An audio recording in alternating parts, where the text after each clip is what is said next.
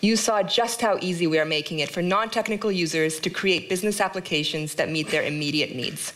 With no code and low code, you and your business users now have more tools to work with. This is why I believe that over half of all business apps will be built by users who don't identify as professional developers today. Thank you. Well, folks, that's a wrap on our predictions. We're excited about the conversations this will start and continue with all of you.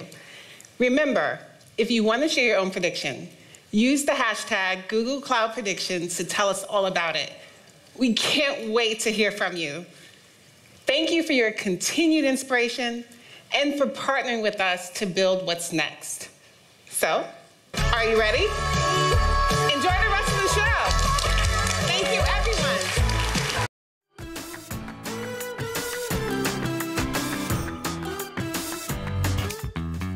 Hi, I'm Shaquille O'Neal, and I'm the founder of Big Chicken. When you're trying to build a national chain, communication is so critical. To do that, you need a great partner. And we're really lucky that partner is Google Workspace. Google Calendar is my girlfriend. I don't know anything I'm doing unless I talk to my woman. Google Workspace, productivity and collaboration tools for all the ways you work.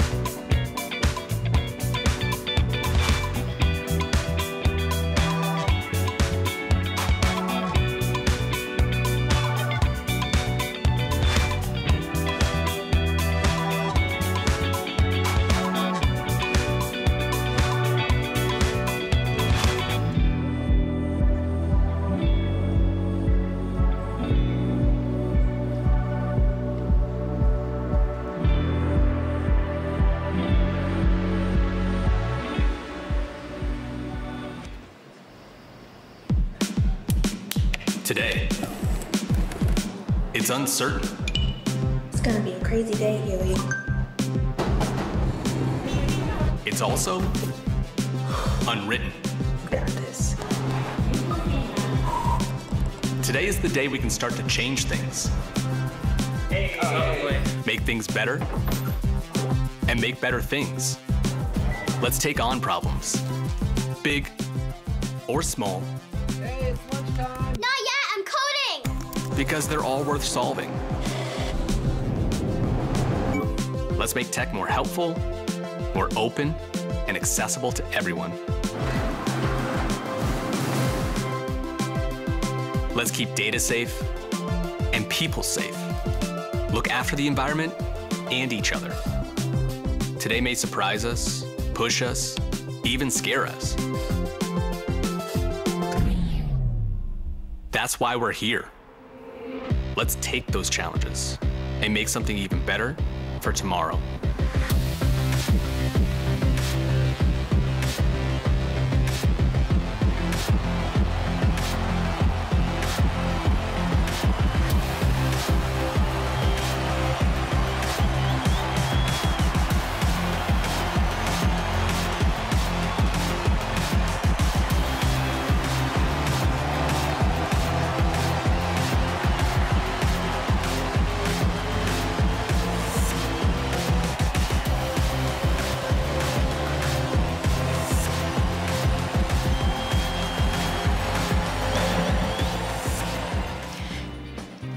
Welcome President of Google Cloud International and Head of Google Ireland, Adaire Fox Martin. Good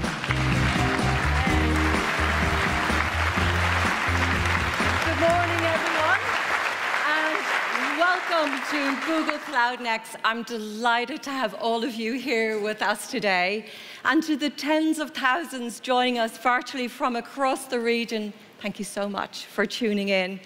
And for those of you here in Munich, it's been three years, three whole years since we've had the chance to connect face to face at a next event, and we have a lot to catch up on.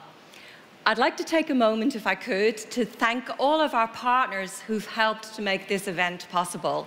Special thanks to our Luminary sponsors, Accenture, Atos, C3AI, and Deloitte. Indeed, Google Cloud could not do what we do for our customers without the continuing and ongoing support of our partners. And I can't actually think of a more fitting location to bring us all back together. I had the pleasure of living here in Germany for nearly five years, and it's truly synonymous with technology. As a case in point, right here in Munich, it's home to the largest technology museum in the world. But it isn't called that Technology Museum, it's simply called the German Museum. Technology is already applied. And today, we'll be looking at the transformative power of cloud technology and how it can help drive your organization's transformation forward. This is what today is all about, your transformation and how Google helps. And from the main stage and in our breakout sessions, you'll hear directly from our customers about both the value and the experience they are driving via their transformation with Google Cloud. You'll hear how they're solving some of the most critical business problems and also taking on some of the world's most formidable challenges today, tomorrow, and long into the future. So let's get started. To set the stage, let's connect with our very first customers. In the past few years, Renault Alliance and SEB have both aggressively been pursuing transformation strategies. And for both organizations, cloud technology sits at the very core of their transformations. To share more about this bold course of action, please join me in welcoming two leaders. Renault Alliance's Vice President of IT Services, Stefan Van Oek, and Petra Ålund, Head of Tech and the Group Executive Committee member from SEB. Please join me in welcoming to the stage.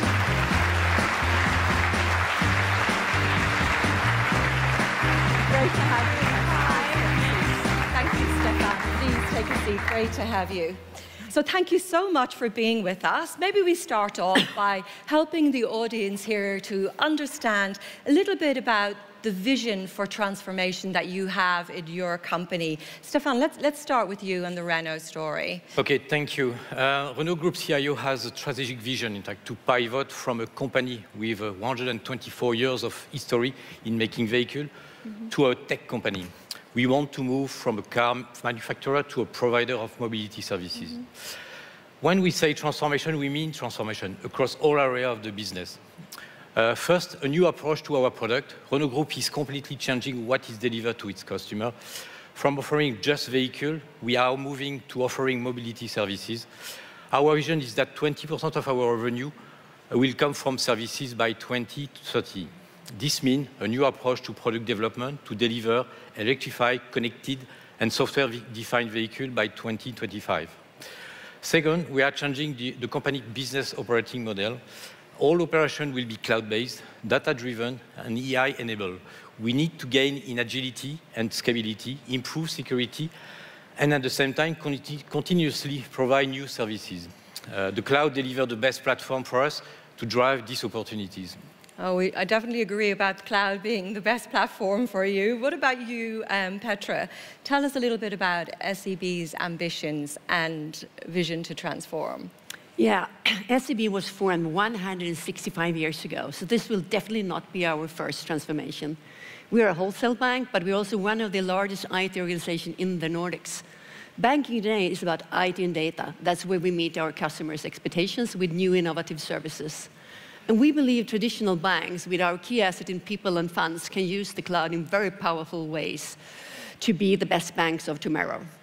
Digital transformation is critical to our ability to succeed with these business goals. And from a technology standpoint, we have a set vision to be cloud native by 2030. Having said that, it's important for us to acknowledge that we must execute both the new and the proven technologies that we operate at the same time. Feet on the ground, head in the cloud is one of our mantras. So we start with selected business-driven use cases in areas like data and analytics to achieve this balance. Additionally, technology partners like Google Cloud enable us to develop and manage digital and data security and cyber defense with confidence. And this has never been as important as in the current geopolitical and economic context. And in our view, doing this in the cloud is the only way forward. Yeah, so it seems that business and digital transformation are synonymous at SEB. Um, Stefan, how does Google support Renault's ambitions in, in that regard? Well, Google is a critical part of our digital transformation. Uh, we are working on the end-to-end -end process from a car design to its launch through uh, the manufacturing, quality check, supply chain management, and delivery to the dealers. Uh, the car usage will be then monitored, analyzed using our car data platform for a better understanding of our customers. Renault has also connected over 30 manufacturing plants uh, and the associated uh, supply chain to the Google Cloud platform in order to collect data. We are switching to data-driven manufacturing and supply chain models. The data collection using AI enable us to optimize our energy consumption and improve efficiency through predictive maintenance. This is also support our sustainability program, which is a huge part of our transformation objective. We are also addressing the new B2C channel by connecting cars to GCP using the unique analytic capability of the platform. It is an opportunity for us to better know our user and customer. We can offer them the best possible experience, customized feature and new services and provide pay-as-you-go mobility services. Any company un undergoing a shift of this magnitude has to trust the security of the platform they are choosing. Uh, we trust Google secure infrastructure uh, and are confident that you will also uh, have to create a solution for us to comply with the French digital sovereignty requirement, as an example. Mm. Uh, our first strategy was multi-cloud, then we switched to uh, a GCP first. Uh, beyond trust, Renault Group chose Google as a partner for multiple reasons. Uh, Google Cloud is offering the best value for money. Google Cloud is offering true cloud flexibility and ability to respond to short and long-term challenges. Uh, and cloud, uh, the Google Cloud data is the best value proposal on today's market. Uh, and then, of course, the Google teams are very skilled and very supportive to any of our challenge. Oh, thank you so much, Stefan, for some of your kind remarks there. Um, Petra, how are you at SEB working with Google on the other digital transformation efforts that you have in the company? Yeah, when we started our journey to become cloud native, we evaluated many options, and while we settled on a multi-cloud strategy, Google Cloud has supplied all the functionality we've needed so far. But more than that, their true partnership in helping us solve challenging problems through an integrated approach of collaboration, technology, and training has really been an asset for us. And in a highly regulated industry, building trust is the foundation for personalized services. It's enabled by technology for security, know your customer, and compliance. And with our new data platform, we'll be able to use current and historical data in a more intelligent way and speed up the creation of new innovative solutions for our customers. Being able to automate more and spend less time managing infrastructure will allow us to focus on developing those new solutions like embedded banking and self-service digital banking. SEB is actively supporting sustainable transition, and that is by offering advisory services, innovative and sustainable financing, and investment products. And we support our customers in their transitions to the Paris Agreement for climate change. So our role is very much to enable companies and individuals to make choices that contribute to sustainable society. So with our updated sustainability strategy, we raise our ambition level further and take the next step in accelerating the sustainability transition. And Google's track record and ambition and credibility is inspirational. Thank you. Our experience of working with Google is that Google combines both the stability, reliability, and responsibility of a major enterprise, and also the speed, innovation, and flexibility of a startup. thank you for that, and thank you to both of you for taking the time to come today and share your ins insights with us. I think the stories that you've shared present a great backdrop for some of the discussions that will come today And certainly at Google Cloud, we look forward to continuing our partnership with you. Ladies and gentlemen, can you please join me in a big thanks for Stefan and Petra? Thank you. Thanks. Thanks. Now, as Stefan and Petra shared, working with Google is more than about achieving consistency and convenience. It's about helping organizations right across EMEA on their journey of sustainable change. And to provide some additional context about transformation and how it's so underpinned by cloud technology, I'd like to hand it over now to our CEO of Google Cloud, Thomas Kurian. Thank you, Adaire.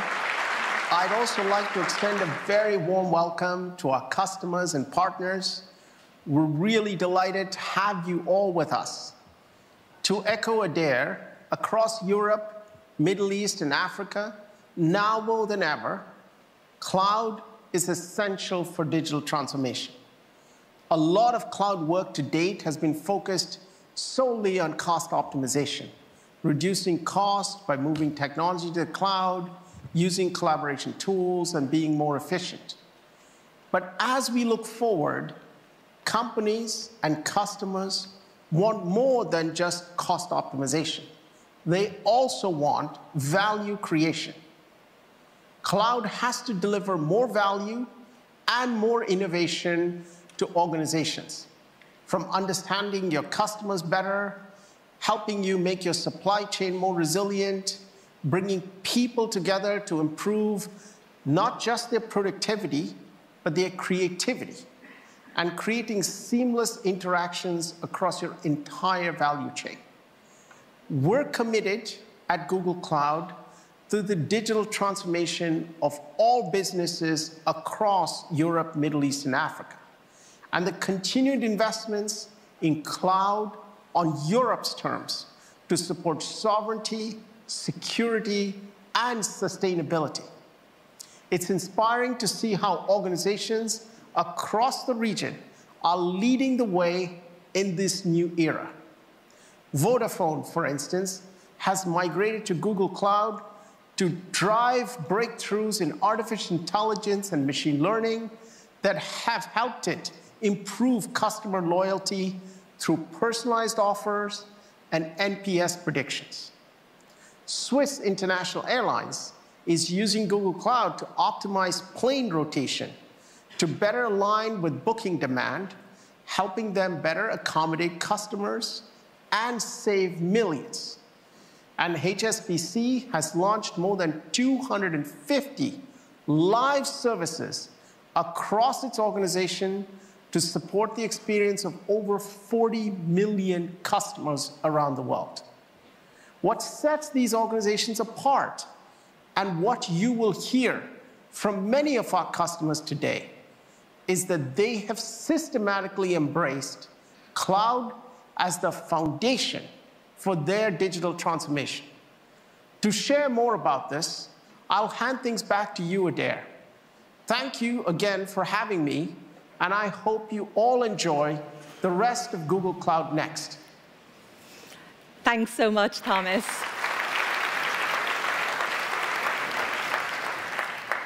The transformation era of cloud is marked by a completely different kind of conversation. The questions from our customers are no longer just about convenience and efficiency. They are about the very core of their businesses. And organizations are asking five key questions. How do we become the best at understanding and using data? How do we ensure we have the best technology infrastructure? How do we know that our data, our systems, and our users are secure? How do we create the best workplace for our people? And how do we collectively create a more sustainable future? Now, last year, we introduced those questions on behalf of our customer. Today, our customers are going to share how they've answered them with the help of Google Cloud. So for the first two questions, please join me in welcoming Gerrit Kazmaier, VP and General Manager of Data and Analytics right here at Google Cloud. Gerrit. Stage is all yours. All right, thank you there. So how does an organization actually become the best at understanding and using their data? You know, it turns out data is at the heart of digital innovation, and it's really the key to unlocking AI. The challenge is, though, that today data is generated at far greater rates, and the clue is that it's being trapped in the new data silos of different formats, of point solutions, and of closed clouds. But when data is unlocked, it can really improve everything. It can make supply chains smarter. It can help you to build contextualized customer applications. And it can truly improve everybody. I'm talking about all your customers. I'm talking about all your employees. And I'm talking about all your partners. Google is a leader in the analysis of structured and unstructured data. And we are unifying the data ecosystem for you, creating the most open data cloud. And this includes actually all of your data in all of your formats from all sources from many clouds. And collectively, it's about enabling all styles of analysis. So here is coming you know, one big announcement exactly in that spirit. Today, we announced the support of unstructured data in BigQuery. With that, you can combine your unstructured data with your structured data from your operational databases and SaaS applications. And with that, basically, BigQuery becomes the point for which you can connect all of this data with our machine learning platform, all through the simple and familiar SQL interface of BigQuery. A very interesting statistic is that 90% of our customers, they are analyzing data also from other clouds. Now, with BigQuery Omni, you can access data in Azure and in AWS, but without even moving that data that makes it simple and it saves you egress fees. Now, we brought all of this data together, right? So what comes next? Well, you want to, unif unify query that in a simple way. Well, today we're going to announce the integration of Spark into BigQuery's Open Query Engine. And with that, you get a single interface for both SQL and Apache Spark right in BigQuery. And I can imagine what most of you are thinking right now if you're onto data like I am. So let's talk about it. Let's talk about data lakes for a second. BigQuery does support key file formats for which you can build data lakes and lakehouses through the announcement that we made recently called BigLake. And today we are announcing the support of Apache Iceberg and the upcoming support of the popular formats Hudi and Delta. Now, after we connected all of this data together, well, let's connect it to all of you. Let's connect all of this data to people. And the first stop is business intelligence. In the business intelligence space, let's be honest, we actually have two sets of data. On the one side, there is centralized, highly governed, and well-managed data. It's used for standardized reports and dashboards. And on the other side, well, we have that not so much official data. It's often distributed and it's many times used for self-service dashboarding, right? Google has products for both of these worlds. First, we have Looker. It is the leading product for governed data access. It has strong business semantics, and it's really the foundation for data-driven application building. And we have Google Cloud Data Studio. It's one of the most popular tools for self-service data visualizations and discovery. If you combine them together today, they have more than 10 million users a month. And today we announced that we are unifying these two products into a single offering called Looker and Looker Studio. And with that, actually, we're going to unify self-service BI with trusted data. We are also announcing Looker Studio Pro. Looker Studio Pro is an enhancement of that with additional support and management capabilities. And, well, you know, with obviously, you know, you would think now, this is a Google-only story, but I talked about being committed to an open data cloud, right? So we are also working with all of the leading BI vendors. We are already working with Tableau, but today we are announcing the preview of Looker support for Microsoft Power BI.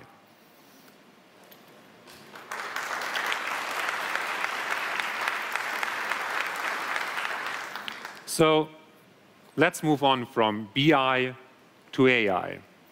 Last year, we have announced Vertex AI, our machine learning platform, and that requires 80% less code than other comparable platforms to train machine learning models. But the reality is that today, most of the data is actually video data. And it has been really, really hard to get meaningful insights out of video streams. So today, I'm very excited to announce Vertex AI Vision. It is an end-to-end, -end, fully managed development platform for vision AI applications. It allows you to easily ingest, analyze, and store video stream data. And it comes with pre-trained machine learning models for common actions. And it takes down development times from days down to minutes. Now, this is time to value. An open data cloud must also enable a connected ecosystem from SaaS applications to all of the technology partners out there, many here in the audience, I assume. And our data cloud makes it much, much simpler to access data from all of these SaaS applications out there. I'm talking about ServiceNow, Workday, SAP, Adobe, and many more. With SAP, actually, we have created predefined integration points. You have models in BigQuery and out-of-the-box reports. And in the latest version of it, it just takes seven minutes to get deployed. One customer who is taking advantage of that today is Carrefour, and they have reduced both their operating expenses and their energy consumption by moving their data-centric SAP architecture to the cloud. And now, with our data technology, they are getting insights and take actions in real time on both supply chain management and inventory logistics. We also have 800 technology partners who are building their products on top of Google Cloud today. And 17 of the most influential data companies in the cloud have joined us in the Data Cloud Alliance program. It is a program with the commitment to open standards and interoperability. We also expanded our partnerships with Collibra, Palantir, Elastic, MongoDB, ServiceNow, and many more. Because the bottom line of all of this is you need an open data cloud. And with all of these announcements today, we are taking a major step forward in making this a reality for all of you. Now, obviously, I can talk about data with you the entire day, but we have to move on to the second question and talk about how do you get the best possible infrastructure. And for us, you know, for me, being an engineer myself, great infrastructure means that you can innovate and build really, really quickly. The challenge is, though, that yesterday's infrastructure slows down development. It makes innovating really, really hard. And the reason is quite simple. It's complexity. It's tough to build quickly, you know, when you have to select from thousands of options, when you have to stitch together infrastructure all the time. And at the same point in time, think about, you know, the poor developer, you know, managing costs and keeping applications safe. The good news is, though, there is a better way. Tomorrow's cloud creates simplicity through what we call golden paths. Now, golden paths are prescriptive architectures and an opinionated development model. And the point is that they reduce complexity right from the IDE when you deploy it through production. And here is a fantastic example of a golden path. Today, we are launching Software Delivery Shield. And that is a fully managed end-to-end -end software supply chain security model right from your source code into deployment. It has four key components. First, a cloud workstation to develop. Second, an assured open source software service that we are validating and securing. Third, Cloud Build, our continuous integration service, and GKE, our, our security management dashboard, all coming together in Software Delivery Shield. Another great example of golden paths is our workload optimized infrastructure that we are building in Google right from the Silicon app. And I'm going to talk about three quick examples here. And we start obviously with the most important one, AI optimized infrastructure. Google has developed the tensor processing units or the TPUs. And the point was we wanted to massively increase hardware performance for AI, right? Today, we are announcing the general availability of TPU version 4.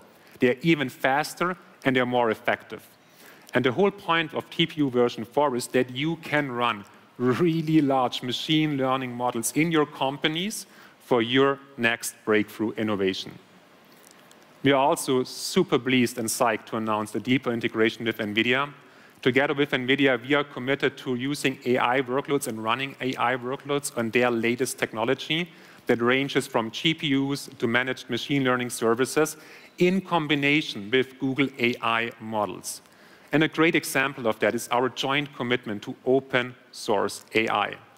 Not only to bring the ecosystem together, but actually to help all of you to prevent platform and model lock-in. The next stop is our cloud-first workloads. You know, I was talking about developers, and 50% you know, of developers are actually using containers today. And Google contributed a very important format in the container space called Kubernetes, right? Google's Kubernetes engine is a fully managed service. That is already a big deal. But a bigger point is it scales to unprecedented levels. PGS, it's a Norwegian geophysics company, they have tripled their deployment size with us. And they scaled up to, get this, 21 petaflops. Do does, does any of you know what that means, 21 petaflops? That means that PGS is now in the top 25 list of the world's supercomputers, just through the powers of Kubernetes and GKE. To run Kubernetes in different environments, we are providing Anthos, and Anthos basically allows you to run Kubernetes in multi-cloud settings, on-premise or on the edge. And today we are announcing a set of enhancements to make multi-cluster management much simpler by just deploying a single configuration file to hundreds of clusters in different environments. So we also want to stay ahead, help you stay ahead of emerging technologies. And we are working with Web3 companies, the pioneers in that space, and they're using our workload optimized infrastructure for workloads such as blockchain, for instance. And today we are announcing that Coinbase has selected us as their premier cloud provider and partnering with us to enable the Web3 community. So these golden paths, they are really our approach to give you the best technology infrastructure. And to talk about the impact of that to their business, I would like to turn it to our great partners and customers from the Deutsche Bank team. Let's roll the video.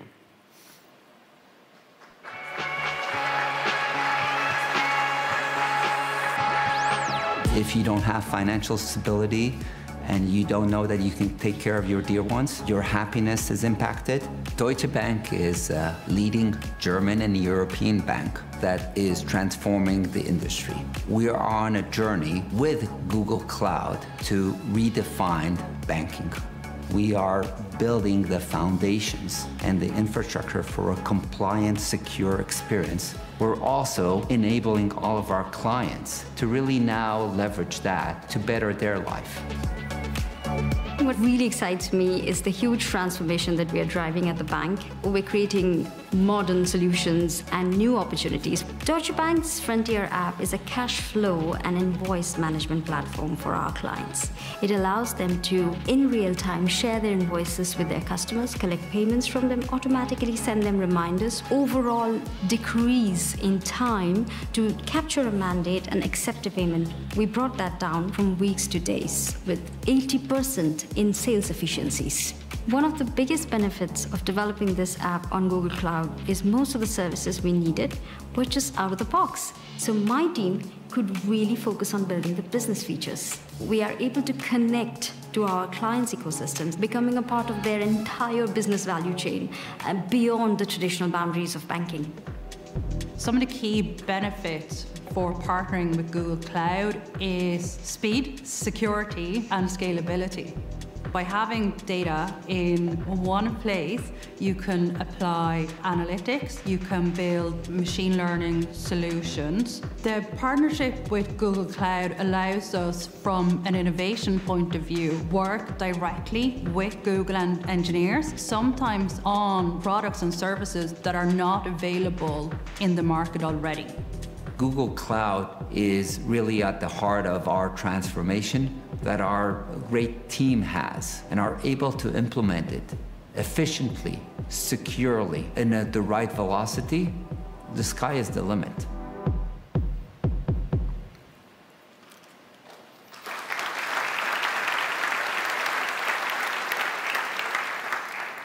So I wanna, I wanna end with this. when companies are empowered with an intelligent, simple, and open data cloud, the sky is indeed the limit. And with that, I would like to hand it back to Adaire.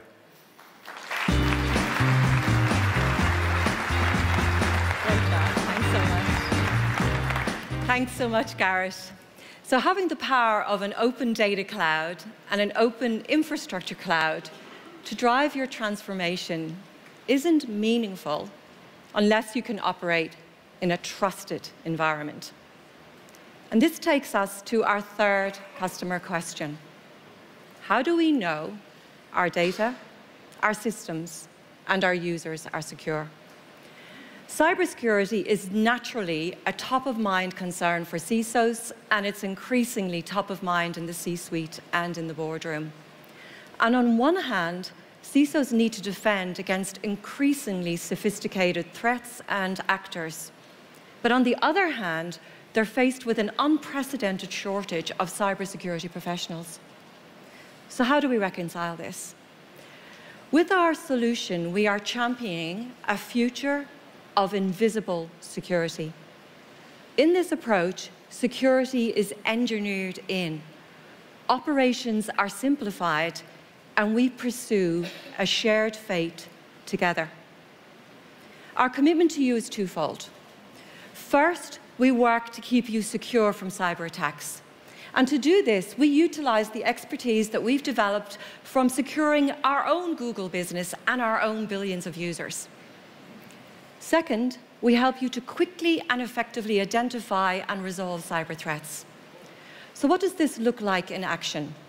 Using our new Chronicle Security Operations Suite, Morgan Sindall, which is a UK construction and regeneration company, ingests, analyzes, and retains all of its security information, eliminating what was the typical trade-off between cost and security blind spots. Vertiv, a leading provider of equipment and services for data centers, is now analyzing more than 20 times more security data and responding to three times more security events with exactly the same resources. Security queries that used to take hours now take seconds. Our investment in your security is only growing. We've recently completed our acquisition of Mandiant, a leader in dynamic cyber defense. Mandiant is known for being the best in threat intelligence and in incident response. Google Cloud is the best at data and analytics. Now that we're together, we have the latest threat intelligence from the front lines. And we can deliver this automatically through SaaS products backed by the leading managed offerings and consulting services of Mandiant. Jointly, we can deliver on our shared mission of a more secure world. We understand that to fully embrace transformation in the cloud, you not only need security, you also need trust. You need confidence and peace of mind that when you deploy the latest innovations, you can meet your unique requirements for control, transparency, and sovereignty, whether that's driven by your regulator, by geopolitical considerations, or indeed by the government and its policy. At Google Cloud, we take digital sovereignty seriously. Customers, partners, policymakers, and governments have surfaced three requirements in three very specific areas. The first is data sovereignty, which is keeping control over encryption and access to your data. The second is operational sovereignty. This is keeping visibility and control over the provider operations. And the third is software sovereignty. This is running workloads without a dependence on a provider's software. To address these requirements, we launched our initiative, Cloud on Europe's Terms, in September of 2021. To achieve data sovereignty, we offer unique external encryption capabilities, allowing you to store and manage your encryption keys outside of Google Cloud's infrastructure and deny Google access for any reason. To support data residency requirements, we continue to launch cloud regions in EMEA. Just recently, we launched new regions in Qatar, the Kingdom of Saudi Arabia, and Greece, adding to our 16 cloud regions here in EMEA.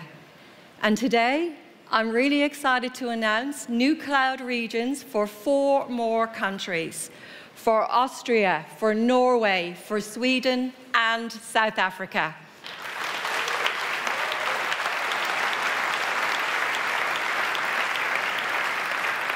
To support operational sovereignty, we offer an exceptionally strong set of trusted partnerships for stringent local supervision.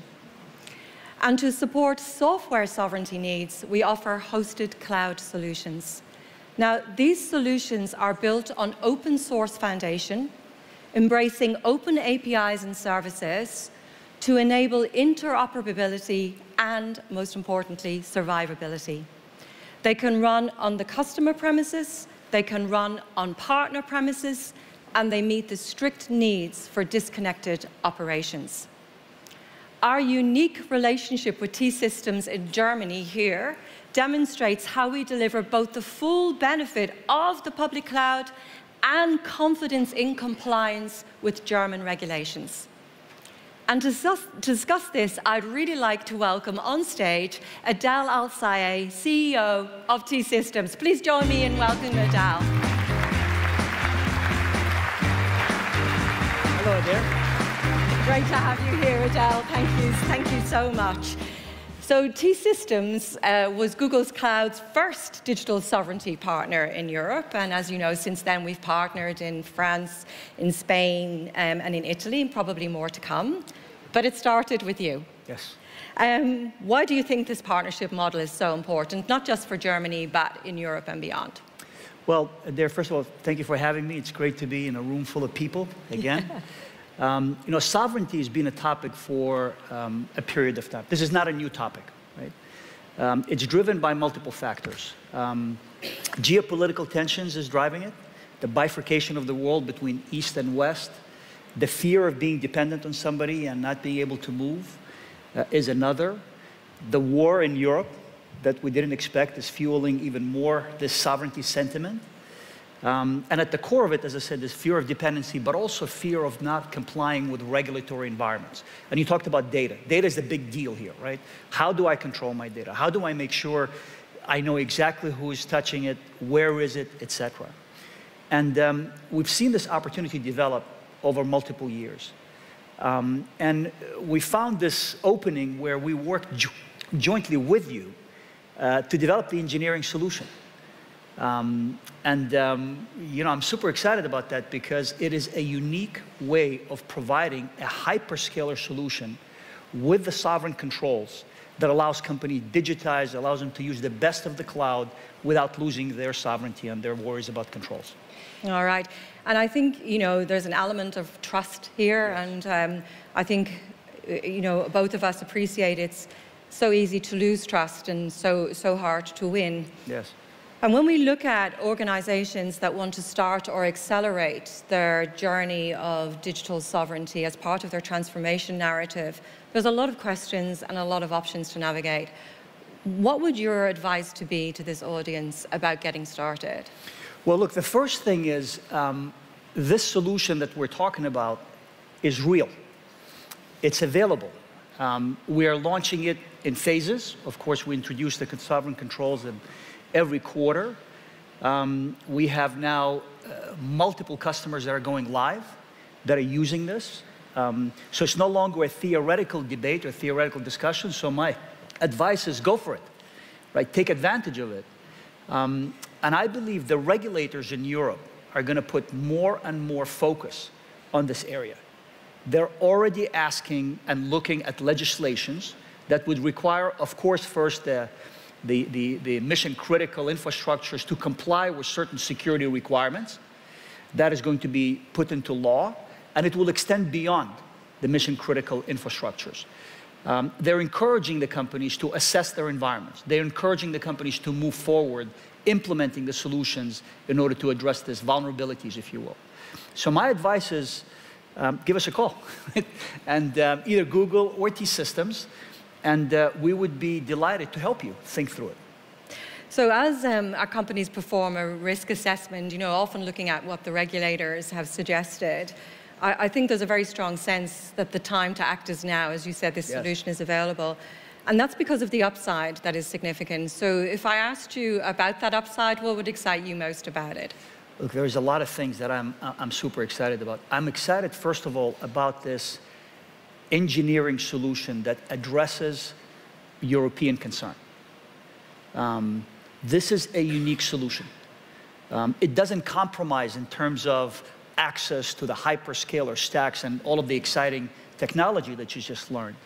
Um, so I'm excited about bringing it to the market and, and, and, showcasing it and bringing customers on it. I'm excited about onboarding our clients. Uh, you know, we're, we're learning as we, as we bring every client on board, and, and that makes us stronger. That makes us um, revisit our roadmaps and decide what to prioritize. Um, and Wieland, I'm excited about our co-innovation lab, right? I mean, it, it is a big investment in Munich, uh, where we would we are building our teams, bringing them together, where the customers actually can come and spend weeks working with the teams and moving their applications into the sovereign cloud. All right. Well, listen, Adel, thank you for an incredible partnership. Thank you for highlighting some very important issues for us. Ladies and gentlemen, please join me in, in thanking the CEO of T-Systems, Adel Al Thank you. Thank you so much.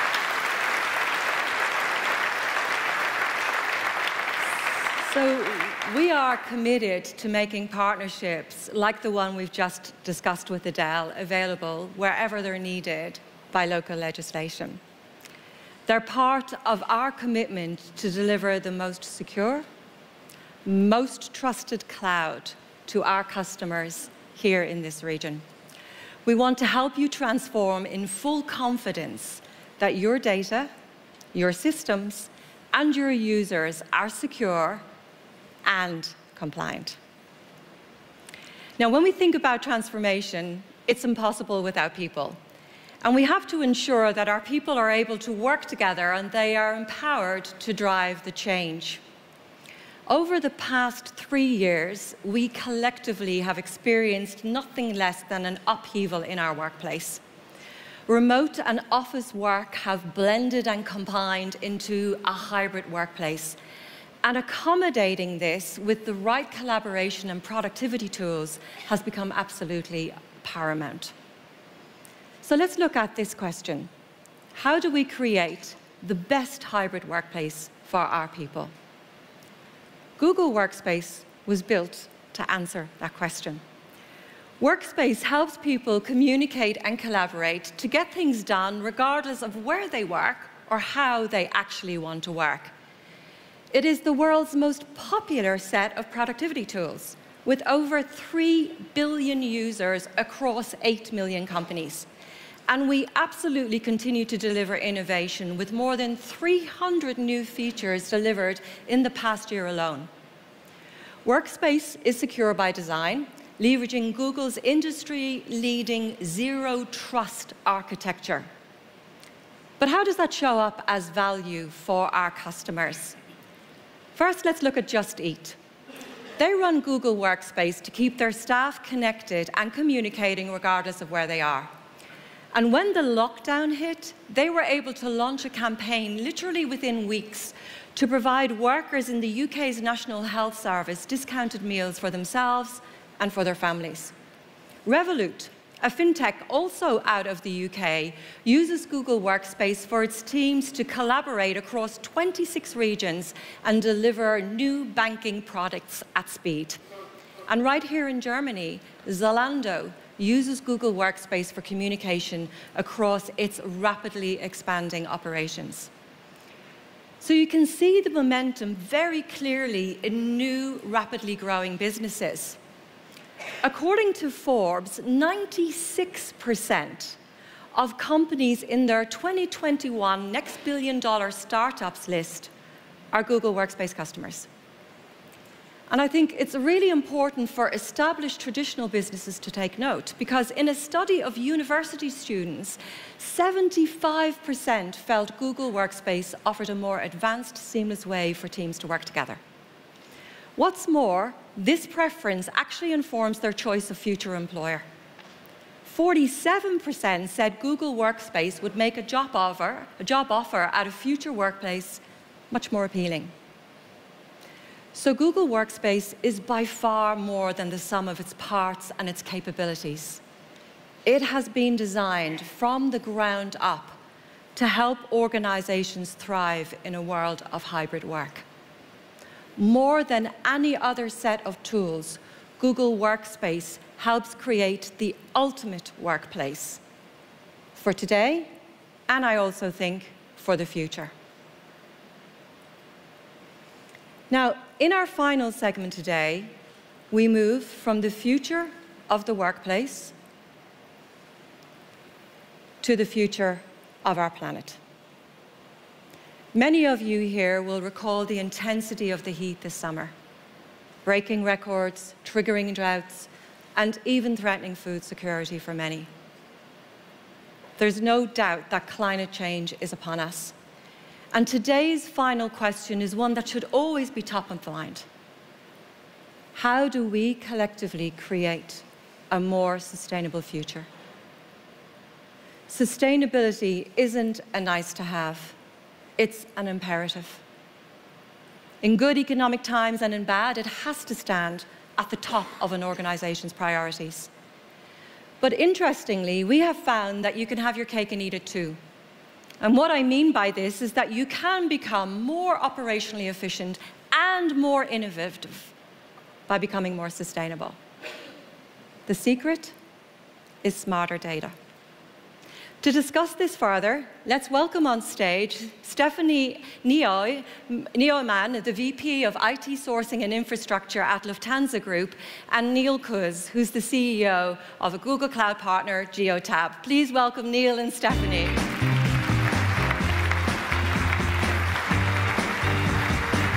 Neil, welcome. Stephanie, a warm welcome. Thank you so much. You. So thank you both for joining us. Different companies, but both in the travel and transport sector. So let's begin our discussion by just asking to what extent you agree in your industry that sustainability is a data problem. And Neil, we'll, we'll start with you. Thanks, Adaire, and good morning to this really impressive audience here today. Um, let me start by saying that sustainability is at the core of Geotab's purpose. Uh, we are global leaders in IoT and connected vehicles, supporting over 40,000 customers, many Fortune 500 companies in over 150 countries. The data insights that we gather from 3 million connected vehicles and around 100,000 data points processed a second ensures that we have the data intelligence to support customers on their sustainability journey. But here's the real truth about commercial fleets a large percentage of commercial vehicles cannot yet be electrified. So, with that being the case, what can organizations do to be more sustainable? The answer to that challenge is, as you said, data. Mm. First, you use the data insights to make your non electric fleets more efficient, reducing their carbon footprint. You do this by adding sensors to the vehicles, optimizing the road routes, optimizing the types of vehicles used for a particular job, lowering the fuel consumption and idling, and managing inefficient driver behavior. Second, we're seeing that without data insights, vehicle electrification projects often fail. By applying data insights, you can make the best decisions for electrification. Using the data to understand the usage patterns, such as optimizing for range, where infrastructure is readily available, where and when vehicles can be charged. Using the insights from data, you can decide how much and what part of your fleets can be electrified for maximum benefit. So to summarize, yes, data intelligence must be at the core of your sustainability transition in our industry if you're going to move quickly enough. All right. And what about Lufthansa, Stephanie? How does it contribute to sustainability uh, from a data perspective in the aviation industry? to make aviation more sustainable is really a huge challenge, you can imagine so. However, at Lufthansa Group, we have set ourselves very ambitious climate goals and will become a carbon neutral company by 2050. On the way towards that target, we will halve the 2019 net emissions by 2030 already. So as the first airline group in Europe, we are proud that our clear emission reduction path is officially in line with the Paris Climate Agreement. So quite an ambition here. For the aviation industry, a truly hard it is to decarbonize. And this challenge will be managed with three levers mainly the new aircraft, which is currently the main contributor to save emissions, the deployment of sustainable aviation fuel, and operational efficiency on top. And of course, that is a very much data-driven exercise. So at Lufthansa, we have used Google Cloud to create a new cloud-based operations decision support suite, meaning the first Lufthansa subsidiary to use this is Swiss. Mm -hmm. First, they pulled in multiple sources of data regarding their planes, their crews, passengers, and schedules. And then they applied AI tools on top. So they are now able to optimize operational decisions with just sub-seconds uh, response. So let's look at just one feature in that platform. It's about rotating planes. Within a short time, that feature alone has reduced fuel consumption and thus CO2 emissions mm. for us. So it's very clear to see the impact on sustainability objectives. But for orgs that are transforming, does sustainability go hand in hand with other desired business outcomes? It might be things like cost cutting, maybe operational efficiency, or reimagining the, the customer experience. Mean, Stephanie, seeing as probably a number of us used your services to maybe arrive in Munich today, let's start with you on this one. We've clearly seen uh, this with the project I just described, uh, the Operations Decision Support Suite. So yes, we are able to reuse emissions, but within the same time and within the very same projects, um, the optimization we have saved money as well. Yeah? So during the first three months, we already saw a savings of 1.5 million euros. And this was just from optimizing 50% of the routes of just one of our companies, um, meaning Swiss. So we expect the overall savings from the project will be very significant for Lufthansa, also in the more or less non-digital world. Examples which show the coexistence of cost cutting, sustainability increase, and more customer comfort are easy to get. Look at new aircraft, save up to 30% fuel and thereby emissions. They lower costs per seat and increase comfort, customer comfort at the very same time. So by reducing emissions and also noise pollution, call it as you want, is win-win-win. Yes across a number of variables, win-win-win, I like that. Mm-hmm. and Neil, for your customers, a broader set of customers, of course, given your customer base, is data that drives sustainability also clearly driving other business outcomes? Yes, absolutely. Um, our customers tell us that's exactly what's happening. Um, one of the customers, for example, is Deutsche Bahn Regio, the largest bus company in, in Germany with over 5,000 buses connected to the Geotab platform. By harnessing data insights, they make sure that the vehicles are available for drivers on time and ready to go. They have the state of charge, evaluation reports on energy consumption, and they're using Geotab data for immediate feedback to their drivers. This feedback helps the drivers correct behavior like heavy braking. Mm. Some of the outcomes reported include higher driver satisfaction, which is good, 40% reduction in idling time, and savings of over 1,400 tons of CO2, a substantial reduction in fuel costs as well, and high customer satisfaction. So absolutely, by leveraging data insights, customers are benefiting from this transformative change. So First of all, thank you both for being here. And I think it's wonderful to see the cases of sustainability in both your organizations pairing beautifully with you know, operational efficiency, cost savings, and creating wonderful customer experiences. Please join me in thanking both Stephanie and Neil for joining us today. Thank you so much. Great to see you both. Thank you, Adaire. That conversation leaves me truly optimistic about what's to come. And it's all part of our overall goal to help you make the sustainable choice, the easy choice for everyone in life, in work, and in the cloud. So I'd like to close by thanking all of our guests for illustrating what true transformation looked like today in the cloud and possibly for tomorrow. You, our very valued customers, bring the possible to life and you inspire us each and every day to deliver the technology, the tools, and the solutions that drive value creation in the cloud. No matter what your circumstances are or where you are on your journey, we will help you to better understand your data, help you to apply technology so you can lead in your industry, help you to ensure that your systems, your people, your users are safe and secure. We'll help you to create the best workplace for your employees. And we will help you to drive sustainability in your operations.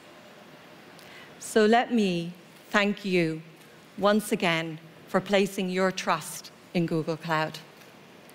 Google is investing for the future, and we are here to help, whatever comes next. Thank you.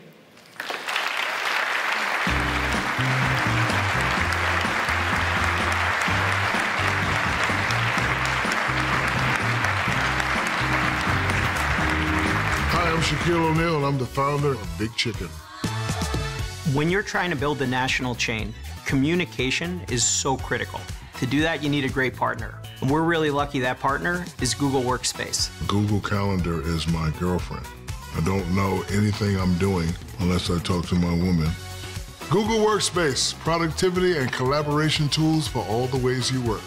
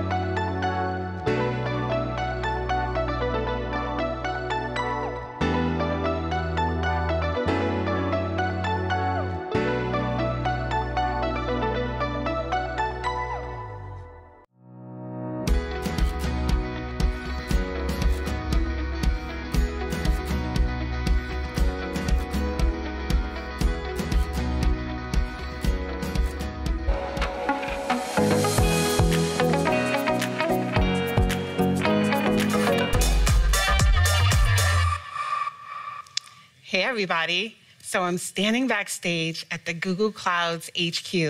We're literally seconds away from kicking off the keynote for developer. I am so excited to share our predictions. Are you ready? Let's do this. Hello, everyone. Please welcome Google Developers Vice President Jeanine Banks.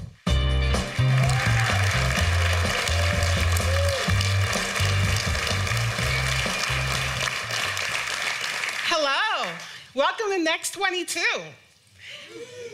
I'm Jeanine Banks, and I lead developer products and community at Google. My team and I love empowering developers to build innovations for the future, which leads me to the theme of Next this year. Today, meet tomorrow. To tell you a little more about how we think about tomorrow, my friends and I at Google Cloud will share top technology predictions for where we believe the cloud is headed over the next three years. Each one of us will share the one prediction we believe will be true by the end of 2025. And we'd love to hear what predictions you all come up with too. You can do that by responding to our original video or creating your own video on YouTube Shorts or any other social video platform. Just use the hashtag Google Cloud Predictions and tell us all about it. But before we get into all of that, I want to talk about our developer community for a minute. I get most excited about the incredible ideas and new products coming from our community, as well as the opportunity we have to help developers learn, grow, and build powerful systems and engaging experiences. Google's developer community is inclusive, one where cloud developers at every level of expertise are welcome while being challenged at the same time. And being part of Google's developer community creates true economic impact because Google Cloud certified professionals are some of the highest paid in the industry. This same cloud developer community fosters the creators. And by that, I'm talking about the students, the career switchers, and anyone else hoping to become a developer who's encouraged and supported to bring their creations to life. Just like we saw with our partner in Brazil, Soul Code Academy, and one of our newest professional data engineers, Patricia. Take a look. Tecnologia é como se fosse um bichinho que uma vez que ela te morde, não sai mais de você. Eu cursei análise e desenvolvimento de sistemas, só que eu não consegui terminar. Tinha lá aqueles formulários, né? Qual que é o seu nome, seu endereço? Mas qual que é a sua profissão? Eu não tenho profissão. Agora é a hora de eu retomar. Aí foi onde eu vi a oportunidade do Bootcamp da Soul Code Academy em parceria com o Google Cloud. E seis meses depois, aí foi onde eu recebi o convite para poder fazer parte do time da Soul Code Academy, só que do lado de lá. Ali o mundo, sabe quando o mundo ganha cor? Então nessa hora ficou colorido. Eu, Patrícia, mulher casada, mãe de três filhos, 39 anos, profissão engenheira de dados habilitada em Google Cloud Platform.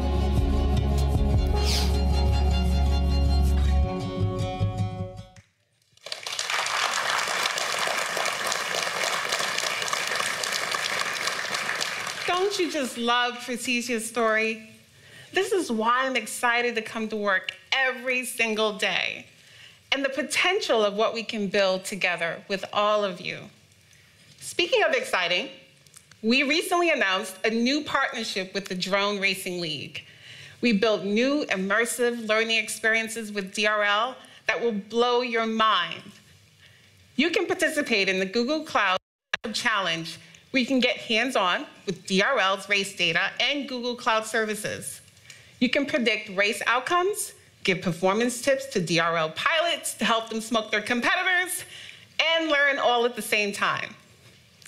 And you even get to compete for a chance to win a trip to the season finale of the league's World Championship.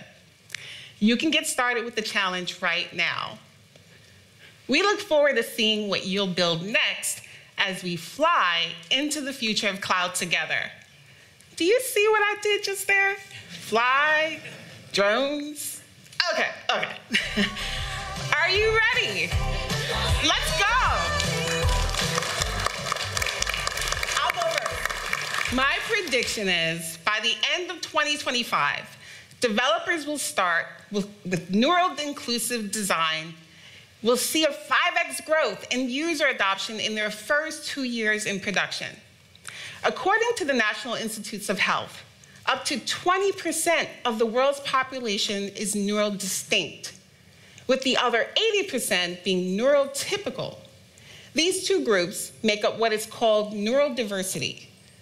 And neurodiversity describes the ways people experience, interpret, and process the world around them, whether in school, at work, or through social relationships. And here at Google, we believe the world and our workplace needs all types of thinkers. What do you think about that, Jim? That's right. One in five of us here are neurodistinct. But what is neuro-inclusive design? Neuro-inclusive design is designed for cognitive and sensory accessibility. One of the things that makes participation in meetings accessible to me is the raise hand function. It allows me to pause the cadence of the meeting to provide an opportunity to share my thoughts. Then we realized that this made meetings better for everyone. It created more structure for everybody, which enabled visibility and broader range of ideas. So neuro-inclusive design starts with raising accessibility for neurodistinct people like myself, but everyone benefits. Good design is already neuro-inclusive when implemented properly. As an example, when developing interactive and visual features, we need to consider how noise, vibrations, or pop-ups show up in design because it creates sensory stimulation that leads to distraction. Design principles can be made neuro-inclusive when you plan thoughtfully for balance, proportion, unity, light, color, space, and patterns.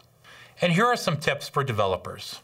Number one, design with simplicity and clarity. Number two, remove distractions or extra visualizations like pop-up windows. Three, avoid really bright colors or too much of a single color. Four, stick with a predictable and intuitive user flow.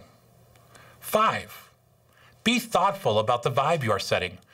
Do you need music or sounds to set the tone, or is that just an extra element that can create distraction? And finally, six, stay away from pressure points requiring a quick reaction from the users. This can add unnecessary pressure. Back to you, Jeanine. Thanks, Jim. This upfront design thoughtfulness is just so important. How often have any of you been pressured to ship something, but you knew you could have improved the user experience with just a little more time? At Google, we feel that ideation, user research, testing, and marketing disproportionately helped teams launch more inclusive products faster. While these are standard practices in software development, when we made a conscious decision to have all types of thinkers included across these phases, our eyes opened in so many new ways to be more inclusive. For example, closed captioning in Google Meet helps all of us process information better visually. It also helps people participating in meetings where a different language is used. When you build simple, clear experiences with fewer distractions, your products will inherently drive greater user adoption. In fact, what did I say? I predict 5x more in your first two years in production. This is because developers like us will have built belonging directly into our products. So that's my prediction. Now I'm going to pass the mic to some of my friends here at Google Cloud to share their predictions. Thanks.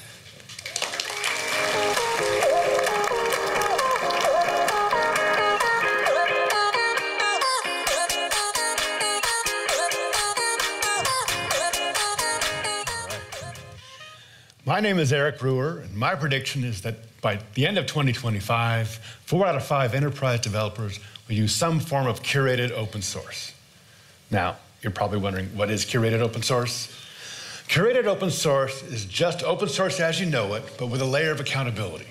What I mean by that is curated open source comes with support for developers, and the curator in this case will focus on not just finding vulnerabilities, but helping to fix them too. They'll update old dependencies and track new ones. With curated open source, the curators will build in automations for testing, may even offer response-based SLAs. And here's why this is so important for the community. Open source is everywhere.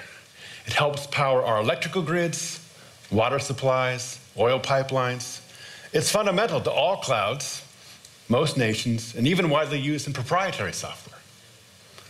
Open source is public infrastructure, and it's an essential part of our everyday lives. So now what? Open source is here to stay, but everything it powers is vulnerable. The incidents are real and they are costly. This is why governments are stepping in with regulations like FedRAMP and executive orders to combat cybersecurity. Regulations like these are super important and show us just how deeply security vulnerabilities impact our lives.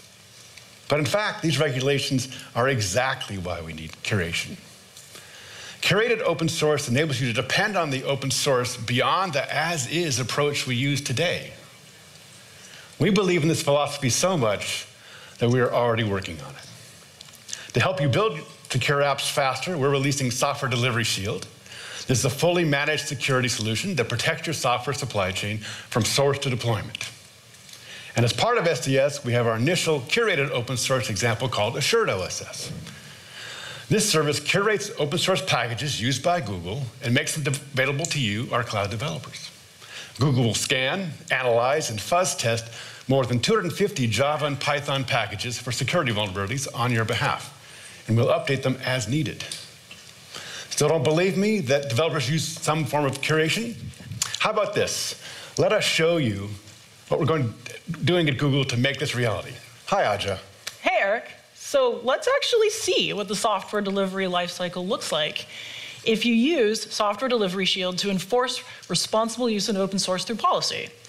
So we're going to start with Cloud Workstations, a complete development environment in the cloud. Cloud Workstations is highly customizable, and the version I'm showing today has all the tools and compilers and everything I need, including the brand new Source Protect extension. Actually, right here you can see that Source Protect has flagged a dependency with a known vulnerability. I can fix this right now on my workstation before anything is ever checked in. Now, Cloud Workstation is going to automatically detect those changes, and it's going to redeploy my app on my workstations as needed. This shortens my dev loop and makes me more productive. So when I push my changes, because I'm happy with them, Cloud Build is going to run continuous integration against our code base. Here, you can see a Cloud Build build report, and you can see that we provide SLSA Level 3 compliant build provenance. Cloud Build also scans for vulnerabilities. And here we can see a list of vulnerabilities, including details on many of them, and in some cases, even the fix that we need to make to address it. Now, it happens to be that the image that Eric and I are working with today has several external open source dependencies. For example, Spring Boot Starter. In general, pulling these directly from the internet could pose some risk.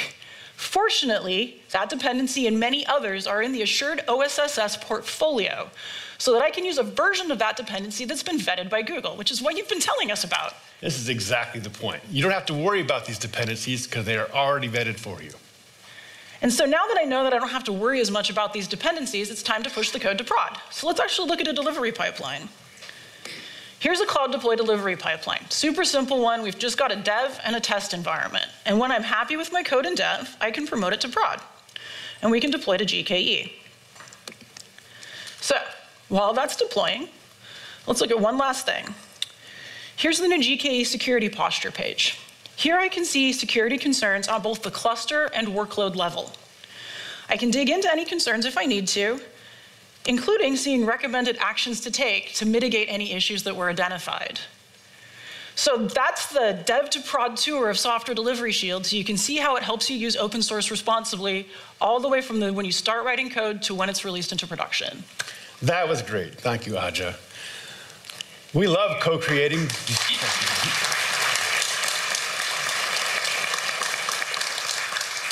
We just want to make sure there's an added layer of accountability to better support you and the apps you build. This is why we believe that four out of five enterprise developers will use some form of curated open source. Thank you.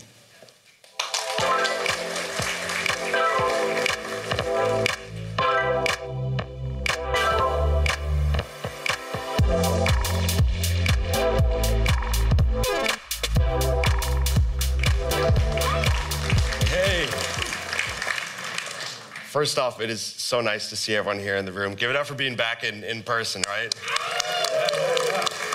All right. So, hello everyone. My name is Iman Ghanizada, and my prediction is that by the end of 2025, 90% of security operations workflows will be automated and managed as code. Okay, so SecOps teams are struggling to keep up with the attackers. We all know this, right? There's, there's too much data, complex technology environments, and there's more adversaries now more than ever. I mean, every day on the news, we hear about a new 18 year old that has breached a company, right? so, so let's go ahead and let's, let's pair this with the detection and response workflow, which is notoriously centered around toil. And it requires a linear growth in people to keep up with the volume of threats. But we all know we can just hire a bunch of more people, right? Like every CISO has a billion dollars in their bank and you know they're just waiting to hire 700,000 people. so this inefficient workflow has basically created the cybersecurity talent shortage. There's over 700,000 unfilled cyber jobs. And these jobs, they're, they're high stress, they're overloaded with toil-based work, and uh, a lot of folks are quite frankly just burnt out. So there's just no way that this issue is going to get solved if we keep doing things the way that we're doing them today. So to scale security across cloud, we're going to make security more agile and accessible to everyone through code. Here's how. So our autonomic security operations framework is designed to help you take advantage of our API first approach with Chronicle security operations and other tools, including many of those tools that are within our new Mandiant portfolio. This shift in our, our new framework takes traditional assembly line security operations workflows into a codified continuous feedback model we call continuous detection, continuous response, or CDCR for short. You can imagine it's, it's kind of like CI/CD, but, but for threat management. We've seen customers like BBVA and NCR, and as well as our MSSP partners like Cyderes, use our tools to build continuous detection and response workflows that scale across billions of alerts. And so earlier this year, we actually partnered with MITRE Ingenuity, with Cyderes and others to launch Community Security Analytics. CSA is an open source repo that we created to foster community collaboration on developing security analytics for your cloud workloads. These analytics can be deployed as code to complement the native detection capabilities in Chronicle and other Google Cloud tools. So it's, it's kind of like having a team of devs collaborating on your detection rules. So I'll show you how to deploy these rules, but first let's actually dive into an example, okay? Let's just say that there's a user outside of your DevOps team that gets access to impersonate a highly privileged production service account. That probably wouldn't be good, right? so yeah, so two, Rule 2.20 analyzes your admin activity logs for permission grants on service accounts. And for this next part, we went ahead and pre-recorded this because we wanted to save time and also I don't want to have you watch me fumble over my keys and take down US East or something. so first, we're starting in the terminal and we've already cloned a private repo here. Now we're going to go ahead and open up that YARA-L rule and we can add parameters to fine tune the rule to our needs. So in case you haven't noticed, Chronicle's YARA-L syntax is very, very, very simple compared to other detection languages. Now we're going to go ahead and commit and push our changes. And we already have a GitHub action set up to auto deploy these rules into our Chronicle instance. And by the way, Chronicle can be deployed as code and it can scale across petabytes of data without needing infrastructure or human involvement. I mean, it's, it's as cloud native as they come. Okay, so we're gonna pivot into our Chronicle instance, we're gonna refresh, and let's see, voila. Okay, boom. So there's our new rule, and from this point on, it's gonna start alerting when this malicious activity is identified. We can also run a retro hunt, which essentially takes this rule and it runs it against all of our historical data in Chronicle to see if there's an alert that we missed. And we've done retro hunts with customers that have taken seconds or minutes that may have taken them hours or days with their existing tools. I mean, it's like it's uber fast. We can also use Chronicle SOAR to create a, uh, an automation playbook, basically to figure out how to respond to this type of alert. And we also have we also have APIs to automate this entire thing from ingest to analytics to response. So the moral of the story is what? Um, none of us want to end up on the news, right? so, so in order to make this 90% prediction a reality, security analysts are going to have to work a lot more like devs so that they can free up time to focus on the most important threats to their organizations. So you'll need to implement modern, developer-friendly workflows like CDCR across your detection and response practice. And what I've shown you today is how we're making it possible for you to do so. Thank you.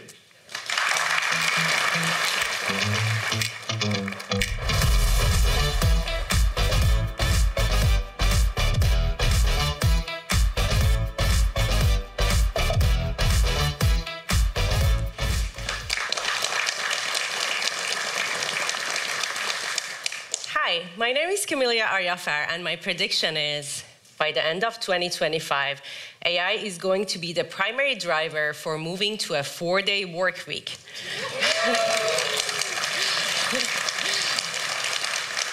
so, what does this mean to you and me? A three day weekend.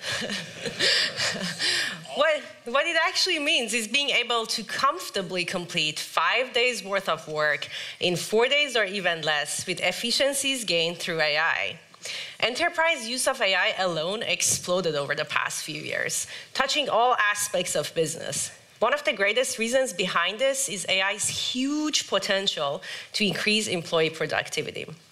You have told us how excited you are to work with Google Cloud because we make all of the AI research, AI models, and ML toolkits from Google available to you as enterprise-grade products and solutions, like Vertex AI.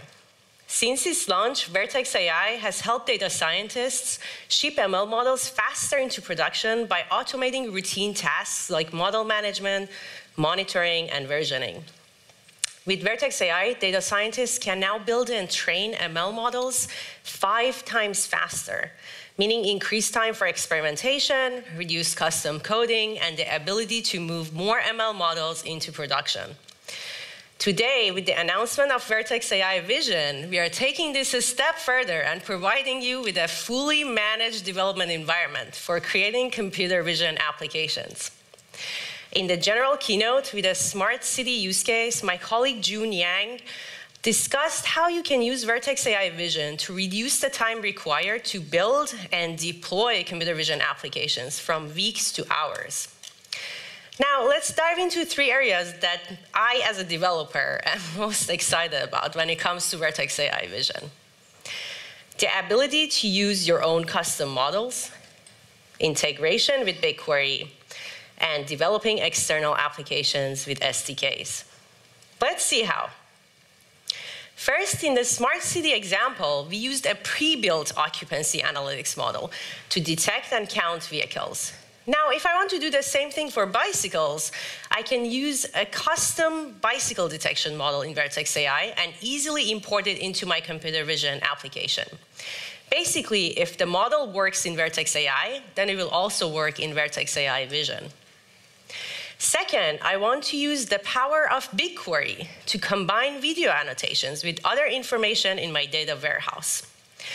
By the way, I can also store annotations in the included Vision Warehouse feature to easily search for insights across my video.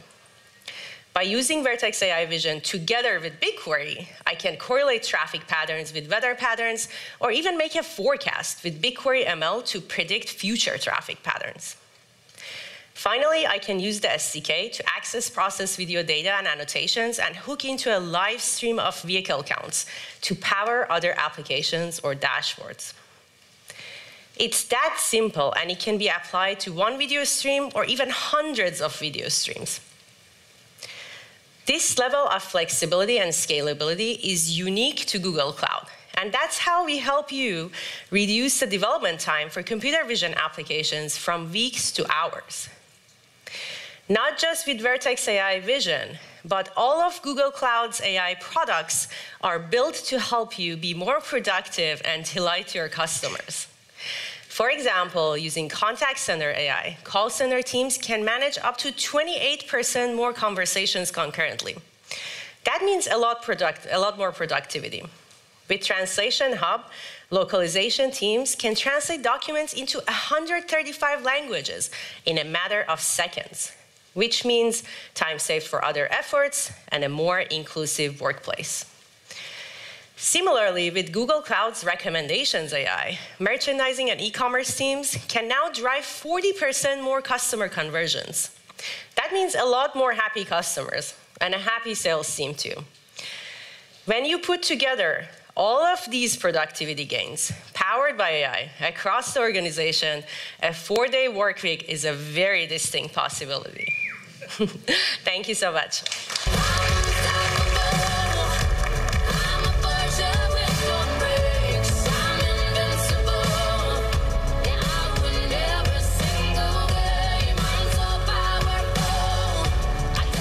Hi, I'm Irina Farooq, and my prediction is that by the end of 2025, 90% of data will be actionable in real time using ML. I'm sure many of you are pretty skeptical of this prediction, and that's understandable. A recent survey found that only one third of all companies are able to realize tangible value from their data. And we continue to hear that many of you are trying to fix that by taking on the operational burden of managing data infrastructure, moving data around, and duplicating data to make it available to the right users in the right tools. So then, how do we begin to overcome these barriers before data can be actionable in real time using ML? Since our inception, Google has been focused on delivering highly personalized information that is highly trusted by billions of people around the world. Data is in our DNA. The same data infrastructure that's allowed us to innovate is available to you, and that is why we believe we can make this prediction a reality. Take, for example, our customer, Vodafone. As one of the world's largest telecommunication companies, Vodafone unified all their data so that thousands of their employees can innovate across 700 different use cases and 5,000 real-time data feeds. They now run AI development 80% faster, more cost-effective, all without compromising governance and reliability. So then, how can we help you achieve your own data infrastructure vision? The short answer is in three parts. First, you can't act on data unless you can see it and trust it. Today, we're announcing automatic cataloging of all your GCP data with business context in Dataplex. And you can integrate third-party sources too. What this means is, is that you no longer need to spend days looking for the right data and instead can spend time working with it. But once you find your data, how do you know you can trust it? Have you ever been in a meeting where someone questions the validity of a single data point and then nobody can trust anything that's being presented from that point onward? That's why I'm particularly excited about the new data quality and lineage capabilities in Dataplex, bringing intelligence and automation to help you trust your data. Second, you can't act on data unless you can work with it. To innovate, you've got to be able to use the best tools for the job across all your data. Speaking of the best tools, I'm excited about BigQuery's new support for unstructured data. Now you can be sure that you can, your BigQuery skills will pay off across all your data, from structured to semi-structured to unstructured. It is also important to be able to use the best of open source tools. Last year, we introduced our serverless Spark offering. And today, we're announcing that you can run Spark directly from BigQuery with fully integrated experience and billing. But this is still just the beginning. We have a bold vision for our Spark offering to bring the Google infrastructure magic all without forking open source. Take, for example, MindMeld, the shuffle service powering BigQuery and Dataflow that helps deliver scale, reliability, and performance that you know and love with those services. That's coming to a Spark job soon. Lastly, you can't act on today's data tomorrow.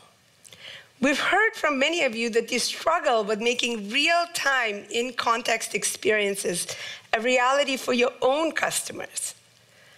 Dataflow, our streaming analytics service, powers critical Google services, and we believe it can do the same for you. With Dataflow, you can use Apache Beam to build unified batch and real-time pipelines.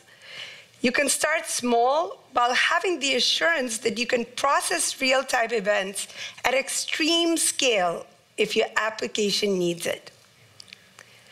To summarize, when you can see the data, trust the data, and work with data as it's collected, we can see how 90% of data will be actionable in real time using ML and the incredible innovation that that will unleash.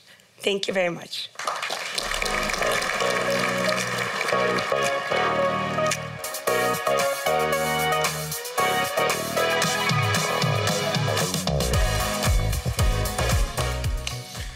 Hi, I'm Andi Gutmans, and I predict that by the end of 2025, the barriers between transactional and analytical workloads will disappear. Traditionally, data architectures have separated these mixed workloads, and for good reason. Fundamentally, their underlying databases are built differently. Transactional databases are optimized for fast reads and writes, while analytical databases are optimized for aggregating large data sets.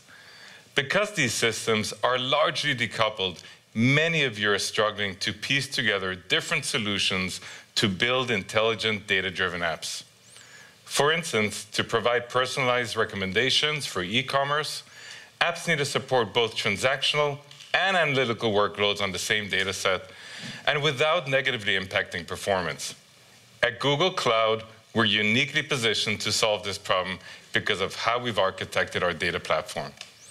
Our transactional and analytical databases are built on a highly scalable disaggregated compute and storage system and Google's high-performance global network, allowing us to provide tightly integrated data services. And to help you unify your data across your apps, today, I'm excited to tell you more about new capabilities we recently announced.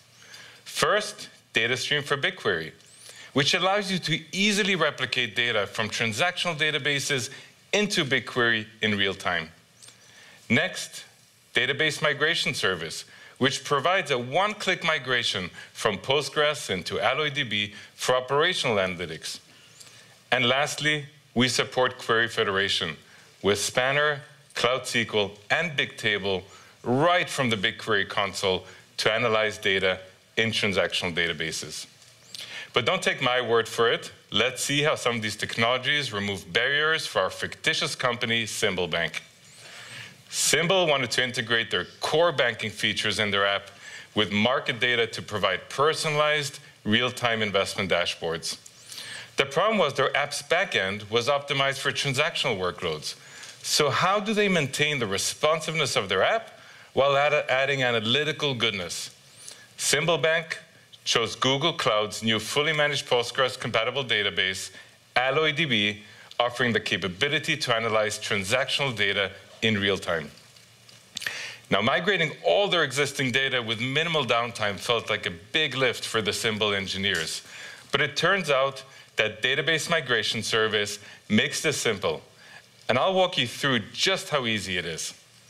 Database migration service lets you migrate from Postgres to AlloyDB with continuous replication, minimizing downtime. Once we define where we're migrating from and what we're moving our data into, we can see the prerequisites for the migration directly in, our, in your UI. Sources are defined using profiles which contain host, username, and password, and you can predefine them like I've done here for Cymbal's Postgres instance. Here we define our destination and some basic configuration options, and then we get to hit create. This part will take a few minutes, so I've sped up time a little bit. Once it finishes, a quick test to ensure that it will all work, and then hit create and start. Once the initial dump is finished, we're now in a state where we have both the old and new database populated with our live data continuously replicating from old to new. And that means we can do cool stuff like testing the performance of our new investment features against both the existing production Postgres database and the new AlloyDB database side by side. Since AlloyDB is fully compatible with Postgres, you don't have to make any application changes. And as you can see, we're getting much better performance out of the new AlloyDB backend. AlloyDB is four times faster for transactional workloads and up to 100 times faster for analytical queries compared to standard Postgres, making it the perfect database for these kind of hybrid workloads. We all want to act on data in real time without the toil of infrastructure assembly and operations. We've given you a taste of how Google Cloud makes it easier for you to build data-driven apps on a unified platform. And this is why I predict that by the end of 2025, the barriers between transactional and analytical workloads will disappear. Thanks.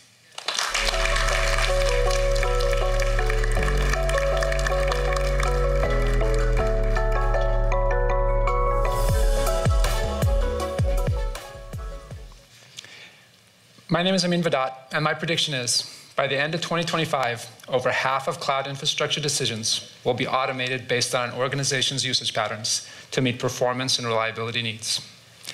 At Google, we believe the work we do today with our partners will define the next generation of infrastructure for the world. While some people look at infrastructure as a commodity, we see it as a source of inspiration. This inspiration comes from delivering capabilities not available anywhere else and pulling in the future by operating at a level of reliability and scale that might otherwise seem unimaginable. Our infrastructure is designed with the scale-out capability needed to support billions of users who use services like Search, YouTube, Gmail, and our cloud services each and every day. We pioneered the model of entire buildings operating as a single computing and storage system. And with Spanner, we showed how services could run reliably at scale across the planet. And we've experienced network innovations like Google Global Cache, B4, and Jupiter, shortening distances across the planet. This gave us the opportunity to reimagine what was possible from infrastructure in terms of scale and capability. Look at the world around us. The time for disruptive innovation has never been more profound. We're seeing incredible demand on the industry's infrastructure, yet simultaneous plateaus in efficiency. You and your companies continue to push the boundaries of what infrastructure can provide. Yet the burden of picking the just right combination of components continues to fall on you. To address this, we've engineered golden paths from silicon to the console. These paths combine purpose-built infrastructure, prescriptive architectures, and an ecosystem to deliver workload-optimized, ultra-reliable infrastructure. So let's talk about the investments we're making in infrastructure at Google in power and performance to make all of this possible. We partnered with Intel to co-design and build custom silicon like this little thing. This is called an infrastructure processing unit, or IPU, and it gives you massive performance and scalability to power high-performance, data-intensive apps. These IPUs are at the heart of our new C3 VMs. C3s include the latest generation Intel Sapphire Rapids processor and custom-designed offload based on the IPU that delivers 200 gigabit per second low-latency networking. And coupled with our new block storage hyperdisk, they can provide incredible storage performance. Now, let me show you something else. From the, big to the, from the small to the big, meet the hardware behind the new Tensor Processing Unit, the TPU v4 platform. It's likely the world's fastest, largest, and most efficient machine learning supercomputer. This liquid-cooled board is a beast in both power and performance density. You see these pipes running across it, running chilled water over the board. They're there to ensure you extract the highest level of efficiency from this hardware. It allows secure, isolated access and is at the cutting edge of services like natural language understanding, recommender systems, and image processing. The TPU makes large-scale training workloads up to 80% faster and up to 50% cheaper compared to alternatives. When you talk about nearly doubling performance for half the cost, you unlock your imagination in terms of what just might be possible. The same IPUs and TPUs that power your services are the foundation that will enable us to automate over half of cloud infrastructure decisions in the next couple of years. They will support the telemetry data and ML-based analytics to proactively recommend the best infrastructure. It will be based on an understanding of how infrastructure balance points correspond to performance and reliability for your individual workloads.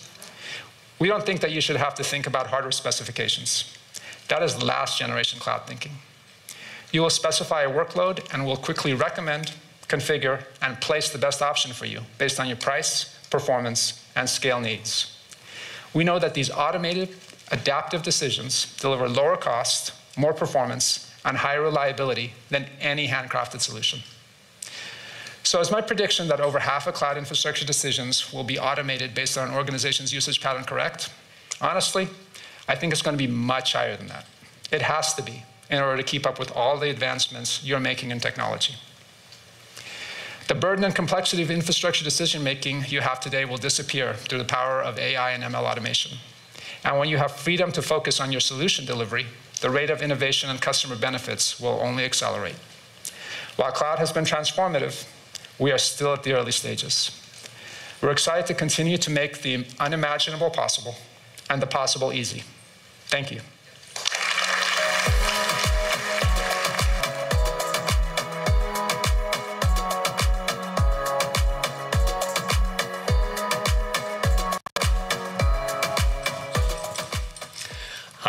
My name is Steren Giannini, and my prediction is that by the end of 2025, three out of four developers will lead with sustainability as their primary development principle.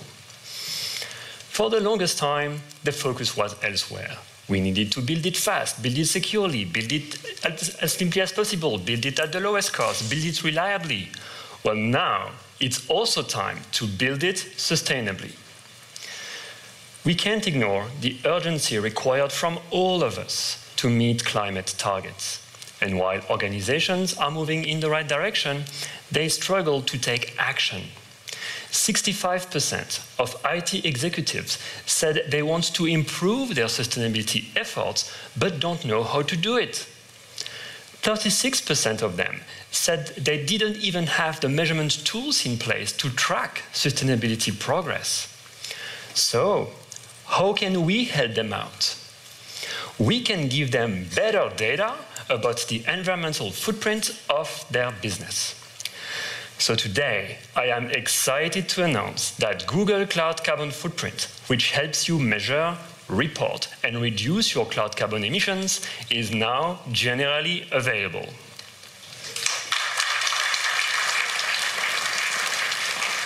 Let's take a look. Right from the Cloud Console, you can access the carbon footprint dashboard of your account. The underlying methodology is quite unique and is based on actual measurements of the energy used by machines in our data centers. It is also the complete picture of your emissions.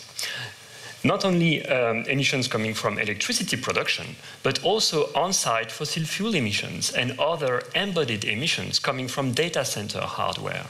This is also known as scopes 1, 2, and 3. And of course, you can break down the data by Google Cloud Project, Google Cloud Region, and Google Cloud Product. With a simple click, you can export your cloud emissions data to BigQuery for further analysis and to provide your sustainability teams with the data they need to report on your company's emissions. We also want to help you build new applications that emit less carbon by making the right choice at the right time. Let's say you want to deploy a new application to the US West Coast. From a latency perspective, all of these options are very similar. Without more info, you might have picked Las Vegas, which happens to have a relatively carbon intense electricity grid. But up in Oregon, you'd find a very clean grid, full of hydropower and therefore low carbon intensity. That is why it is indicated as a low carbon region. In fact, a simple choice over, of Oregon over Las Vegas can reduce your gross electricity emissions of running that app by about 80%. And with this move, you not only saved carbon, you also saved money since a compute engine VM is cheaper in Oregon. A move that can help you save money and carbon is easy to make. When we tested this feature, we noticed new users were 50% more likely to choose a low carbon region when they saw the icon. And that can make a very big difference. So, how do we make it easy to identify more opportunities to lower your carbon emissions and deliver those options at scale? Well, Active Assist now shares recommendations to remove idle resources and their associated emissions. Actually, all of the sustainability features I just showed you today are embedded into Google Cloud Console and documentation. They are available out of the box at no charge and for all developers. Sustainability is too important to be complicated. Before I go, here are two things to remember. One, moving to Google Cloud gives you the efficiency gains and energy benefits to reduce your emissions. Two, when you build on the cloud, pick the region with the lowest carbon impact for your application. Because these tools are available, I believe that by 2025, three out of four developers will lead with sustainability as their primary development principle. Thank you.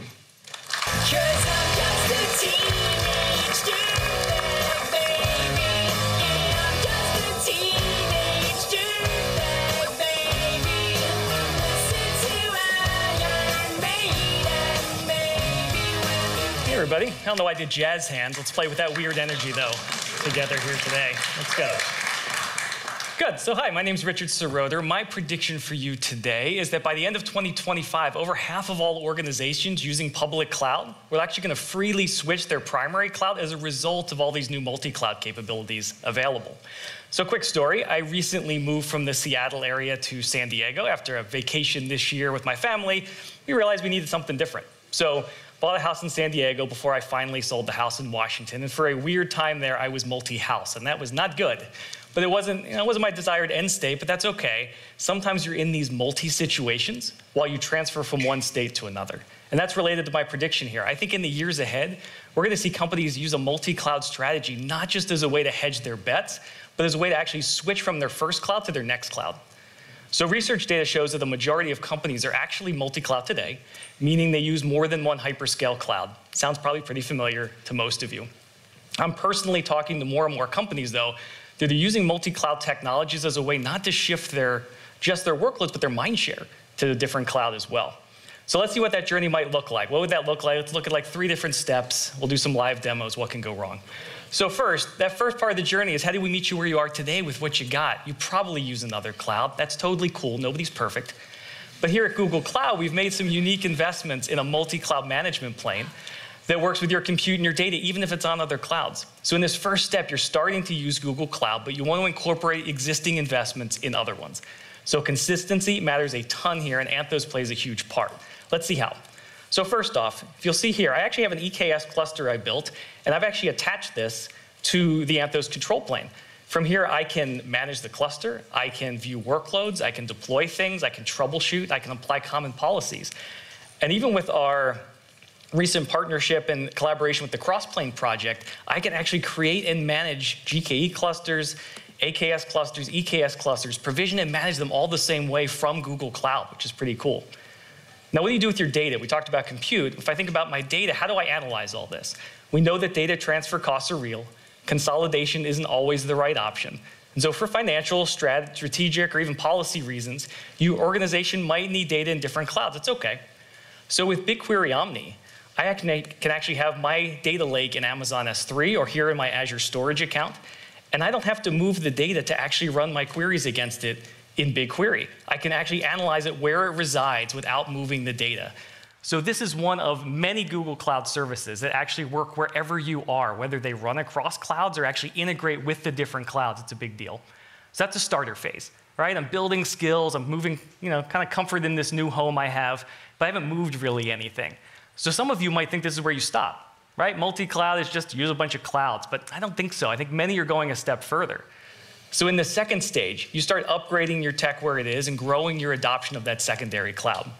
So step two, as I start using Google Cloud services, let's say things like GKE, which are awesome, I want to use it even more and more. So I might introduce things like Anthos clusters to Azure and AWS. This is the GKE API and GKE software running across clouds, which is amazing. And just now, we just shipped the capability where I can even upgrade those clusters in place on another cloud from the Google Cloud Console. That's awesome. I don't have to jump all over the place to run all my infrastructure.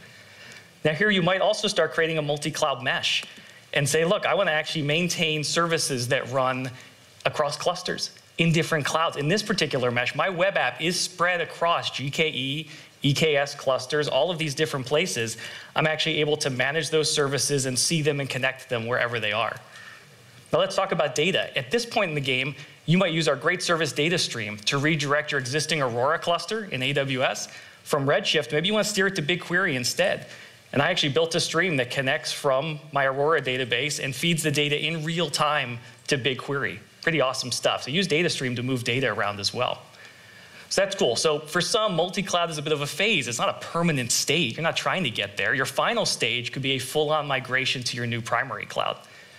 So once you've invested in Google Cloud, you might start taking advantage of really awesome stuff like GKE Autopilot. This is a fully managed Kubernetes environment where we are running the whole thing. You don't manage clusters, you just deal with your workloads. It's awesome and exclusive to Google Cloud. Now, what's really cool is you may also continue to use Anthos on Google Cloud to manage all of your fleets of GKE clusters at all of our regions around the world. I'm showing you some new dashboards here that are coming out. And this actually, actually lets me manage not just my GKE clusters, but I'm managing on-prem, bare metal, VMware, Edge doesn't matter. I'm getting a view of my entire fleet and managing that. So now you get things like BigQuery for analytics, you're in Google Cloud, Spanner for distributed data, AIML for amazing insights, all these unique developer tools and more. So look, if you forget everything else that I've talked about here today, remember that Google Cloud has a really unique management plane that meets you where you are, but honestly takes you further. So this is why I believe over half of companies using public cloud today will freely switch their primary provider in the coming years as a result of all these great multi-cloud capabilities. Thanks a lot.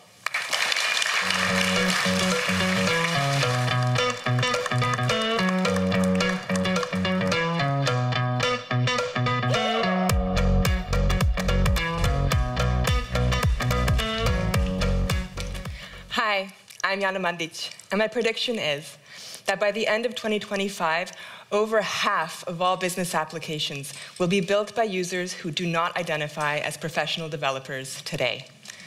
One of the most interesting opportunities as organizations evolve is that we will continue to see more development work in the enterprise taken up by teams and individuals outside of central IT. The adoption of no-code and low-code tools will unlock this potential by making the development process easier for more users. How many times have you been asked to do something but you had to say no because your roadmap or feature request lists were already way too long? Well, with these tools, those business users you had to say no to can instead create apps and workflow automations themselves with no programming skills required. These no-code and low-code apps will be built collaboratively with developers like you who will provide the guardrails to keep the business secure while enabling business users to deliver their own solutions. And I'm not alone in thinking this prediction will come true. Leading tech analyst Gartner forecasts that by 2025, 70% of new applications developed by organizations will use low code or no code technologies. That's up from less than 25% in 2020. Organizations are getting ready for this change, and our customers are already moving in this direction. Globe Telecom, a major telco out of the Philippines, reduced targeted business process turnaround time by 80% through experiences built by their citizen developers. And now, it's demo time. Let me show you how Google Workspace's AppSheet is making all this possible today and in the future. Now I'm going to be Anne Gray, a business analyst, trying to help my team save time managing request approvals. Currently, the process is manual and disorganized, spread across ad hoc emails and chat messages. So to fix that, first I'm going to build a no-code request approval app, and then I'll show you how my team and I can use this app to efficiently manage our development workflow, our approval workflow.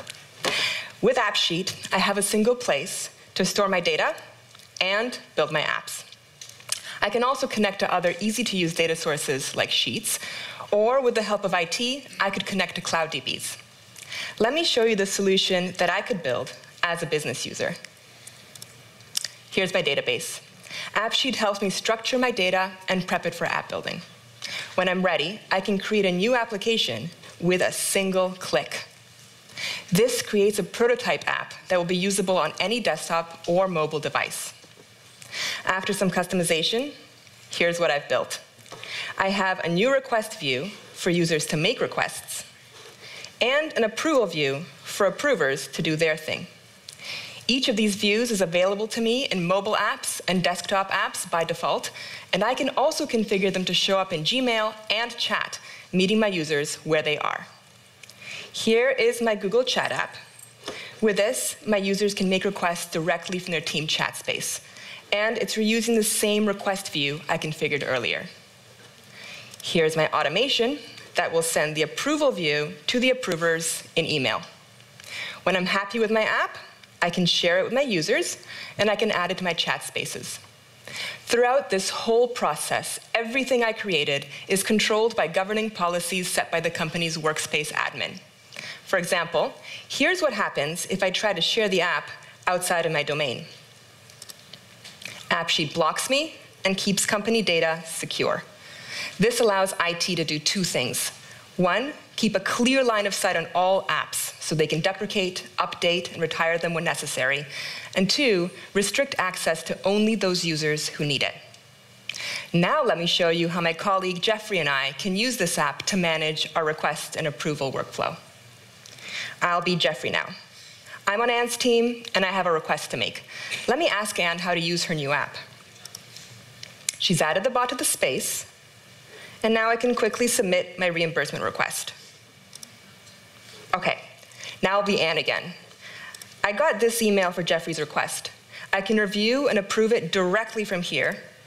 And if I have a pile of requests to review, I don't have to click through individual emails. I can pop into the app and see everything in one place. This app is accessible to all the users, requesters and approvers. With simple sheets-like expressions, it's configured so the requesters see only their own requests and approvers see all the information that they need. You saw just how easy we are making it for non-technical users to create business applications that meet their immediate needs. With no code and low code, you and your business users now have more tools to work with. This is why I believe that over half of all business apps will be built by users who don't identify as professional developers today. Thank you. Well, folks, that's a wrap on our predictions. We're excited about the conversations this will start and continue with all of you. Remember, if you want to share your own prediction, use the hashtag Google Cloud Predictions to tell us all about it. We can't wait to hear from you. Thank you for your continued inspiration and for partnering with us to build what's next. So, are you ready?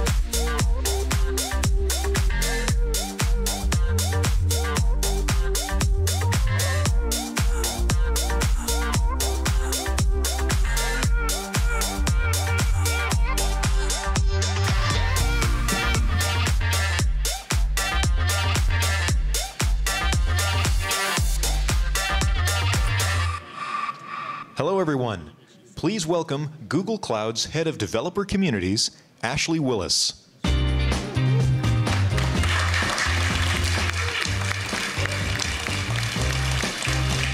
Hello, everyone. Thank you for being here. Thank you for being here for as long as you have. I'm sure you were wait- like, I'm ready to go. Uh, my name is Ashley Willis. I'm head of developer communities at Google Cloud. I'm also a wife and mother to three beautiful kids, some of whom are watching today. Thanks for watching. And today I'd like to talk about something a little bit different than my colleagues have been on stage. It's something that affects all of us in one way or another, and that thing is burnout.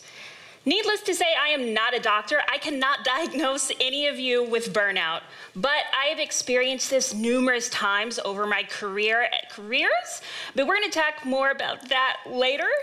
Um, Uh, today's talk will focus on why I think burnout exists, some of the ways that you can identify it, and for the managers in the room, I'm going to keep, I'm going to, give you some tips to keep you from burning your people out. But first, I think it's helpful to start with a definition of burnout. Burnout can be really difficult to describe because it's not necessarily one medical condition in itself. But according to the APA Dictionary of Psychology, burnout is defined as physical, emotional, or mental exhaustion accompanied by decreased motivation, lowered performance, and negative attitudes towards oneself and others. Is any of this starting to sound a little bit too familiar? Yes, good. So be honest, this is a very safe space. This is a small room. How many of you have experienced burnout? Yes. The good and bad news is that you are not alone. Employee well being is a new workplace imperative, and we are hearing our managers talk a lot about employee morale. How, what can we do for people? And the term quiet quitting is kind of setting the internet on fire. So, a recent Gallup study cited that about 74% of workers have experienced burnout on the job, and 40% said that they experienced it specifically during the pandemic. And I don't know about you, but I found those numbers to be shocking. And because it's so hard to recover from burnout, people will sometimes leave entire industries trying to escape it. For example, I used to be a commercial photographer, a software engineer, and as you may have noticed by my slides, I was also a graphic designer, or still am. An Ashley of all trades, if you will. So I ran a consulting business for about 10 years. My business was actually doing well, it was thriving, but I had burnt out so bad that I decided to do something completely new, learn a completely new skill in my 30s, and then I entered the corporate world again, and here I am. So, why are we like this? I think that there are a few things that factor into burnout, but the one that I'd like to talk about today is status. A status symbol used to be a nice car or a fancy watch, or maybe you live in a really nice house. But the point is that status was visible to the world. And now I think status is about being busy. We're keeping up with the Joneses along with a fancy car or a nice watch. I see you all pre ordering your Teslas. So imagine for a moment that somebody's like, hey, how are you doing? The normal answer is, oh man, I'm really busy or I'm really tired because we are overscheduled. We even overschedule our kids. Our vacations are scheduled, all of it. If your calendar isn't filled with back to backs, are you even important? If you, if you are not sharing a selfie at that tourist trap, did you even vacation? By the way, this is Hootie the Owl, and if you are looking for a good owl cafe in Tokyo, hit me up. I know where to, take, to send you. Which brings me to social media. So, social media is involved in every aspect of our daily lives. We are more online than ever, and we are constantly sharing the highlight reels. But it's not enough just to be on social media anymore. We all want to be influencers. We want all of the likes and all of the engagement. We really need that attention. And so we're trying to keep up with our peers, and we've prioritized this public perception over our own mental health. And through social psychology, we actually know that this negatively increases the frequency of our own self evaluation, of our appearance, our health, and even our jobs. I like to say that every like equals one serotonin, and that might not be too far from the truth because my little heart flutters every time I see a notification. I'm like, yes, more likes. So it's kind of like that 1985 Oscar speech from Sally Fields where she's like, You like me, you really like me. So that's normal though. We require connection. And in fact, connection is known to reduce anxiety, stress, and depression. Socializing helps us learn to navigate and cope with life's challenges and can boost our self esteem. And it also helps us avoid loneliness. So, in a lot of ways, social media helps us create those connections. But the life that we lead on social media is an idealized version of ourselves. We are not connecting authentically. So, it's no wonder we're all stressed out. We're constantly trying to keep up, we're constantly doom scrolling, and we're constantly available. If I don't answer that call or that text, will they think I'm lazy or unreliable? What if they reach out to somebody instead?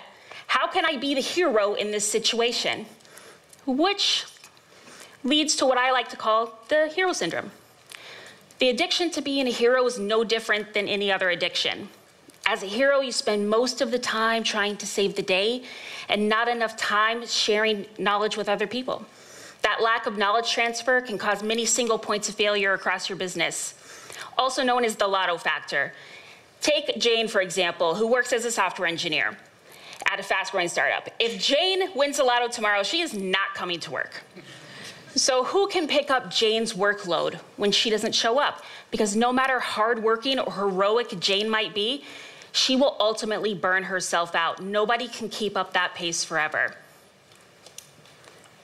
So, do not be a hero, is the lesson you should learn from that. So, how long do you think it takes to recover from burnout? A month? Six weeks? All of you are wrong. The answer is going to surprise you because it surprised me. On average, it takes two years to recover from burnout. That's right. Which makes sense because it probably took you just as long to get there in the first place. Burnout does not happen over a single project. It's caused by repetitive stress and lack of work life balance over several years. The trouble is that by the time you feel like you're burnt out, you're probably already there, and that's why taking your vacation does not always help. Vacation should be proactive instead of reactive. So, now that we've talked about some of the reasons why I think burnout exists, let's talk about what the burnout cycle looks like. There are seven phases here, and I'm going to take you through those now. So, phase one is the honeymoon phase. I am really excited about this. I'm happy, I'm committed, I'm energetic. And this is especially true when we've started a new job. We're solving hard problems and we have this compulsion to prove ourselves. That's normal. Your productivity uh, levels are at an all time high. It's great. Phase two is the onset of stress. This phase begins with an awareness that some days are more difficult than others, and you find that you're just not as optimistic as you once were. The more, and you're more tired than normal, like up, like sleepy all day and then up all night thinking about work. Does that sound familiar to anyone? Yes? Phase three is neglecting yourself. By this point, some people are postponing self care just to get the job done, and nobody likes pepperoni on their keyboard. Maybe you're ordering takeout because you don't have enough time to cook a healthy meal. I uh, spend way too much money on DoorDash. Or maybe you're just dunking your kids' dino nuggets and ketchup in sadness. Another example might be you canceling plans because you just cannot enjoy a night out with that looming workload. It's terrible. Maybe you're engaging in really unhealthy coping mechanisms like drinking too much just to get your mind to stop racing. Phase four is interpersonal problems at home and at work. And that's my kid, who I'm completely ignoring and so, is your family checking in a lot? Is the vibe just generally off? There's a tension and you can't really put your finger on it, but work is really stressful, and that's starting to bleed into your home life. You're snapping at your kids, you're canceling plans, the things that you used to love just aren't as much fun anymore. Does it sound a little bit like depression? That's probably because burnout is often diagnosed as depression. When we reach this phase, we're just not present anymore. And I don't know about you, but I feel like a bad partner, a bad coworker, a bad parent. It feels like I'm feeling everyone, so why bother trying? Phase five is re- reduce performance and cognitive problems. That's right. That's me just scrolling through TikTok. So, burnout and chronic stress is actually known to interfere with your ability to pay attention and concentrate. Distracted breaks become much longer, and you just can't seem to concentrate no matter hard, how hard you try. And when we're stressed, our attention narrows, and even small tasks become a huge burden. So, there I am again, spending my afternoon on TikTok because I know I have a lot of work to do, I just don't know how to do it.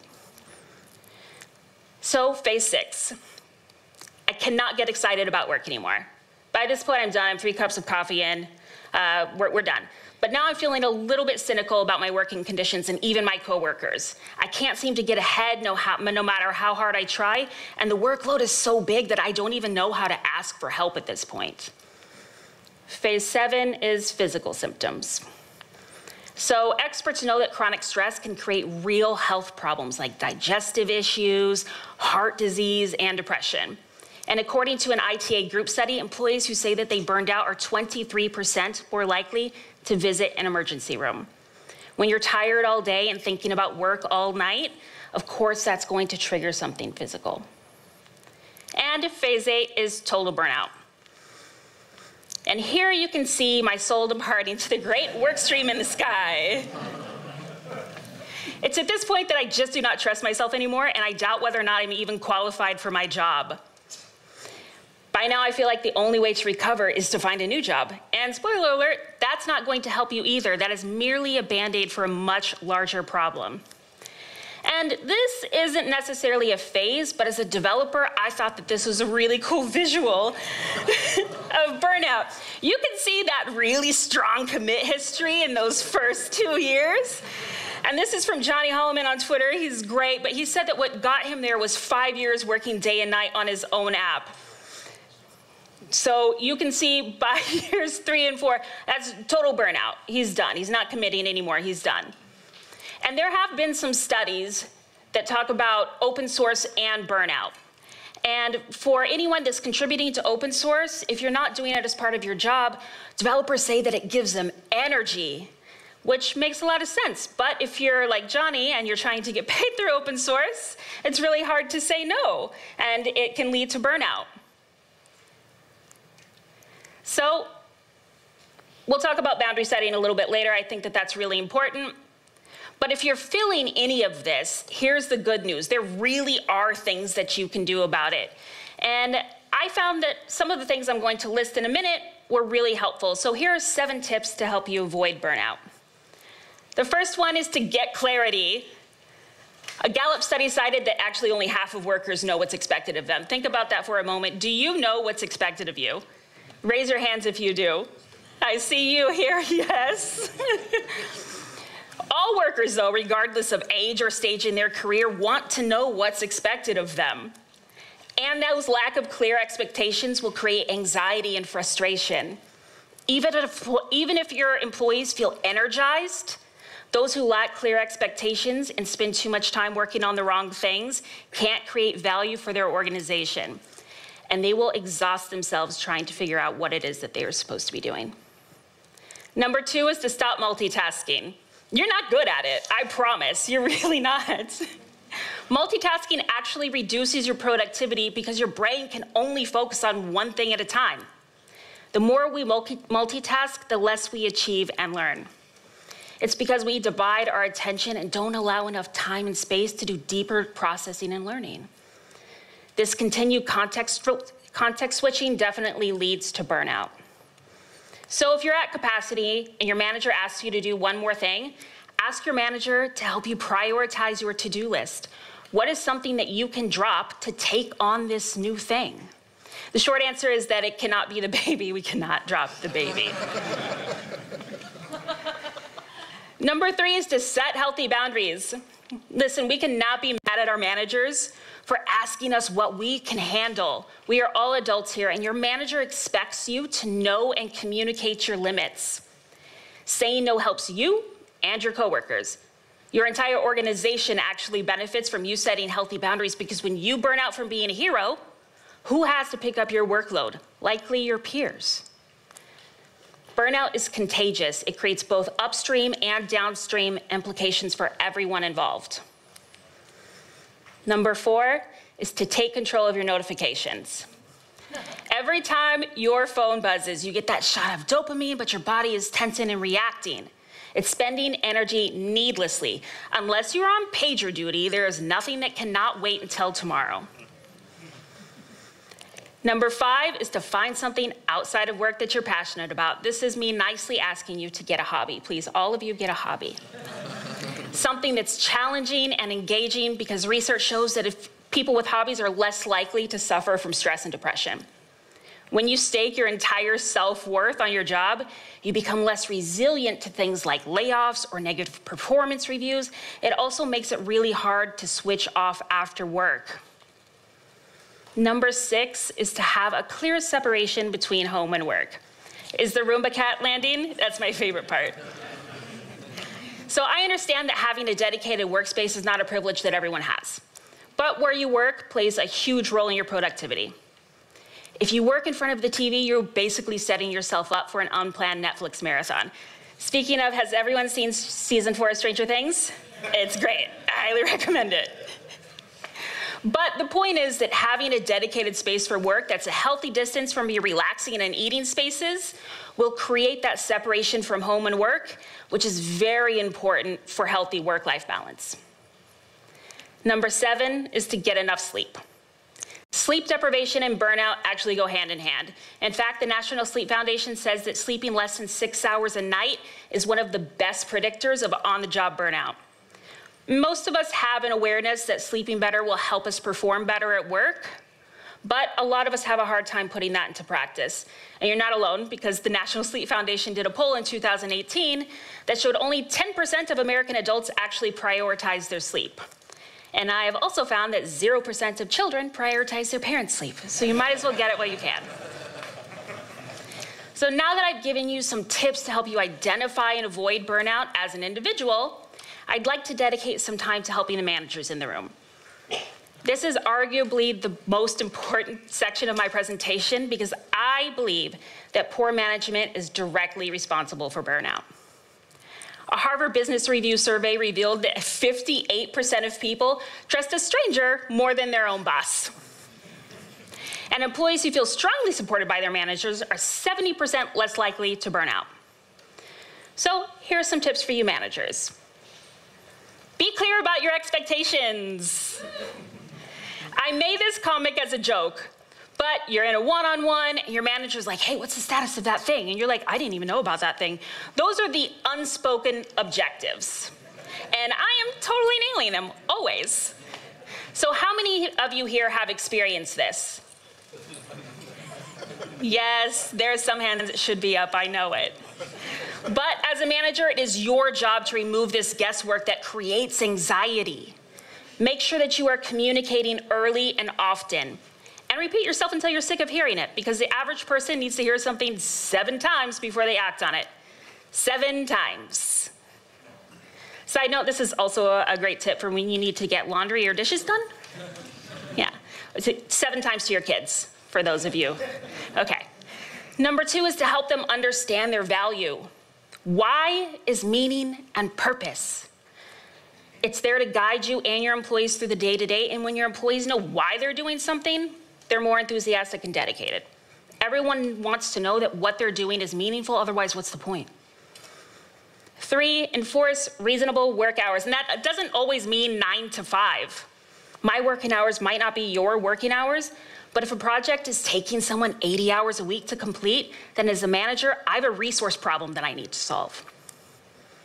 Number four, try not to send email or messages after work. There's that uh, schedule button in your email. We should use that. Use that. Do not underestimate the influence you have on your team. People will feel obligated to respond to you, even if you tell them that they do not have to. I see some of you in your signature line. You're like, do only respond on your own time, whatever. Um, it doesn't matter what you say, it only matters what you do.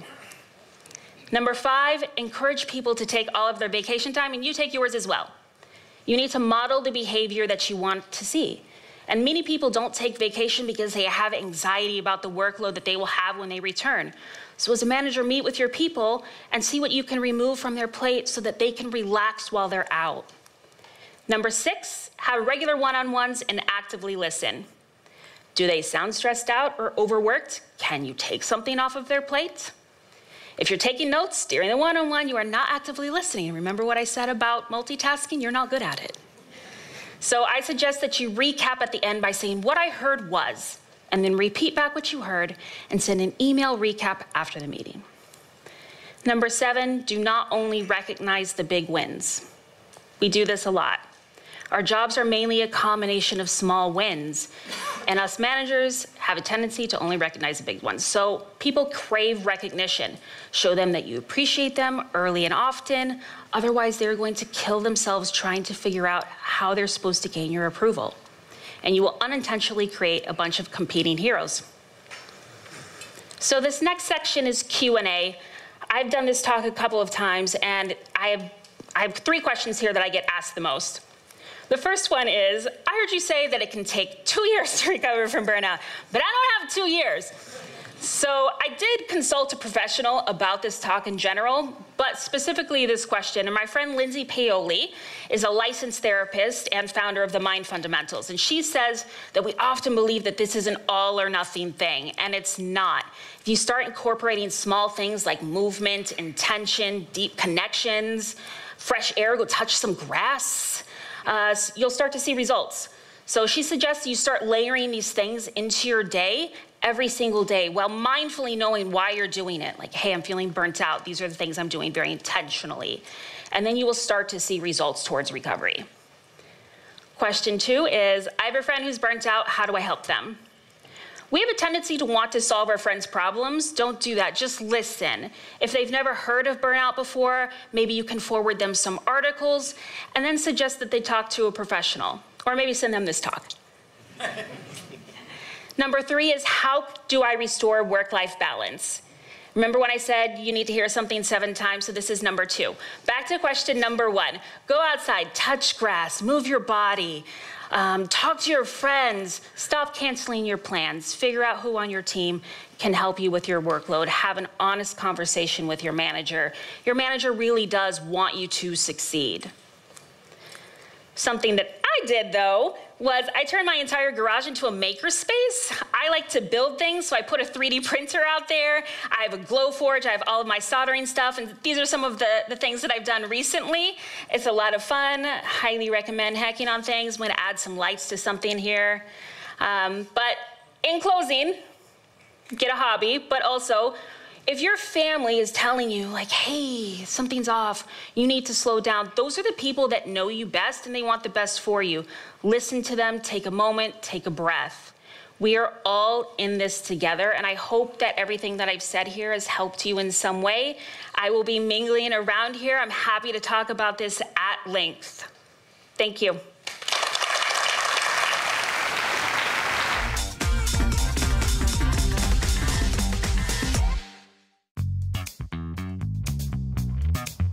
Hi, I'm Shaquille O'Neal, and I'm the founder of Big Chicken. So you got to do that at the end when you say Big Chicken. Big Chicken is Shaquille O'Neal's emerging fast casual restaurant chain that focuses on big fun, big flavor, and big food.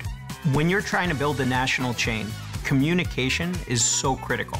To do that, you need a great partner. And we're really lucky that partner is Google Workspace. You know, Josh, every time he does a presentation, he just loves Google Slides. As the person responsible for our marketing, probably the best at Google Slides. His presentations is like I'm at a movie sometime. I'm just sitting there going, I've got some great new chicken sandwiches for you to try. Brand new recipes. Isn't there something important we're supposed to be talking about? Good recipe development comes with collaboration. Using Docs in Google Workspace gives us the tools we need to collaborate together. Shaquille's life gets crazy busy, as does our entire board. You want to talk to me, make sure you put on my Google Calendar. Google Calendar is my girlfriend. I don't know anything I'm doing unless I talk to my woman. Google Workspace, productivity and collaboration tools for all the ways you work.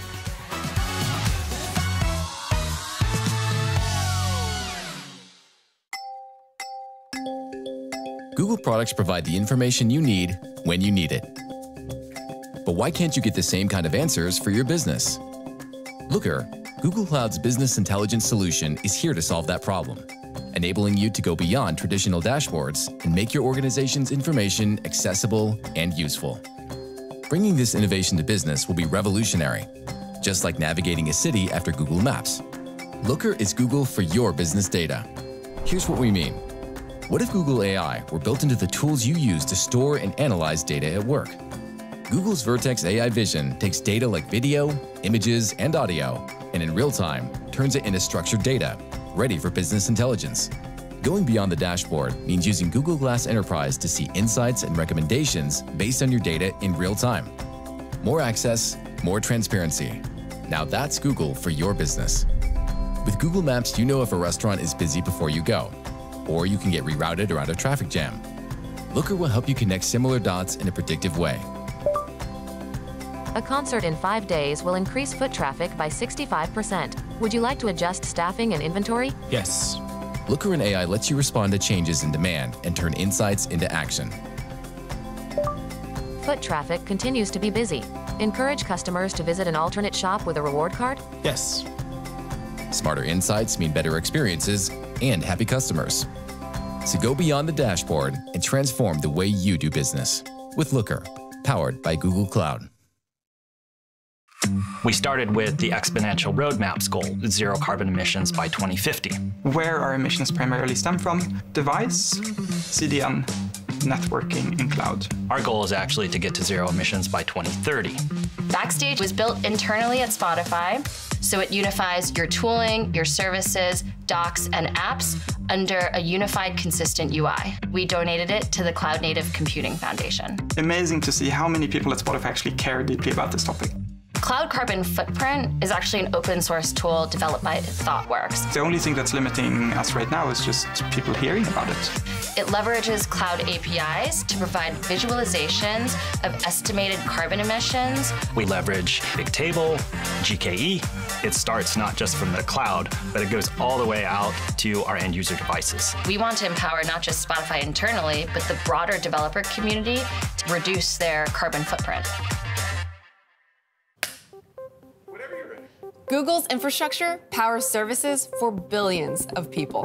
And then Google Cloud takes those lessons from running these services in order to deliver an innovative and easy to use cloud infrastructure. Today, Google Cloud helps users automate the lifecycle of their workloads. In the future, we'll use AI to understand workload patterns and do this automatically. Intelligently optimizing for higher performance with lower latency, cost, and power consumption. Today, we optimize our infrastructure for AI/ML and your data, ensuring that it is accessible anywhere. But we're not stopping there. Chiplets are a new design and manufacturing process that brings open source agility to the world of silicon by using a building block approach. Custom chips for a vast range of configurations. Sustainability is important to us because our planet depends on it, and we will operate on 24 7 carbon free energy by 2030. Every email you send through Gmail, or every question you ask Search, and every virtual machine you spin up across our cloud will be supplied by carbon free energy every hour of every day. We are reinventing infrastructure where AI based automation will recommend the most efficient design for your workloads based on your usage. And we'll run them on Google's unique infrastructure optimized specifically for you. All of this delivered on the cleanest public cloud in the world. This is our next. We can't wait to see what you do with it.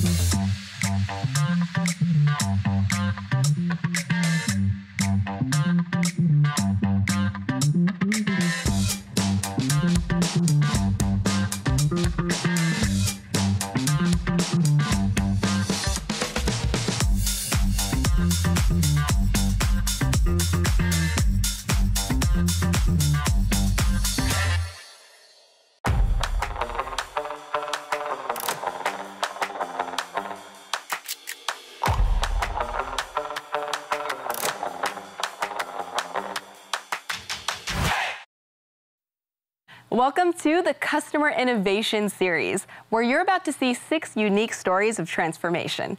Your peers from around the globe will talk about their challenges, share how they solved them, and offer lessons learned. Let's kick off the series with a Google Cloud partner customer story from Atos Maven Wave, featuring Jason Sharples, Chief Technology Officer of Global Payments. Jason shares how they improved employee collaboration with Google Workspace and began their journey of migrating core applications from on premise data centers to the cloud. Today, I want to talk to you about something that's probably dear to many of you how to get your increasingly distributed teams to work better together, how to create order from the disparate systems that come with mergers, acquisitions, and changing procurement policies over generations of tech, how to start working faster, more flexibly, and more securely. These are all things we've accomplished at Global Payments over the past few years, working with Google Cloud and their consulting partner, Atos Maven Wave. Even if you haven't heard of Global Payments, you've encountered us.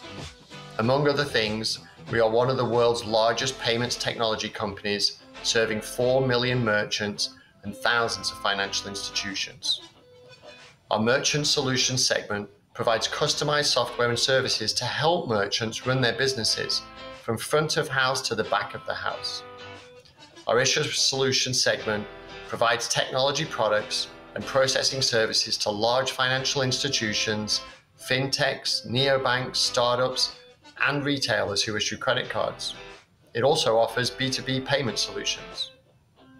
Today, we are far ahead of our competitors from a technology perspective. As just one example, we are already a top quartile SaaS company with even more ambitious goals. As you can imagine, we've acquired a lot of companies over the years as we've grown, each with their own technology stacks, communications, and productivity systems.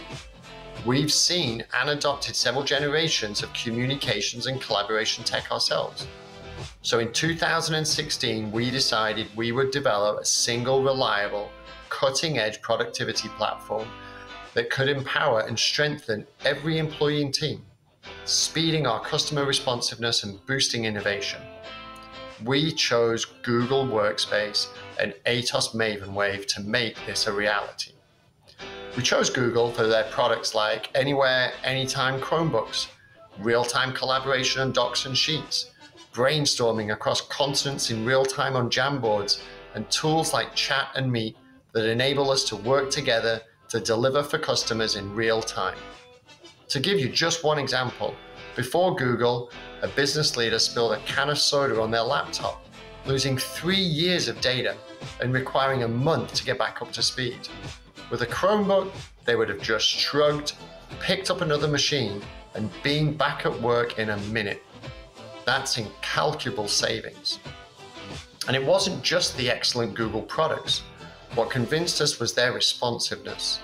They walked the walk, improving their products, and responding to our requests for new features and changes very quickly. That all sounds great, I know. But here's the thing when you are using technology to change your corporate DNA, and if you're serious that this is what you are after, you need to think long and hard about the human factor. So, when we thought about minimizing the stress we know people go through when they have to learn new ways of working, we in Atos Maven Wave focused on the human element. Leadership at our company is technically adept, so it wasn't hard to make ourselves the first part of the organization to go to Workspace. Besides, everyone everywhere knows how to use Gmail and calendars, and learning Chromebooks just means learning how a browser works.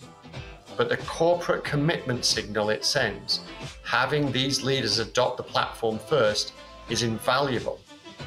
Elsewhere, we activated our culture of peer comment and collaboration to prepare, teach, and evangelize the benefits of Workspace and show directly the ease of use of added features. Our Google Guides were team members who volunteered to assist and answer questions as the program rolled out across the organization.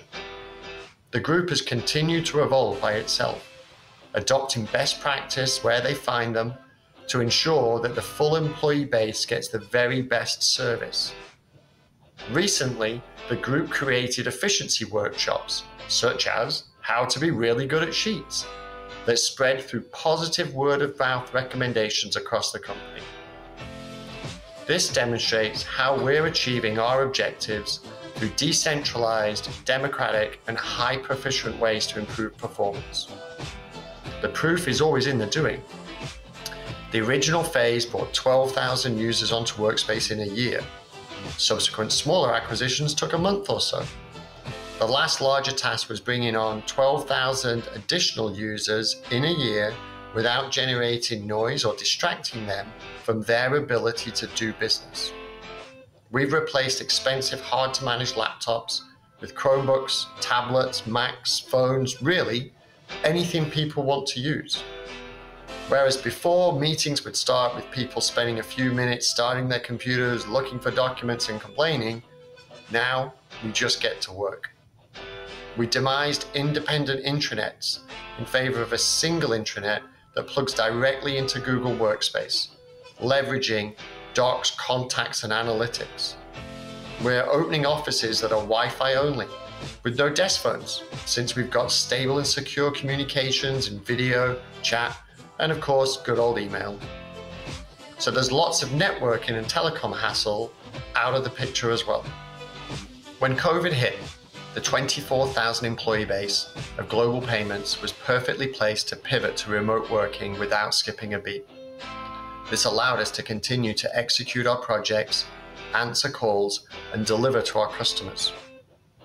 One of the things I'm most excited about is the way these products are constantly growing and improving.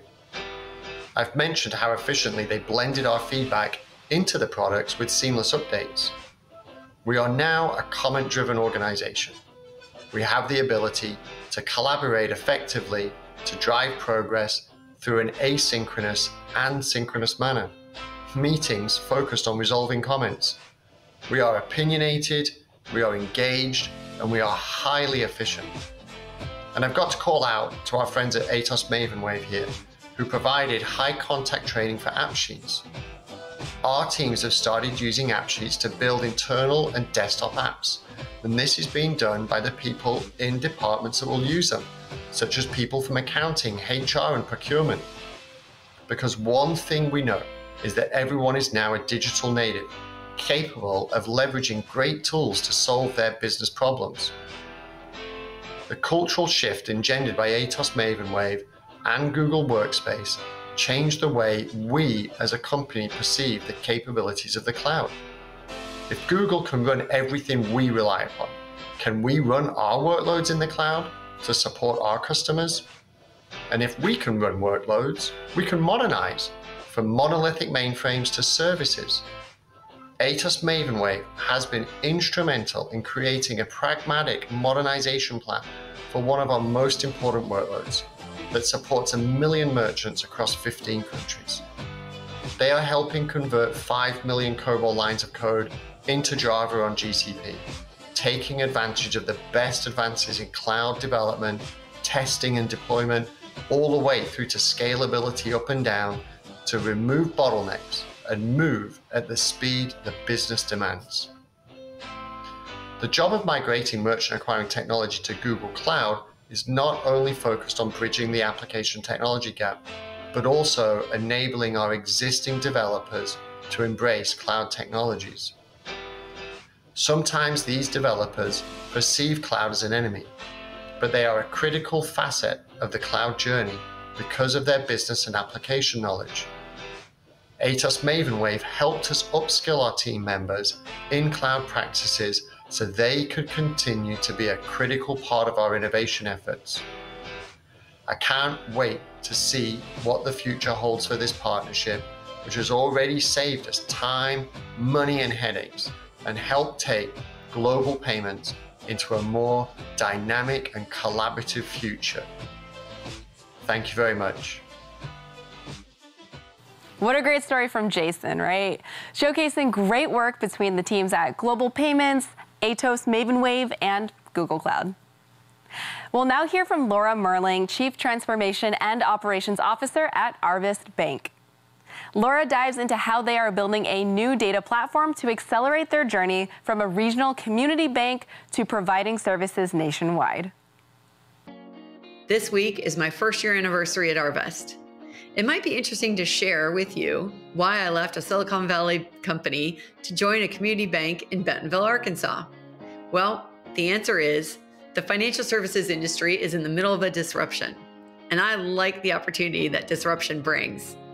It's an important opportunity, and for us, it's an opportunity to rethink what it means to be a community bank in a digital world. I find it exciting, and I hope you do too. So, who is Arvest Bank? Arvest Bank is a leading community-based financial institution with more than 26 billion in assets. We are also serving more than 110 communities across Arkansas, Missouri, Oklahoma, and Kansas. It's a high priority for us to continually invest in providing the digital tools and services that our customers expect, both our retail customers and our growing commercial customer base. So, where are we on this transformation journey one year in? Well, we know that transformation impacts every aspect of our business. We're reimagining what it means to be a community bank in a digital world. And so, in order to do that, we spent the last year identifying our path forward to align our business strategy with our technology strategy. The technology stack is critical in order to allow us to be flexible in meeting our customers' needs. It all starts for us on the path with cloud computing, as well as a new data platform, and we've decided to take on building a new banking core as the foundation. So, where are we headed from here? Our journey to defining what it means to be a community bank in a digital world means we're taking a look at each aspect of the bank, and we're looking to create a consistent experience across all channels. We need to be hyper focused on the customer and what they need. That means we actually have to think about data at the center of everything that we do, whether it's front office or back office, and especially when it comes to facing the customer. So, let me tell you a little bit about a customer story and data. One of the things that we learned was we had done some research and understood that our customers preferred or told us they preferred more ATMs and longer branch hours. Well, that tells you one story, but then when you look at that same data from a different perspective, those exact same customers actually told us that they preferred a digital channel. Over 95% of them preferred digitally. And so you have to kind of take a step back and say, well, what does that really mean? Uh, and if we hadn't looked at the data from both angles and thought about it, we wouldn't get that answer right. It's at the center of everything we do is data, for, at least from this point forward. So that was the foundation. Now we have other foundational pillars that support our things like our back office and our contact center we have to provide a level of simplification and automation, removing manual processes and creating operational efficiencies.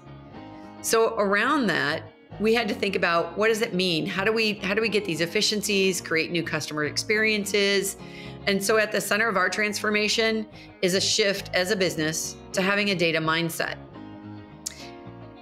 We needed to actually redefine our customer interaction models and our back office operations.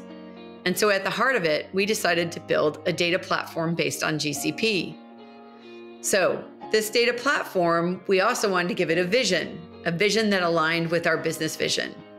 So, the data platform is to be a living architecture that will be built as a foundation to support Arvest's future. It will be using real time data for experiences and decisions.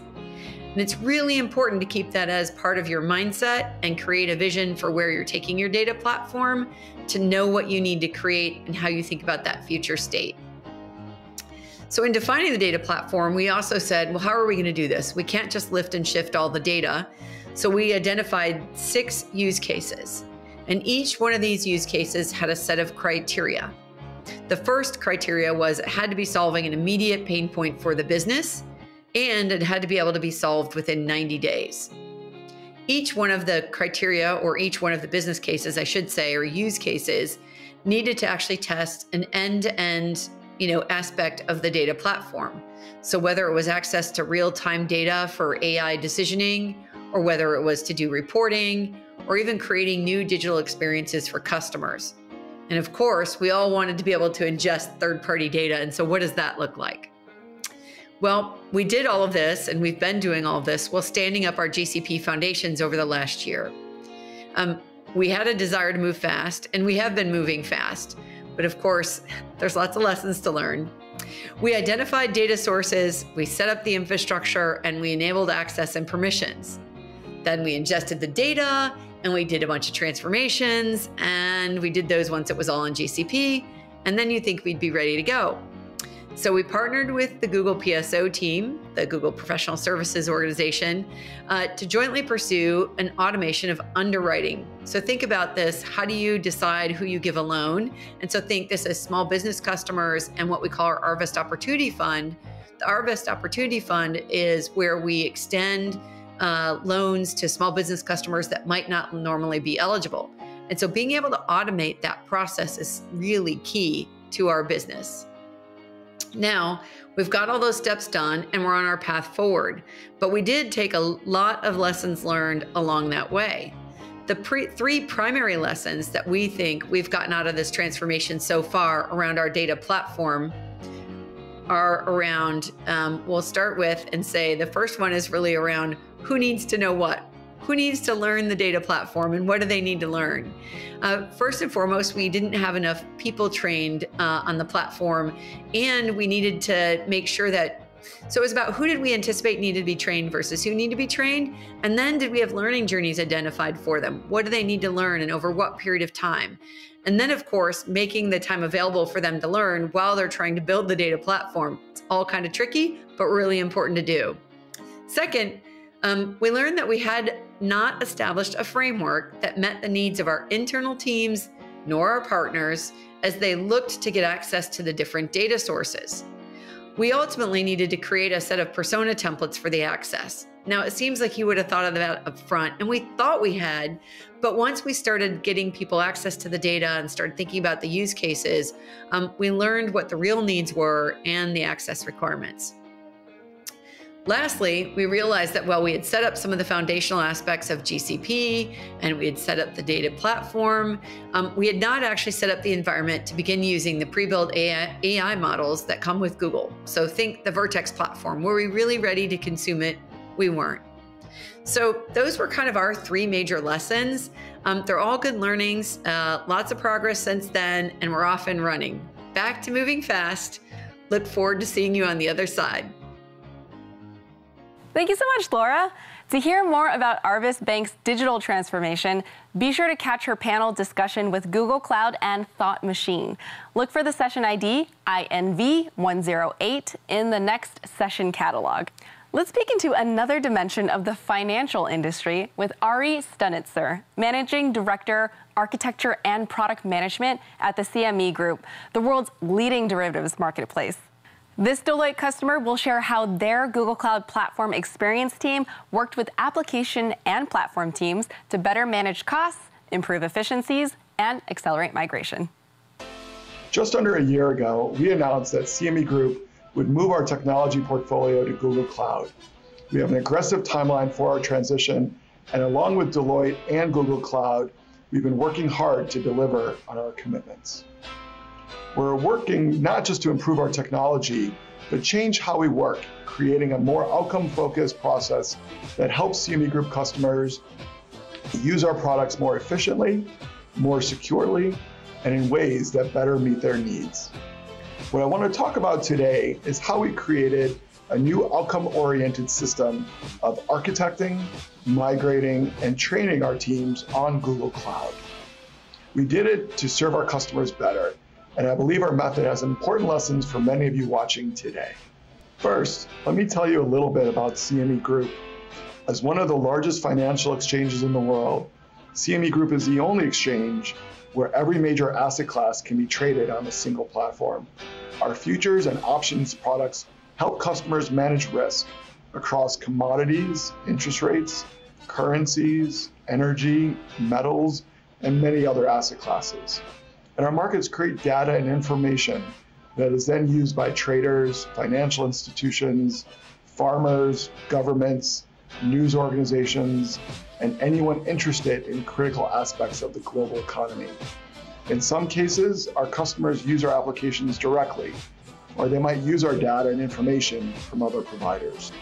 In fact, one of the many reasons we partnered with Google Cloud is its strong capabilities in data with a goal of increasing developer productivity, increasing software flexibility, and improving operational excellence while maintaining the highest levels of security. Many of you know the adage security, resiliency, and velocity, pick two. Well, this is an effort to be able to get all three. To make it even more interesting, and I don't think I'm alone, we wanted to move from development to production in just a few months with limited resources and internal staff who were gaining GCP experience on the fly with still an on-prem system to support. And of course, all of that using a mixture of GCP native services, legacy systems on-prem, and a number of third-party tools. It's sort of like maintaining a jet engine in flight while transforming the fuel system and training the ground crew all at the same time. So here's what we did. We started with principles. What are the outcomes we're trying to achieve? What kind of experience do we want our customers to have? When you're passionate about customers like we are, the opportunity to enhance our technology and improve our customer experience is quite motivating. The experience we want them to have is software they can easily access at scale to make better decisions. So working with Deloitte, we built a cloud experience team designed to bridge our application and platform teams. The goal was not only to improve the productivity of our platform team, allowing them to focus on their delivery, but to increase the velocity of our application migration teams as well. The CloudX team was the first thing we set up, ensuring there was proficiency in both platform and software tools and a common set of goals to be able to communicate to other teams. They also act as a central point of questions, building a repository for documentation, for self-service training. The CloudX team is made up of CME Group and Deloitte team members with application, operational, and GCP knowledge who support application migrations in an outcome-oriented, sustainable way. Each team member has specific expertise, which underlines the importance of initial team selection. Working with the application teams, the CloudX team embeds and helps in the delivery of software and Google Cloud services. If questions arise, the CloudX team not only answers them, but documents what was done so others can learn and deliver faster. The mantra is experiment, learn, share, quickly. With the CloudX team supporting the application teams, our platform team can focus on their delivery. This approach increases confidence in delivery while overcoming many of the ramp-up challenges common in a cloud migration. So how do we judge the success of this approach? We wanted better productivity and track that by ticket resolution. Issues have cleared faster than we projected, applications are growing in depth and capability, and people are spending more time on their core delivery rather than context switching. We wanted an effective support and training process to quickly bring team members up to speed on Google Cloud. Centralizing support with the CloudX team allowed us to enhance training while providing a sustainable, outcome-oriented delivery model. We wanted fast adoption. I mentioned that we had an aggressive timeline for bringing CME Group to Google Cloud, and I'm pleased to say that we're pretty much on schedule with increasing velocity. Maybe even more important, I think we'll arrive at our goal to deliver more and better customer products and experiences thanks to our adoption framework. Based on our success, here's what I recommend you remember. One, there's already a lot of knowledge in your organization, and there's a hunger to deliver and learn more by your teams. Leverage that by connecting with all of your teams through a central group that is focused on the key outcome of customer experience. Share information and practices to ensure consistency of performance. Two, everyone learns a little bit differently in their roles, so you want to allow healthy experimentation. That means asking questions, trying things, and above all, sharing learnings and outcomes. That is the start of building your team's best practices. Lastly, success in technology always comes from a healthy blend of understanding your customers' problems and knowing how technology can solve them. Outcome-oriented adoption is a consistent blend of those things with a common framework of delivery. Thank you very much for your time and good luck in your efforts. See you in the cloud. What I loved about this story is the teamwork and focus on the customer experience to allow for health experimentation and continuous learning. Let's move on to Brazil and hear Priscila Mie, the Chief Technology Officer of Ige Saúde, inspire us with how they're reimagining ways of maintaining health and delivering healthcare to 11 million people living in the south of Brazil. Hello from Brazil, I'm Priscila Mie and I am the Chief Technology Officer of Ige Saúde a company delivering new ways of maintaining health and delivering healthcare to the people living in the south of Brazil, which makes up about 11 million people. Today, I want to talk about how we are doing that affordably with data-driven services on Google Cloud and with a diversity-based approach to company organization that has grown thanks to Google Cloud's efforts. Healthcare for the people of Brazil is an enormous opportunity. Our research shows only 20% of Brazilians have health insurance. Not only that, only 19% of people with health insurance have regular medical exams. Almost two thirds don't know what a routine checkup is. The reason for this is that Brazilians see medicine as a financial worry, not a health benefit. They fear they won't have money to take care of their illness. They need better health insurance delivered to them in a personalized way they can understand and afford. By bringing together experts in medicine, finance, and data science, Ija Saúde developed a solution that provides individuals and companies different types of health services, including preventive screenings, follow-ups, health scoring, and medical records management. We can offer products with discounts, benefits, schedule appointments, and exams. On the financial side, we provide financial and credit solution for both clients and business partners. Working alongside HR departments, we can understand the health of all employees safely and securely.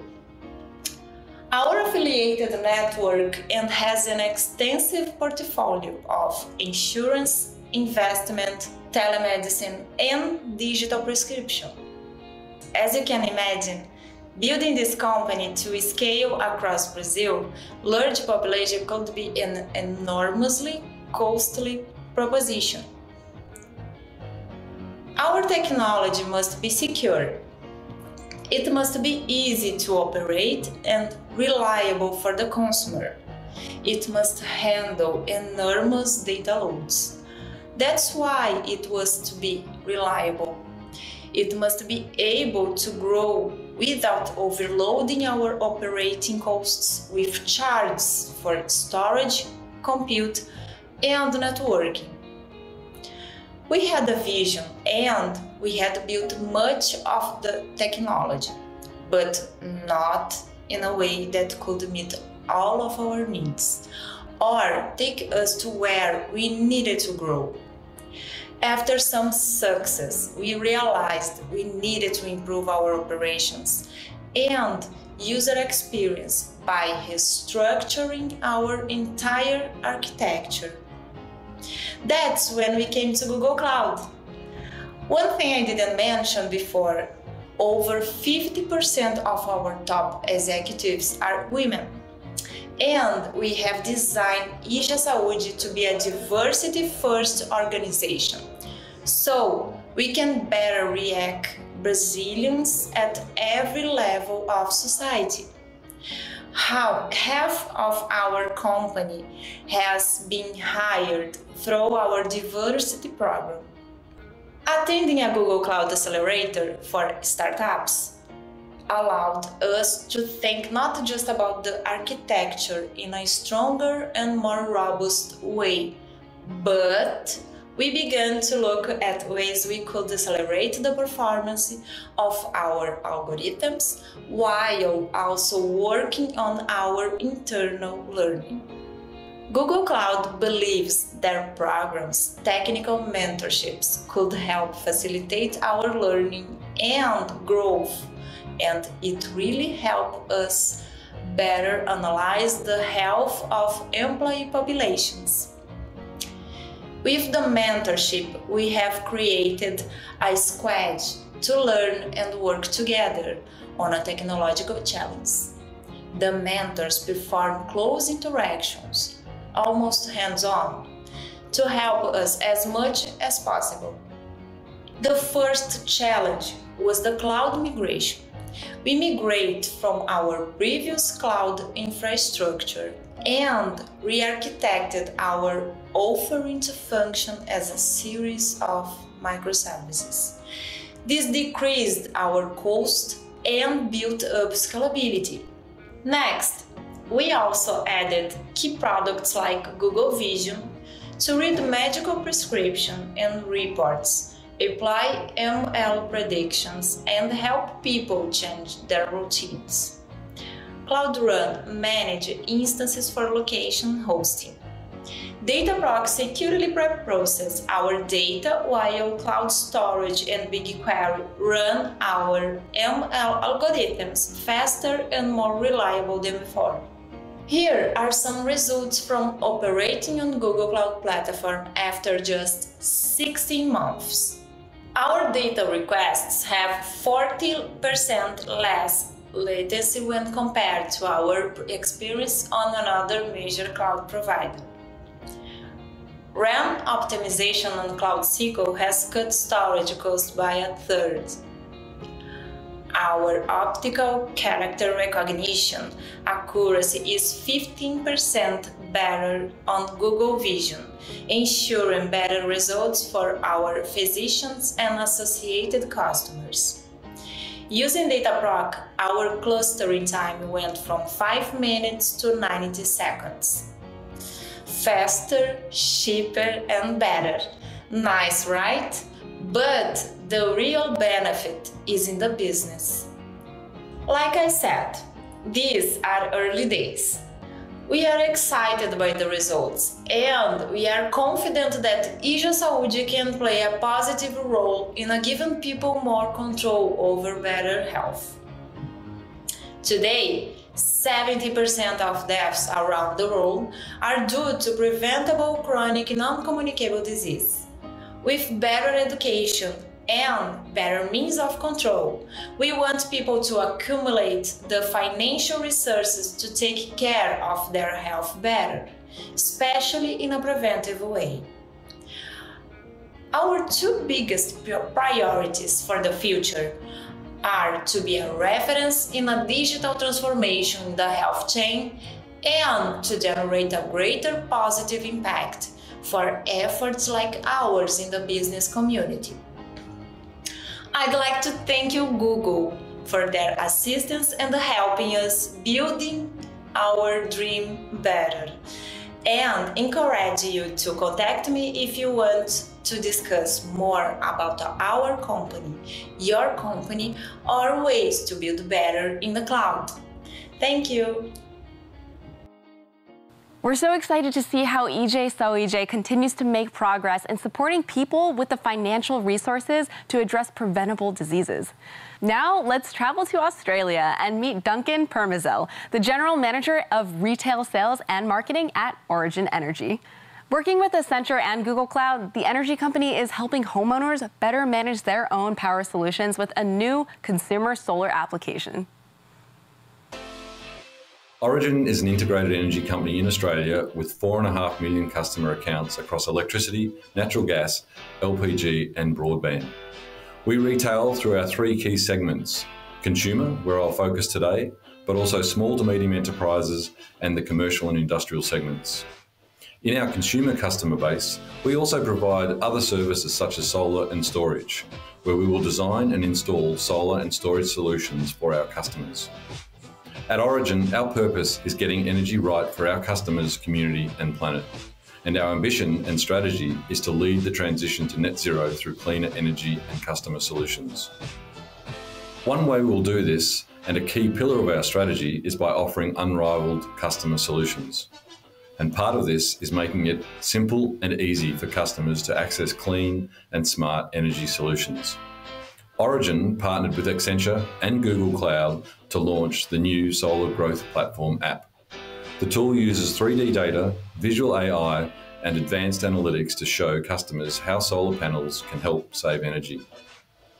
It can measure things like roof pitch, area, and energy consumption to calculate the most suitable solar product for any household. This innovation is a great example of how we can equip homes with solutions to make a difference. Origin's been a leading retailer and installer of rooftop solar in Australia for over 15 years. In that time, we've helped more than 110,000 Australians go solar. and that is more than any other installer over that time period. However, the industry itself is a very disaggregated and highly competitive industry with relatively low barriers to entry. In today's market, we are the second largest provider with about 3% market share, and the largest provider has about 4% market share based on installed capacity. If you combine that with around 3,000 competitors, it's a very interesting industry to compete in, and for us on a national scale. It's also worth noting that historically, the sale was made by physically visiting a site, reviewing the customer's site, and then going away to consider the right system and form up a quote. We would then wait while the customer considered that quote, and subject to the sale being made, the installation would then be scheduled again on another day. It was often the same person or business doing the sale and then coming back to do the install later. But at Origin, as a national retailer, we do most of our work over the phone, probably around 80%, and because that's historically the nature of our relationship with most of our customers. So we have for many years operated over the phone and used satellite imagery to do our designs and try and avoid a pre-sale and pre-install site assessment. In some cases, we would need to do a pre-install site assessment if there was any uncertainty about the premise and the requirements for a successful install. In providing solar and storage options to consumers, it's always worth considering why a customer chooses to invest in solar and why they would come to Origin. You can see in this chart that while there's an environmental benefit of the investment, the main driver is still whether or not the consumer will save money. Due to the nature of the upfront payment and the benefits over time, the decision for consumers is more like a total cost of ownership decision that has payback periods of typically between three to seven years if the system is sized correctly. You'll also see that feed-in tariffs and payment terms are key considerations, but they are just inputs into that total cost of ownership decision. A consumer's decision is based on three key drivers. Firstly, the upfront cost of the system, noting any financial or payment terms. The second is the displacement of grid energy by using the energy from the solar system directly in the home. And the third is the earned revenue from energy exported to the grid, by what we call feed-in tariffs. As the example in the attached image shows, a household that consumes, say, 5 megawatt hours per year from the grid, pre-solar, may move to a household that only consumes 3.5 megawatt hours directly from the grid and produces 2 megawatt hours from their solar install, and so offsets 1.5 megawatt hours of usage in the home and exports the other half a megawatt hour to the grid.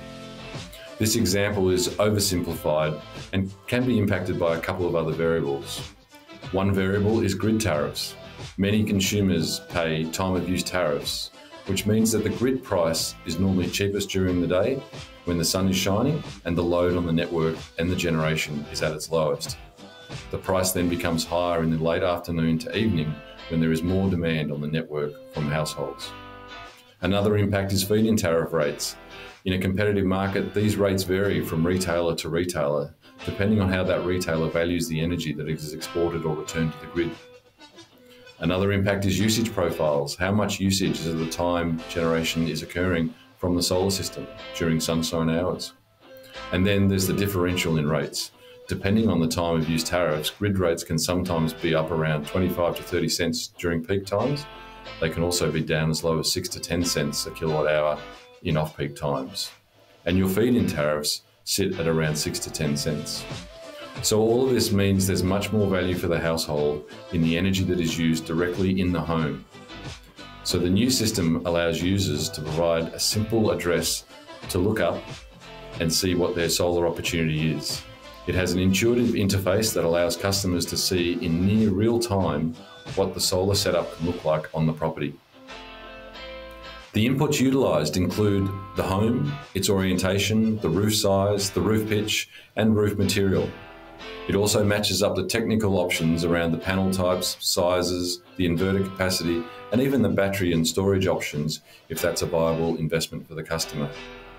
Given our internal information around the customer's usage, we can also orchestrate an outbound campaign that matches the customer's existing tariffs and usage profiles to the insight about the house as described above.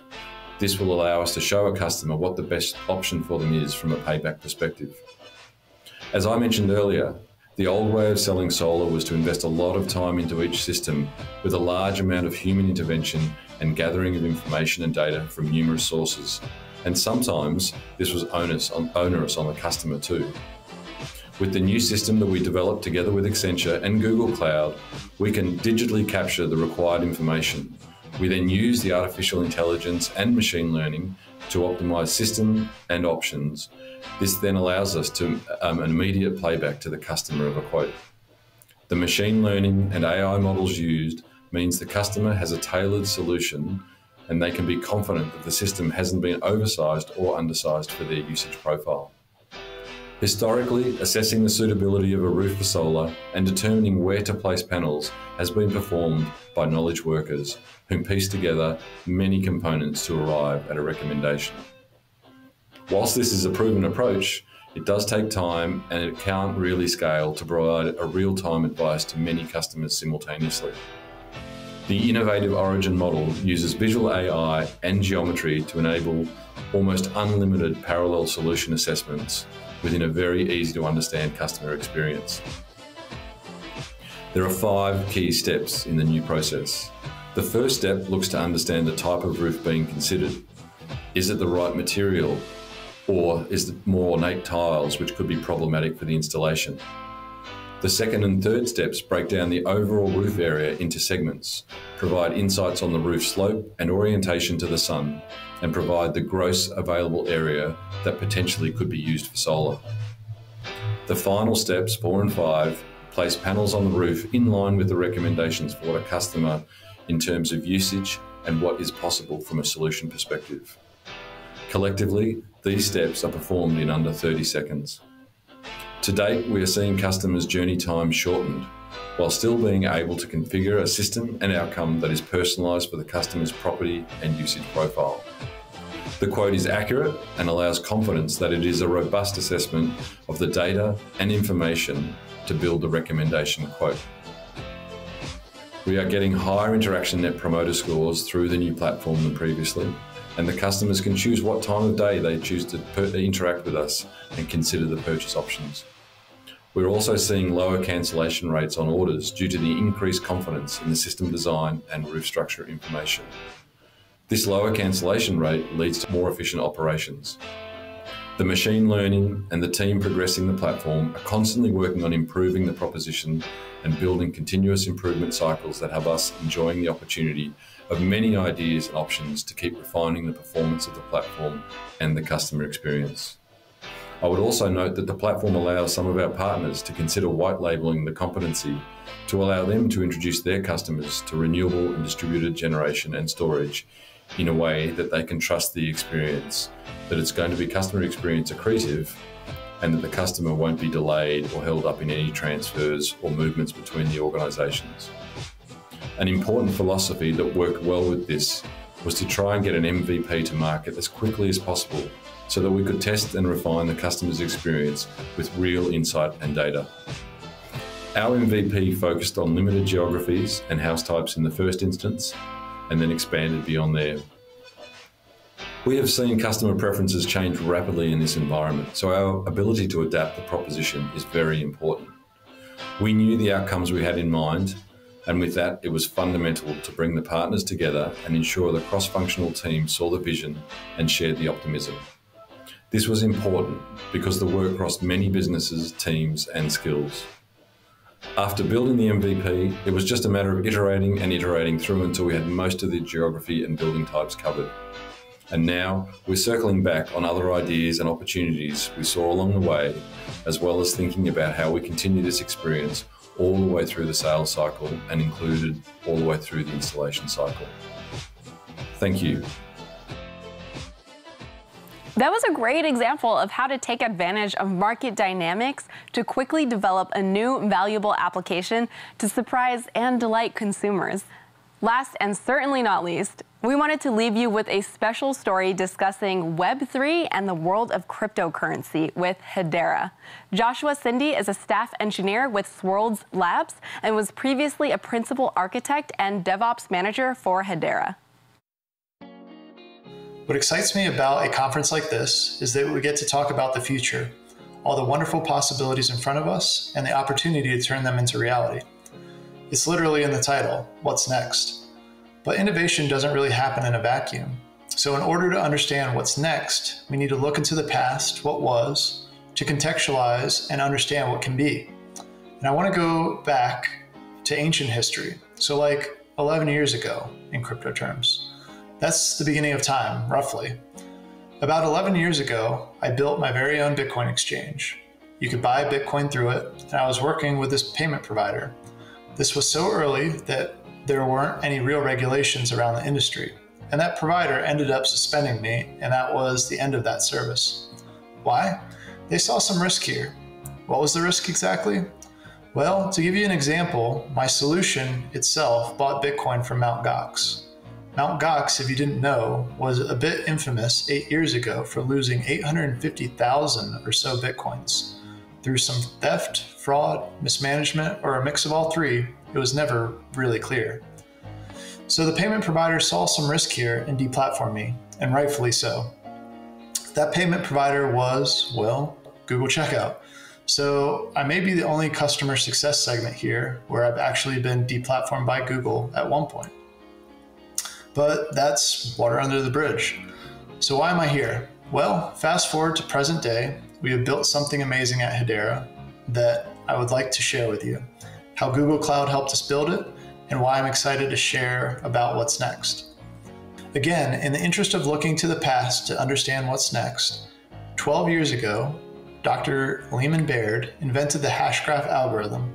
This algorithm underpins the Hedera network. Leemon set out to solve a decades old math problem, not just build a better blockchain. The concept of blockchain has been around for over 20 years.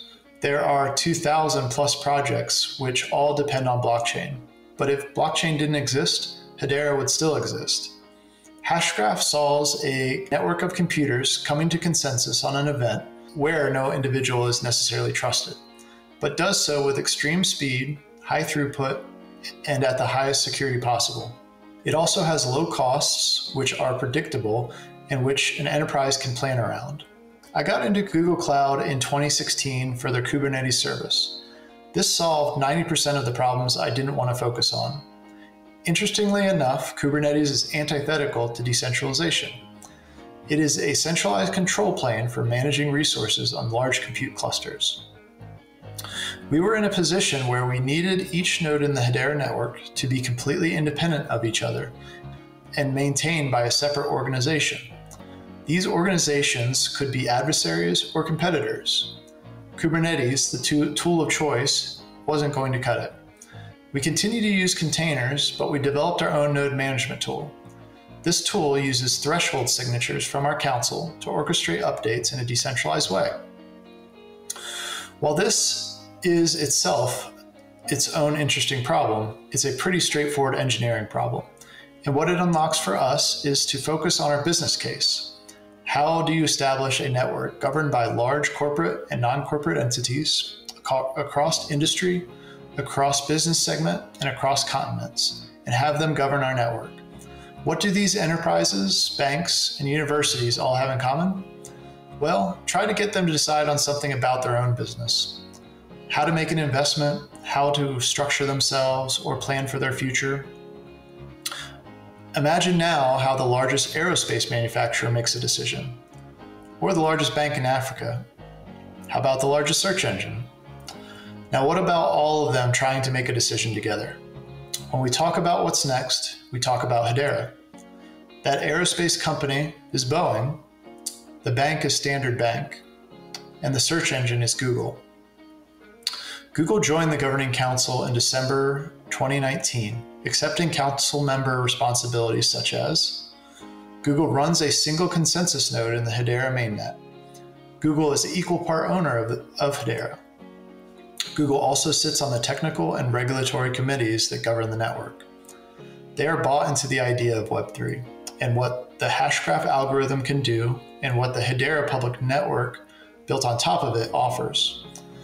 For Google Cloud, this led to them understanding and investing not just in Hedera, but in the broader Web3 ecosystem in general. Google Cloud has formed a team dedicated to Web3 called Digital Assets Web3 and has approximately 50 people on that core team, with an additional 150 individuals working across Google in YouTube, search, engineering, ventures, and payments. And that describes Google, and Google is one of the 26 members. Hedera intends to grow that to 39 governing council members across different geographies and industries. So, what can I share? When I think about taking your idea and making a business about it, I think about those poor baby turtles. If you've watched Planet Earth, you know what I'm talking about. Most of them fail to make it, getting eaten by birds, crabs, various sea life, whatever. So do a vast majority of ideas fail. Maybe the idea was bad, or worse, the idea was good, but it simply wasn't its time. For me, my timing just wasn't right. But for you, that baby turtle, that fragile, unproven idea could make it. And maybe that time is exactly right and it starts something amazing. So, what do these Web3 turtles have in front of them? What makes the time right for them? Well, a lot of things I didn't have. You have partners like Google who are eager to have you, who will grant you credits even to use their platform like we do. You have demand, and I'm not just talking about the demand of something like pictures of rocks or monkeys or coins with dogs on them, but demand from established companies. Look no further than our governing council. They are bought in on this idea.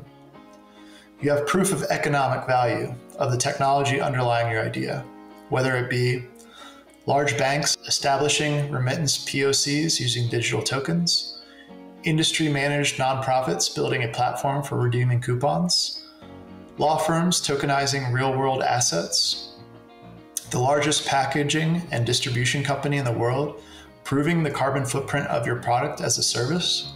These are the Hedera use cases. And as a Web3 entrepreneur, what you have in front of you is a network like Hedera. We offer a number of things fast finality, meaning your transaction is final in seconds, fairness, that keeps the leaders from adjusting the transaction order, energy efficiency. Per the University of London Economic Study, we are the greenest solution on the planet. We're even carbon negative. Fixed transaction fees, meaning your costs of your solution isn't wildly unpredictable. Decentralized governance by the big names we mentioned before. And so, what does it mean? What's next? Well, with the Hashgraph algorithm and platforms such as Google Cloud, maybe that idea you had might not fade into obscurity because of the ecosystem, the demand, and the underlying technology is here.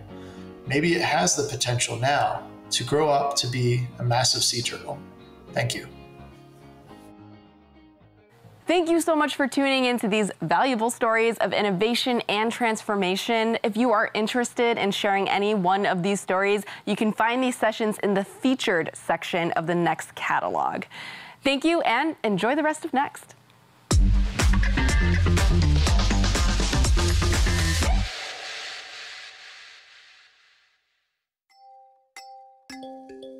Google products provide the information you need when you need it.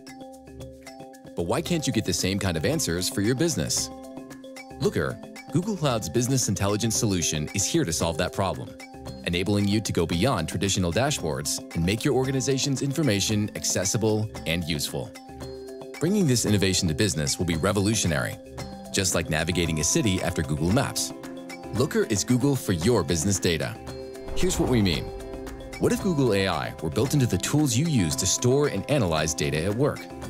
Google's Vertex AI Vision takes data like video, images, and audio, and in real time, turns it into structured data, ready for business intelligence. Going beyond the dashboard means using Google Glass Enterprise to see insights and recommendations based on your data in real time. More access, more transparency. Now that's Google for your business. With Google Maps, you know if a restaurant is busy before you go, or you can get rerouted around a traffic jam. Looker will help you connect similar dots in a predictive way. A concert in five days will increase foot traffic by 65%. Would you like to adjust staffing and inventory? Yes. Looker and AI lets you respond to changes in demand and turn insights into action. Foot traffic continues to be busy. Encourage customers to visit an alternate shop with a reward card? Yes. Smarter insights mean better experiences and happy customers. So go beyond the dashboard and transform the way you do business with Looker, powered by Google Cloud. Google's infrastructure powers services for billions of people. And then Google Cloud takes those lessons from running these services in order to deliver an innovative and easy to use cloud infrastructure. Today, Google Cloud helps users automate the lifecycle of their workloads. In the future, we'll use AI to understand workload patterns and do this automatically. Intelligently optimizing for higher performance with lower latency, cost, and power consumption. Today, we optimize our infrastructure for AI/ML and your data, ensuring that it is accessible anywhere. But we're not stopping there. Chiplets are a new design and manufacturing process that brings open source agility to the world of silicon by using a building block approach. Custom chips for a vast range of configurations. Sustainability is important to us because our planet depends on it, and we will operate on 24 7 carbon free energy by 2030. Every email you send through Gmail, or every question you ask Search, and every virtual machine you spin up across our cloud will be supplied by carbon free energy every hour of every day. We are reinventing infrastructure where AI based automation will recommend the most efficient design for your workloads based on your usage. And we'll run them on Google's unique infrastructure optimized specifically for you. All of this delivered on the cleanest public cloud in the world. This is our next. We can't wait to see what you do with it.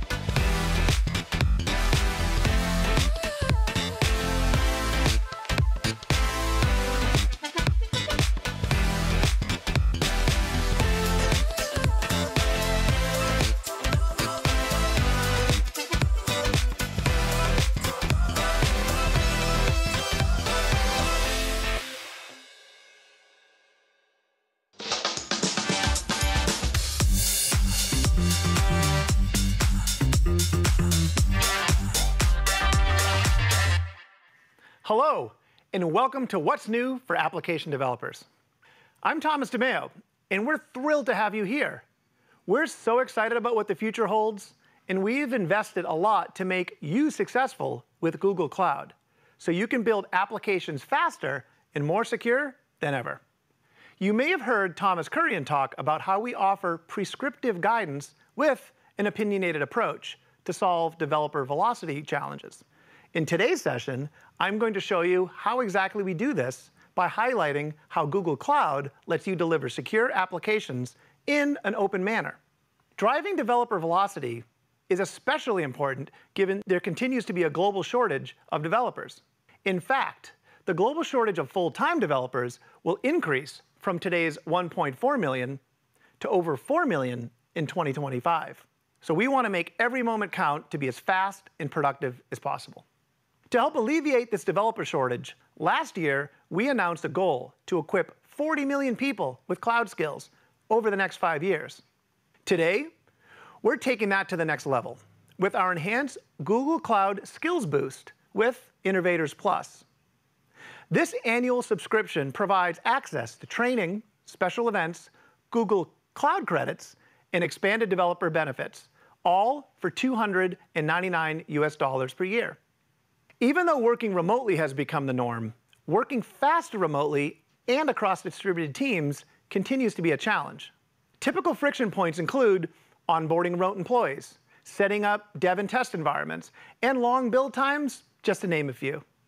When it comes to security, code and data exfiltration risks are key. This is especially true in sensitive and regulated environments. Customers tell us that current solutions to secure dev environments can add developer friction to the experience. For example, streaming-based solutions may introduce unwanted latency, and running your specific containers may not be fully supported. Solving developer velocity challenges requires a two-pronged approach. How do we not only make it easier for developers to build applications, but also easy for IT admins to securely scale in dev environments? To address this, I'm excited to announce the availability of cloud workstations. Think of cloud workstations as providing pre-configured but customizable developer environments in the cloud with your favorite dev tools pre-installed and up to date.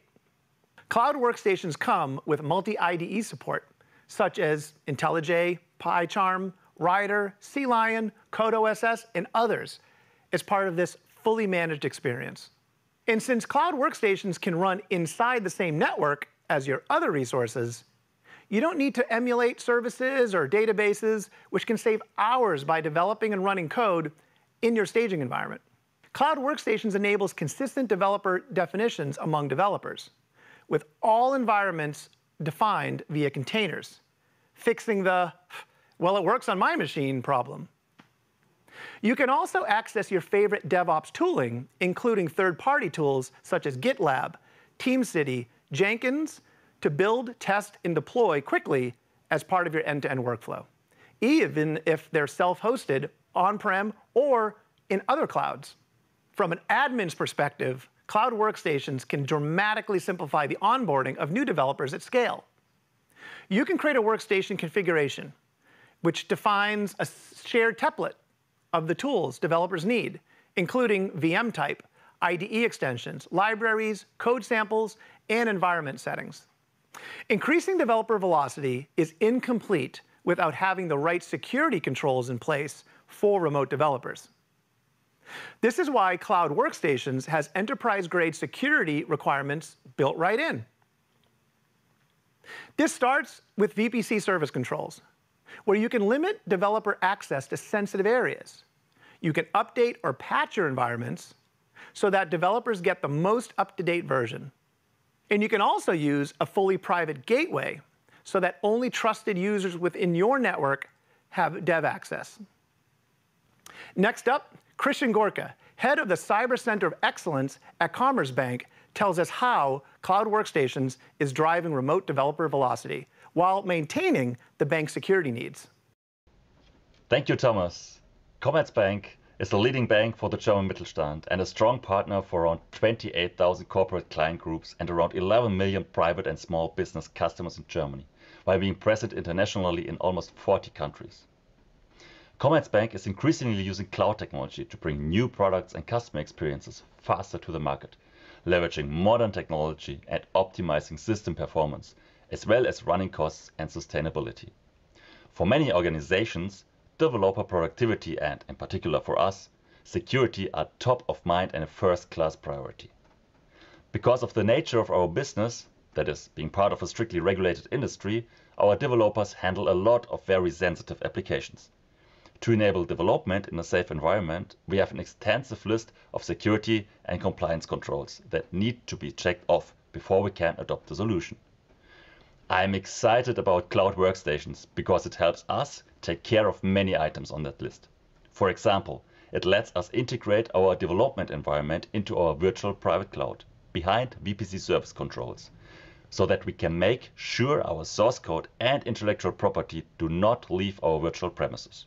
Furthermore, it supports customer managed encryption keys as well as data recognition, making sure data confidentiality and geolocation is under our control. And while cloud workstations comes with pre-installed software, many things still are configurable. Plus, we can easily patch vulnerabilities and update OS images across various teams in a central place, which not only saves us time, but also helps improve the overall security posture. Finally, our developers really like the speed and responsiveness that Cloud Workstations provides. Onboarding can be done within minutes, and the service is easily accessible from anywhere, of course, access granted. So, in the end, we are in need of something that works out of the box, is fully managed, and integratable into Google Cloud ecosystem and its services. Hence, I'm glad that we now can leverage cloud workstations. Back to you, Thomas. Thanks, Christian. It was great to hear how developers at Commerzbank can securely collaborate across the world.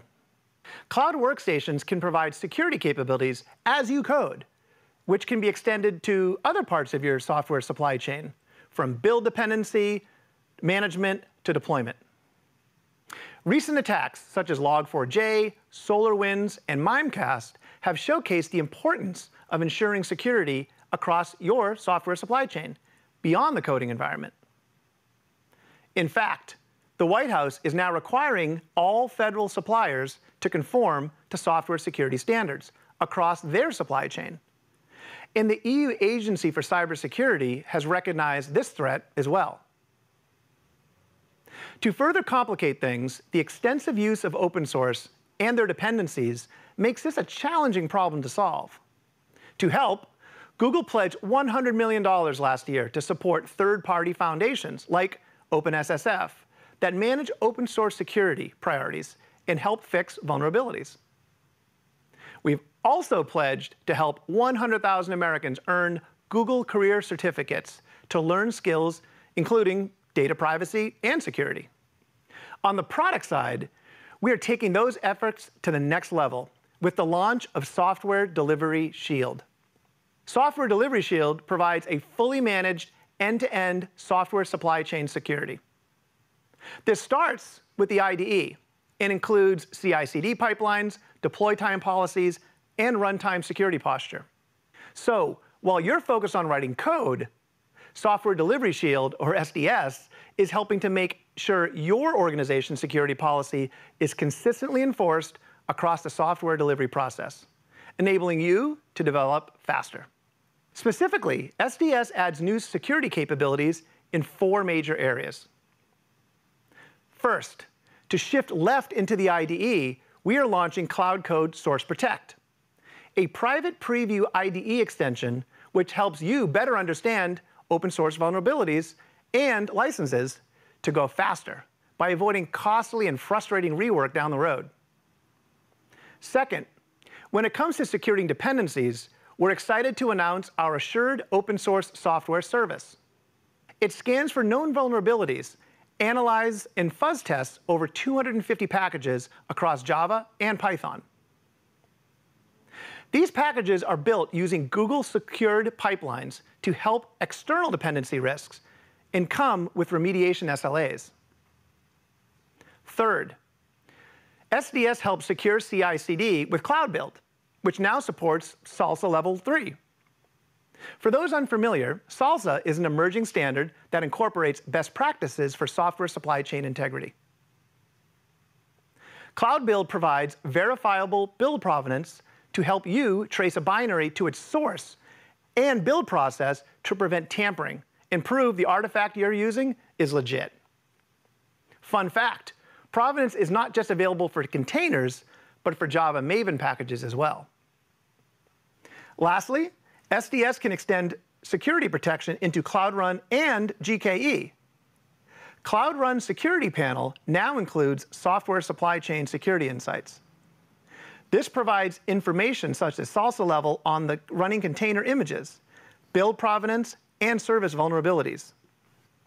To help protect Kubernetes workloads, GKE Security Posture Management provides opinionated foundational guidance into your GKE clusters.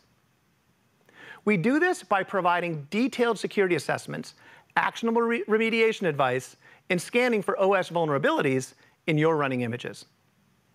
We're integrating the platform to further help drive speed and efficiency. For instance, Cloud Deploy can make continuous delivery for Cloud Run much simpler. Promote from pre-prod to prod, conduct rollbacks, and manage gate promotion approvals in a cohesive and intuitive interface. With the new Cloud Run integrations, you can connect Cloud Run with Google Cloud Services fast. For example, configuring domains with a load balancer or connecting to a Redis cache is now as easy as a single click. And by the way, we have more scenarios on the way. With these enhancements, you no longer need to be an expert in scaling, securing, or managing your pipelines, or connecting to other Google Cloud services.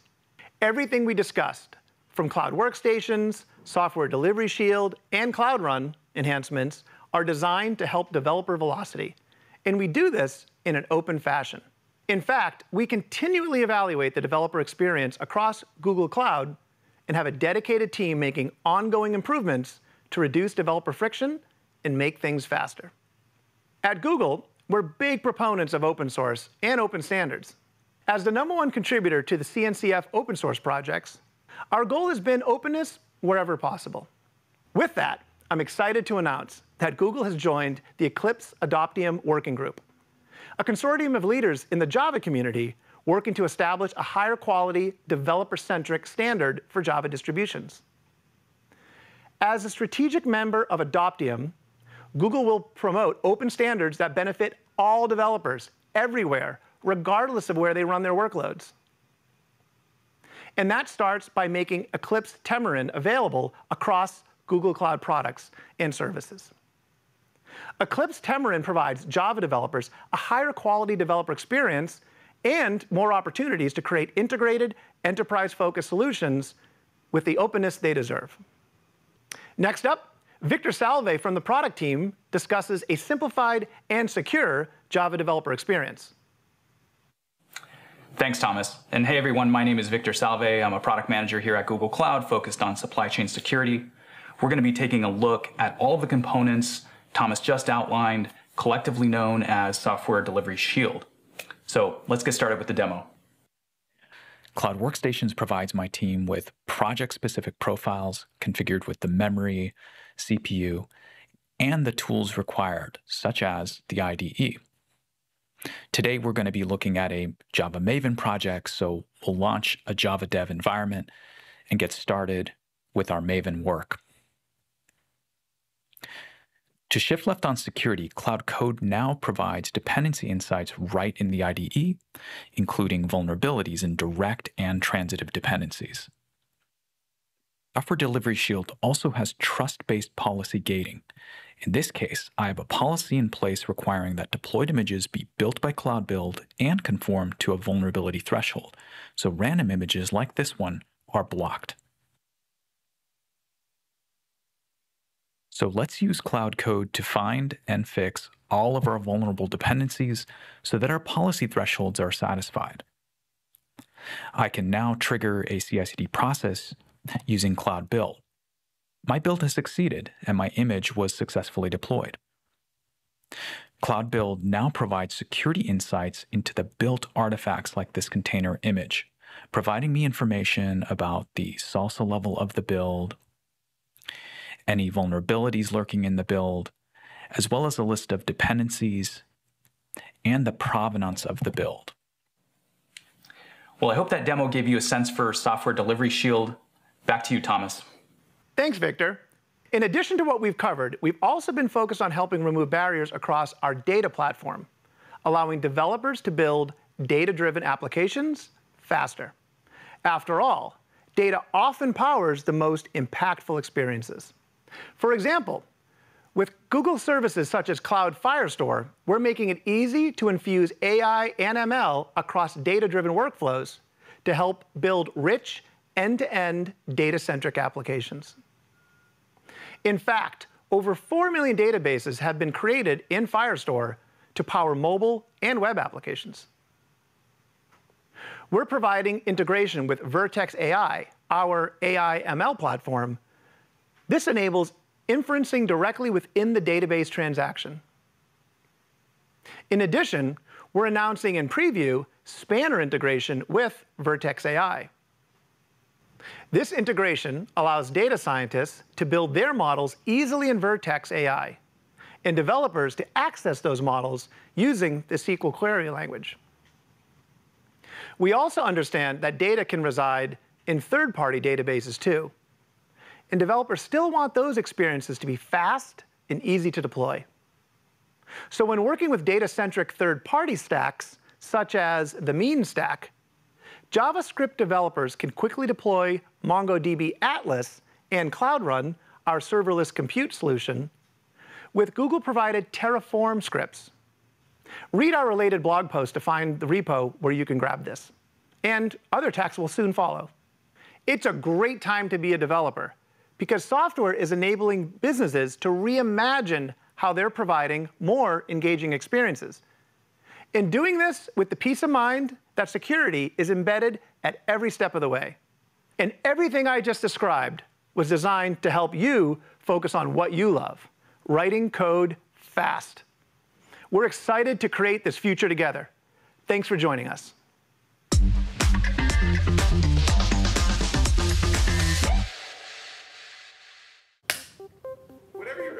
Google's infrastructure powers services for billions of people. And then Google Cloud takes those lessons from running these services in order to deliver an innovative and easy to use cloud infrastructure. Today, Google Cloud helps users automate the lifecycle of their workloads. In the future, we'll use AI to understand workload patterns and do this automatically. Intelligently optimizing for higher performance with lower latency, cost, and power consumption. Today, we optimize our infrastructure for AI/ML and your data, ensuring that it is accessible anywhere. But we're not stopping there. Chiplets are a new design and manufacturing process that brings open source agility to the world of silicon by using a building block approach. Custom chips for a vast range of configurations. Sustainability is important to us because our planet depends on it, and we will operate on 24 7 carbon free energy by 2030. Every email you send through Gmail, or every question you ask Search, and every virtual machine you spin up across our cloud will be supplied by carbon free energy every hour of every day. We are reinventing infrastructure where AI based automation will recommend the most efficient design for your workloads based on your usage. And we'll run them on Google's unique infrastructure optimized specifically for you. All of this delivered on the cleanest public cloud in the world. This is our next. We can't wait to see what you do with it.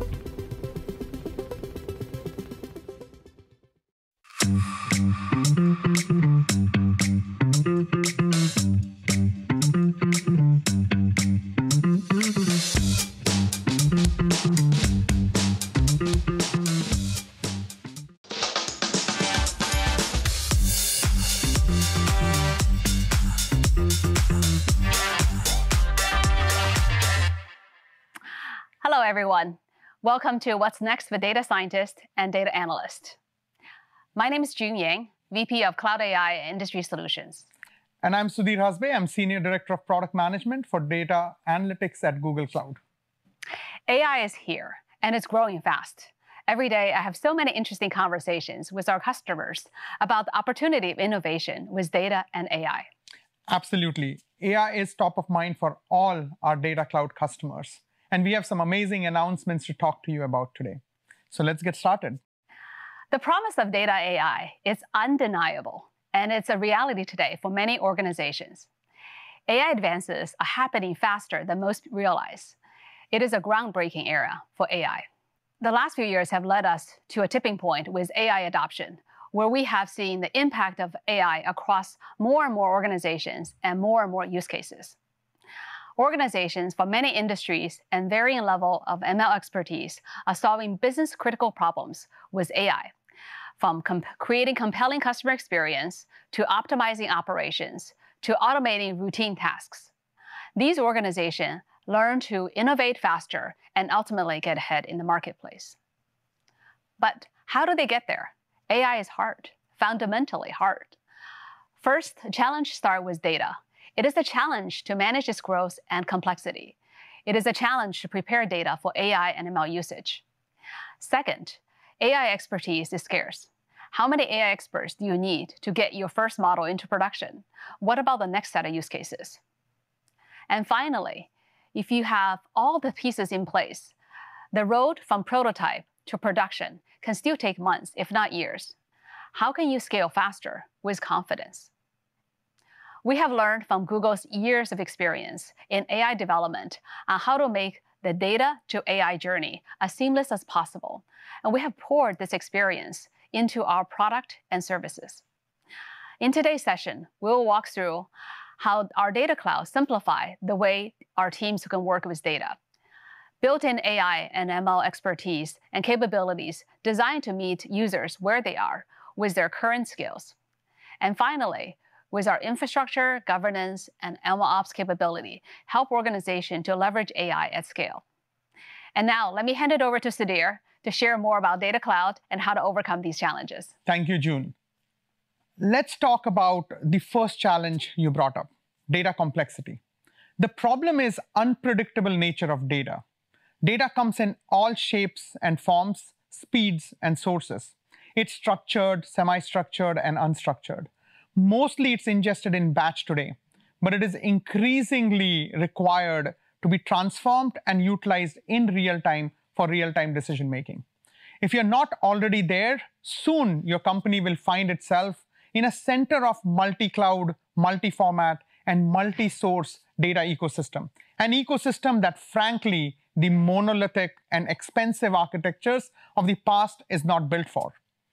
We have designed our data cloud to meet your needs of today and tomorrow. With our data cloud, you gain a complete and unified data and AI solution so you can manage each stage of data lifecycle from operational data to analytical and intelligent applications. With our data cloud, AI and machine learning comes built in, helping you make full use of your data to improve insights and automate core business processes. That's why today I'm proud to announce the general availability of BigLake to help you break the data silos and unify your data lakes and warehouses. BigLake will also support Apache Iceberg, which is becoming the standard for open source table formats for your data lakes. And soon we will also add support for other formats like Delta Lake and Hudi. Our built-in support for Apache Spark in BigQuery will allow data practitioners to create BigQuery stored procedures, unifying their work in Spark with their SQL pipelines. This open data ecosystem is at the heart of our strategy. As of today, over 800 software partners power their applications using our data cloud, and 40 data platform partners like DBT, Dataiku, and Tableau support BigQuery through certified integrations. And customer adoption continues to grow, fueled by the ecosystem initiatives like Data Cloud Alliance. Now we know 80 to 90% of data you have today is unstructured. This includes your images, your video files, your audio files. Today we are announcing support for unstructured data in BigQuery through object tables. Object tables enable you to take advantage of common security and governance across your data. You can now build data products that unify structured and unstructured data in BigQuery. This makes BigQuery one-stop solution to store, manage, and process all types of data at global scale. One example of a company making their data work for them is ANZ Bank. The second largest bank in Australia, ANZ uses Google Cloud to help customers make better decisions by analyzing aggregate data sets and delivering powerful insights to create personalized customer experiences. Manual operations that used to take days now only take seconds. So in a nutshell, to overcome data complexity challenges, we are bringing lakes and warehouses together with BigLake and providing support for open formats.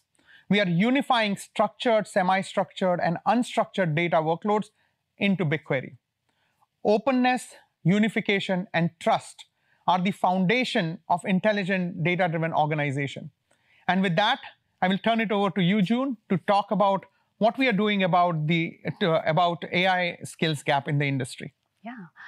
First of all, thank you, Sudhir. And it's so great to see the amazing progress our teams have made here. Now let's talk about harnessing the power of AI despite the skill gap challenge. According to US Bureau of Labor Statistics, data scientist is the number six fastest growing job in the US, and the race is on to hire. This is a challenge for organizations that are looking to apply AI across their businesses. Google Cloud addresses this challenge head on by offering a wide range of capabilities that can increase the reach of AI ML to more users and help your scarce resource, your data scientists, to achieve greater productivity. Organizations can start with our out-of-box API, like translation, transcription, and many more, where developers can directly apply Google's state-of-the-art AI to quickly solve real-world problems without the need to build AI models themselves. When you want to work with your own data to build custom models, Vertex AI offer a range of uh, ML tools to help you to build, deploy, and manage ML models. This includes the ability to start from scratch to create a fully custom models or build on top of or one of our existing models and then fine tune them for your particular needs. Starting with BigQuery ML, a SQL interface that unlocks ML capability for data analysts and simple ways to be able to build and train their models. As you had heard from Sudhir, BigQuery will support unstructured data, which means BigQuery ML would also work with unstructured data. You can now bring your own model or use a model that's pre-trained by Google directly on BigQuery object tables. The results can be stored and managed in BigQuery for further analysis or deployed to Vertex AI for real-time prediction. The next training capability is AutoML. People can create custom models quickly with their own data and with minimum data science expertise. More and more, we're seeing that even expert data scientists want to start with a base AutoML generated model, then fine tune it to achieve greater accuracy with their own data. AutoML provides advanced models trained by Google as a jumping off point for customization. Seagate, a partner for Google's data center, and uses machine learning to predict recurring disk drive failures with AutoML, they're able to achieve a precision of 98%. That's far, far more than the 70 to 80% achieved with a custom model. For users who want more control over ML, we uh, recently announced an exciting announcement for AutoML, Workflows, which allows you selectively modify each step in the model building and the deployment process and be able to tweak custom tweaks uh, for, uh, for your AutoML and giving you more control working with AutoML. We will start with structured data and expand support to unstructured data in the coming months. TabNet is a powerful algorithm developed by Google researchers that leverage neural nets for tabular data. Today, we're adding TabNet to workflow to make it easier for organization to work at a massive scale without sacrificing the explainability or accuracy.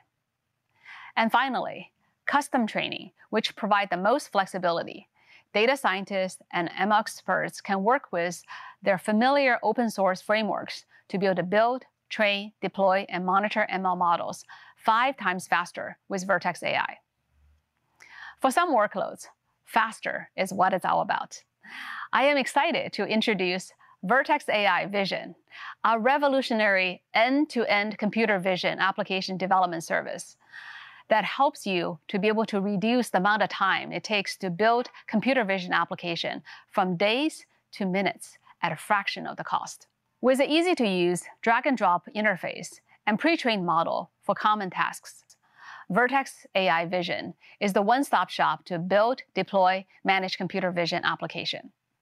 From ingestion to analysis to storage, now you can easily create computer vision application for any business need from inventory management in retail to improving safety in the plant workers in manufacturing, even traffic management in large cities. Plainsight is a leading provider of computer vision application and solutions and early adopter of Vertex AI Vision.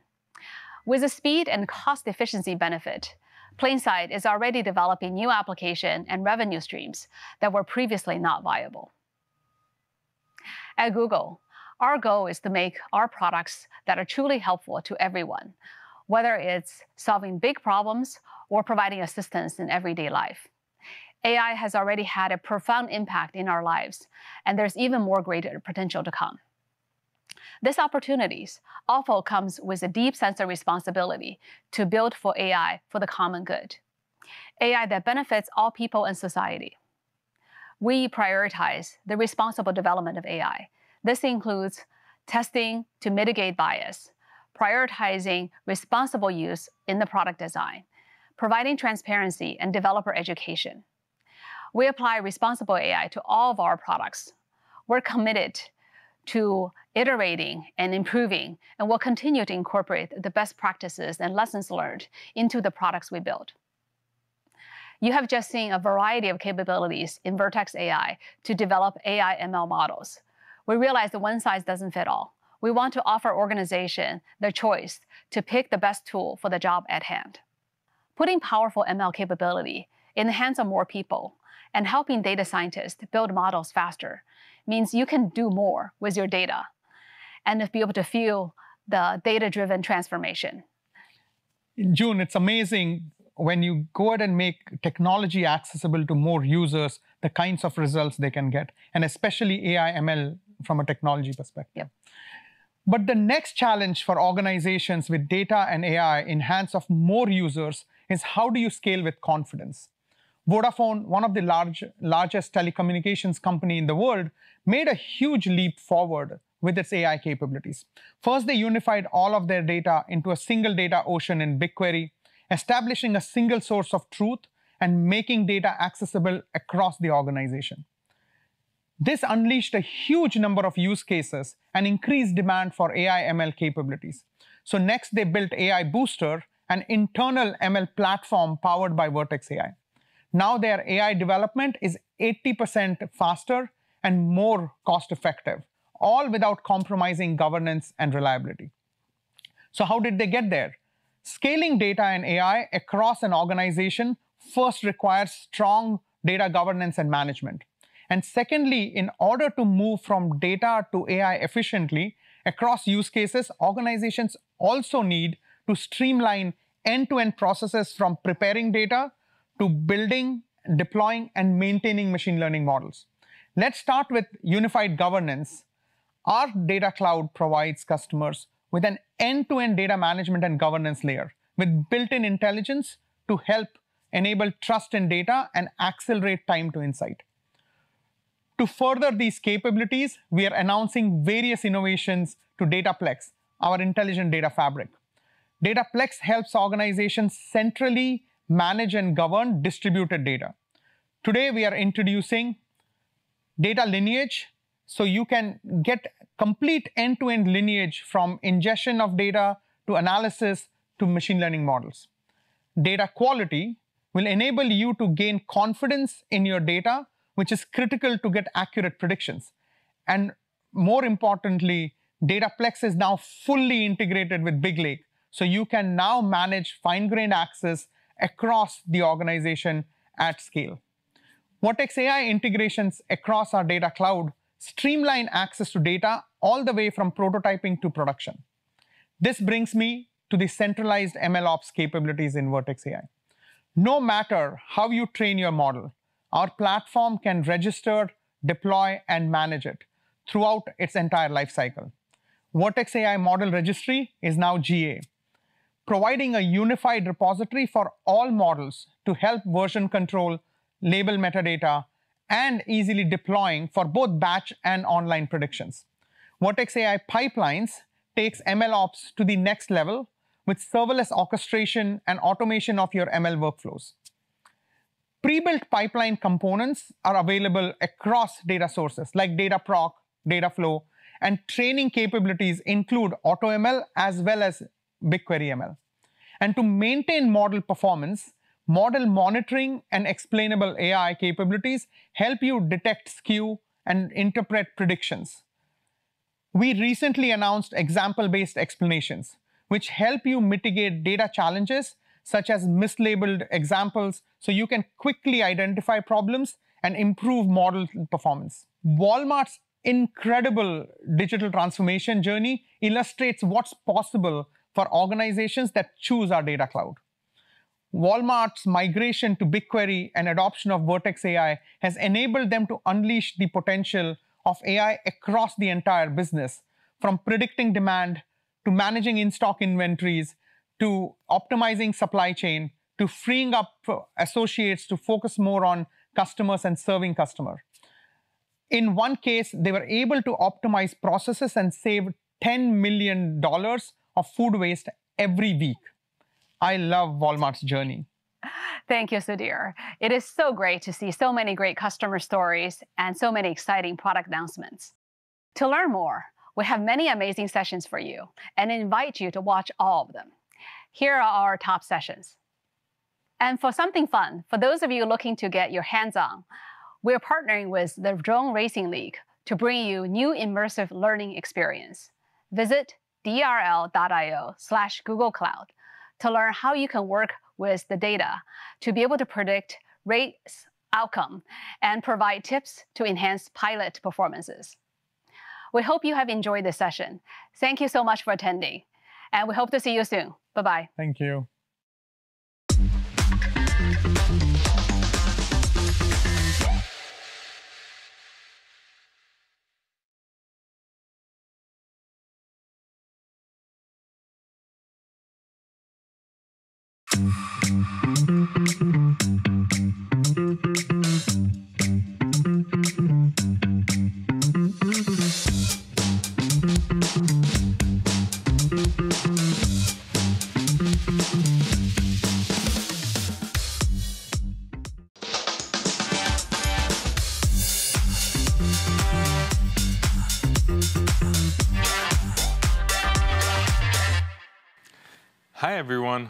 Welcome to Next. I'm Andi Gutmans, General Manager and VP of Engineering for Databases at Google Cloud. And I'm excited to share with you what's next for builders and data engineers. Later in this session, Scott Wang, VP of Infrastructure at Credit Karma, will join me to talk about their journey on Google Cloud. Today, every organization on the planet is going through some form of digital transformation. At the heart of this always-on, digitally connected world lie mission-critical, data-driven applications. Powering each of these applications are operational databases that must be reliable, resilient, available, performant, and safe for users. At Google Cloud, our mission is to accelerate every organization's ability to digitally transform. And a large part of that is helping customers innovate faster with a unified, open, and intelligent data platform. We do this by focusing on four key areas. First, a unified and integrated data cloud for all your data. Second, a commitment to openness, leveraging open source and open standards. Third, infusing AI and ML across data-driven workflows. And lastly, empowering builders to be more productive and impactful. Let's start with the first focus area, creating a unified and integrated data cloud for operational and analytical data. At Google, our mission is to make information universally accessible and useful, as evidenced by our most popular globally available products like YouTube, Google Search, Maps, and Gmail. These products leverage a uniquely integrated and scalable data architecture. We've taken these learnings and brought them into Google Cloud, making it the best place for all your data workloads. The way we've built our core services, such as Cloud Spanner, Bigtable, AlloyDB, and BigQuery, is truly differentiated. These services leverage Google's common infrastructure, which is unique in the industry.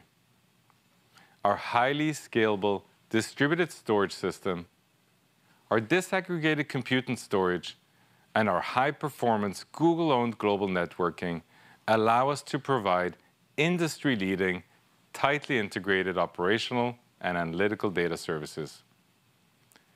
Today, for example, Spanner, our globally distributed relational database service, processes over 2 billion requests per second at peak. It has more than 6 exabytes of data under management and offers up to five nines availability SLA, which is simply remarkable. While Bigtable, our highly performant, fully managed NoSQL database service, processes over 5 billion requests per second at peak, and it has more than 10 exabytes of data under management, and also offers up to five nines availability. These services offer industry-leading availability, scale, and global reach. Building on this, customers need to have easy movement of data within the Data Cloud. We heard you, and that's why we announced in preview Datastream for BigQuery. Datastream for BigQuery provides easy replication of data from operational database sources such as AlloyDB, Postgres, MySQL, and Oracle directly into BigQuery. This is special because we worked closely with the BigQuery team to develop an optimized integration to replicate database updates in real time at very low latency. Setup is just a few simple clicks. Datastream for BigQuery is Google's next big step towards realizing our vision for the unified Data Cloud, combining databases, analytics, and machine learning into one single platform. But don't take my word for it. Let my colleague Gabe show you how easy it is to get started with Datastream for BigQuery. Creating a stream just requires a name, unique ID, region, source, and destination. Today we're capturing Postgres to BigQuery. One of the great things about Datastream is it shows you the prerequisites for your source right in the UI, so you know what you need to prepare before starting the streaming. Connection profiles are used to define your source and destinations. They represent the information required to connect to an instance, like the host IP, username, and password. We've got one ready to go for the Postgres source.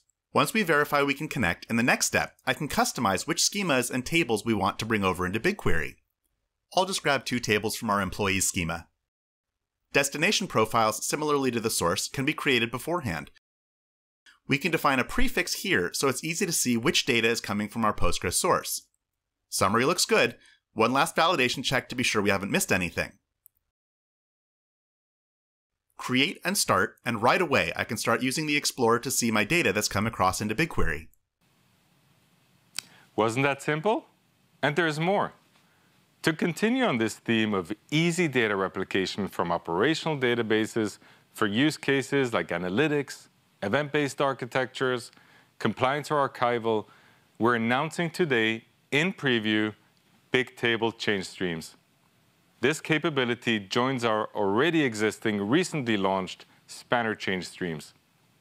With change streams, you can track writes, updates, and deletes so that they can be replicated to downstream systems in real time.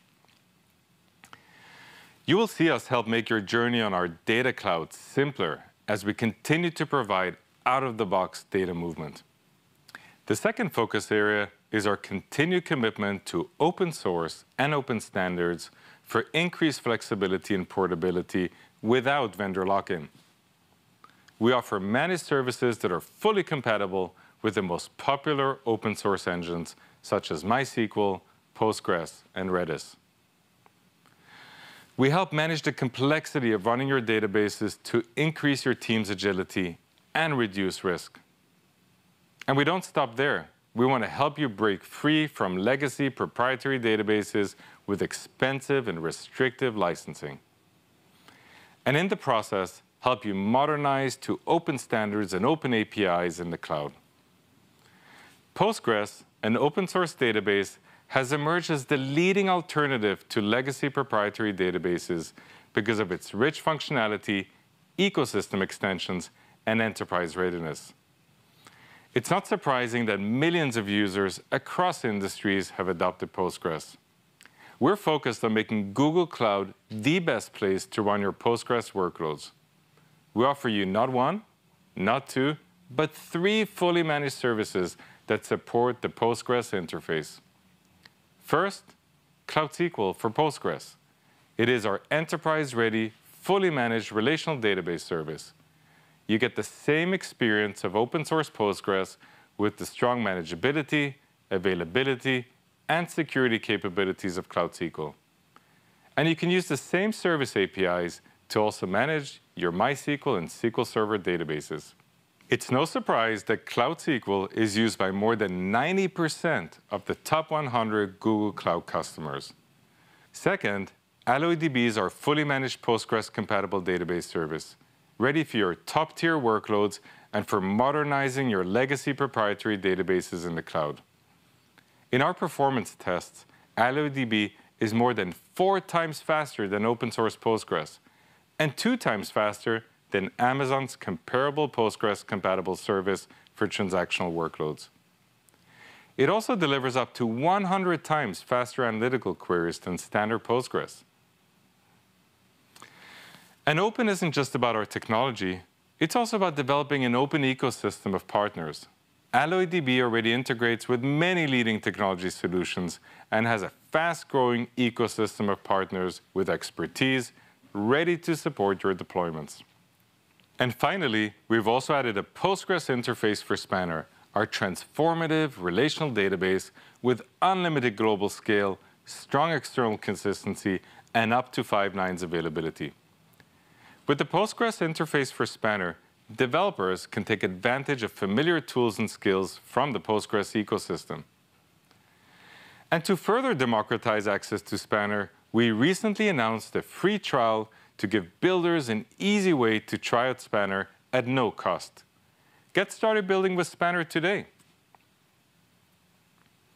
With these capabilities, we've made Google Cloud the best home for all your Postgres workloads. And to make it easy for you to take advantage of our open data cloud, we have simplified our migration approach with the right methodology, tooling, and support to help accelerate your journey. Take advantage of the program today. The third focus area is around how we are infusing AI and ML across data-driven workloads. We use AI and ML across our database technologies to make our services more intelligent. Capabilities such as Cloud SQL cost recommenders and AlloyDB Autopilot enable DBAs and DevOps teams to manage performance and capacity for large fleets of databases. In addition to infusing AI and ML into our databases, we're providing integration with Vertex AI, our AI and ML platform, to enable model inferencing directly within the database transaction. I'm therefore excited to announce today in preview the integration of Vertex AI with Spanner. You can now use a SQL query in Spanner to call a model in Vertex AI. With this integration, both AlloyDB and now Spanner can simply call Vertex AI models using SQL in operational transactions, allowing data scientists to build their models easily in Vertex AI and developers to access these models using the SQL query language. All these AI and ML capabilities can allow you to simplify management of your databases and enable builders to deliver intelligent applications. Our final focus area is around empowering builders to be more productive with innovative, one-of-a-kind developer experiences. Industry-leading services such as Cloud Firestore are loved by developers because of how fast one can build an application end-to-end. Now, more than 4 million databases have been created in Firestore, and Firestore applications power more than 1 billion monthly active end users using Firebase Auth. We've also been pushing the envelope on database operations with observability features across our key services. We've introduced Cloud SQL Query Insights for Postgres and MySQL. In addition, we made Cloud SQL Cost Recommenders generally available and introduce Postgres System Insights in preview. Today, we're excited to announce the preview of Security and Performance Recommenders for Cloud SQL. These capabilities help builders optimize their database configurations and improve their security posture. Now let's see our UX leader, Kat's demo of Cloud SQL Insights in action. Insights helps me investigate and detect problematic queries and find the root cause of the problem from a single pane of glass. System Insights helps me understand the overall health of my databases. I can immediately see that the P99 of CPU utilization is at 100%. In looking at the query latency and CPU utilization graphs, I can see regular latency spikes, indicating that there are problematic queries causing high CPU utilization. To understand this further, I can navigate to Query Insights. Looking at the top level Query Insights dashboard, I am immediately drawn to the database's load graph. It confirms that there are several problems, including one that started around 915. The colors in the graph help me see that there's an increase in I.O. wait and an even larger increase in lock wait. Traditional monitoring tools only provide a query-centric view of performance. Insights provides in-context visualization to find which application code caused the problem. For example, the tags table is especially helpful to me as a developer, since this application was built using Django's ORM rather than by writing the SQL queries directly. Insights uses SQL Commenter, an open telemetry standard providing instrumentation to augment SQL from frameworks. This first entry for the payment driver subsidy controller and the demo send subsidy route looks like it's the problem. With this context, I can go look at the source code now to investigate further. I hope you enjoyed that demo and can now see how we aim to make our database services easy to use to help every builder focus their energy on innovation and differentiation. We've talked through a lot today, so now let's hear from Scott Wong, VP of Infrastructure at Credit Karma, to learn how they've reduced operational burden and cost with Google's Data Cloud. Scott, welcome. We're glad to have you here today. Thanks for having me, Andi. Excited to be here. Tell me, Scott, who is Credit Karma and why did you choose Google Cloud? In 2007, Credit Karma was founded during the last housing crisis with a mission to be the consumer technology platform focused on helping our members achieve financial progress. And over the last 15 years, we've really built this around free credit scores, providing over 4 billion credit scores to our consumers across the US, UK, and Canada. And today, nearly 130 million members use our product. But financial progress to our, members means much more than just credit reports. We are the go to destination for everything related to financial goals. And to provide this, we provide personalized, data driven insights to our members to feel more confident about their major money decisions. And at the center of these insights is our data models and data systems, all being powered by Google Cloud Services today our cloud migration journey started almost six years ago. On the left hand side is our infrastructure in our traditional data centers before we moved to cloud. And on the right hand side, you can see is our current infrastructure in Google Cloud Services. We started moving to cloud with our data warehouse and that moving to BigQuery. And then we started methodically started moving down the stack to our whole recommendations pipeline. Dataflow, Bigtable, and the AI platform were all part of that migration. You can also tell in the middle of the screen, we have a reverse ETL process. Our user store in BigQuery serves those features into Bigtable and then gets scored or recommended through our modeling scoring service, all on GKE. Those recommendations get to our members through our product 63 billion times in predictions a day. And today, we think there's even more opportunity for future innovation with the possibility of Spanner and Vertex AI uh, using in our recommendation system. Oh. How are you using Google's Data Cloud today for your key use cases? And what are some business benefits you've achieved by moving to Google Cloud? One, we really focus on making our data scientists as efficient as possible. And that meant simplifying access to our users' feature store, as well as deploying their models as quickly as possible. To give you some sense of scale, today we deploy over 700 models a week as opposed to pre-cloud, it was almost 10 a quarter. Additionally, in experimentation, we do over 7x more experiments today than we did before cloud. And with the help of Bigtable and BigQuery, we have 10x more features deployed daily through our batch data. These gains can be attributed to what we call our unified model training, powered by BigQuery, Bigtable, Dataflow, and Google's AI platform. Nice. What makes Spanner appealing to you for your operational workloads? We're considering Spanner for our primary relational database to reduce engineering toil, drive higher efficiency and reliability to our core mission critical production database tier.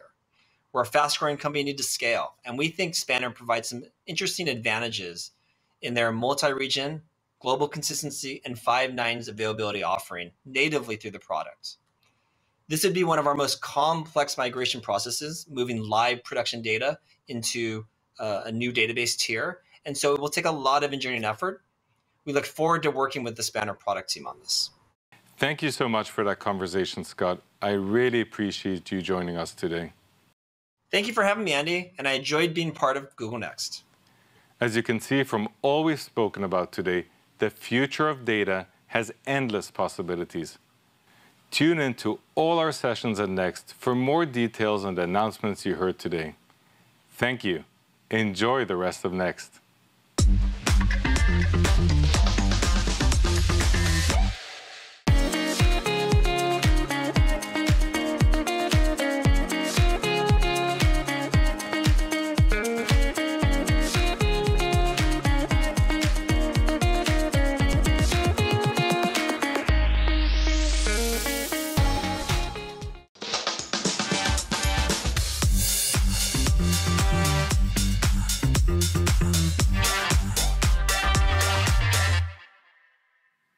Hello, I'm Sachin Gupta, VP GM for Infrastructure at Google Cloud. The roles of enterprise architects and developers are evolving. Not only do you have to keep the lights on, you're expected to stay on top of the ever-changing trends and technologies that create business value. And you have to do all of this while lowering costs and improving performance, so IT infrastructure runs quickly and smoothly. Your role is critical to a successful transformation.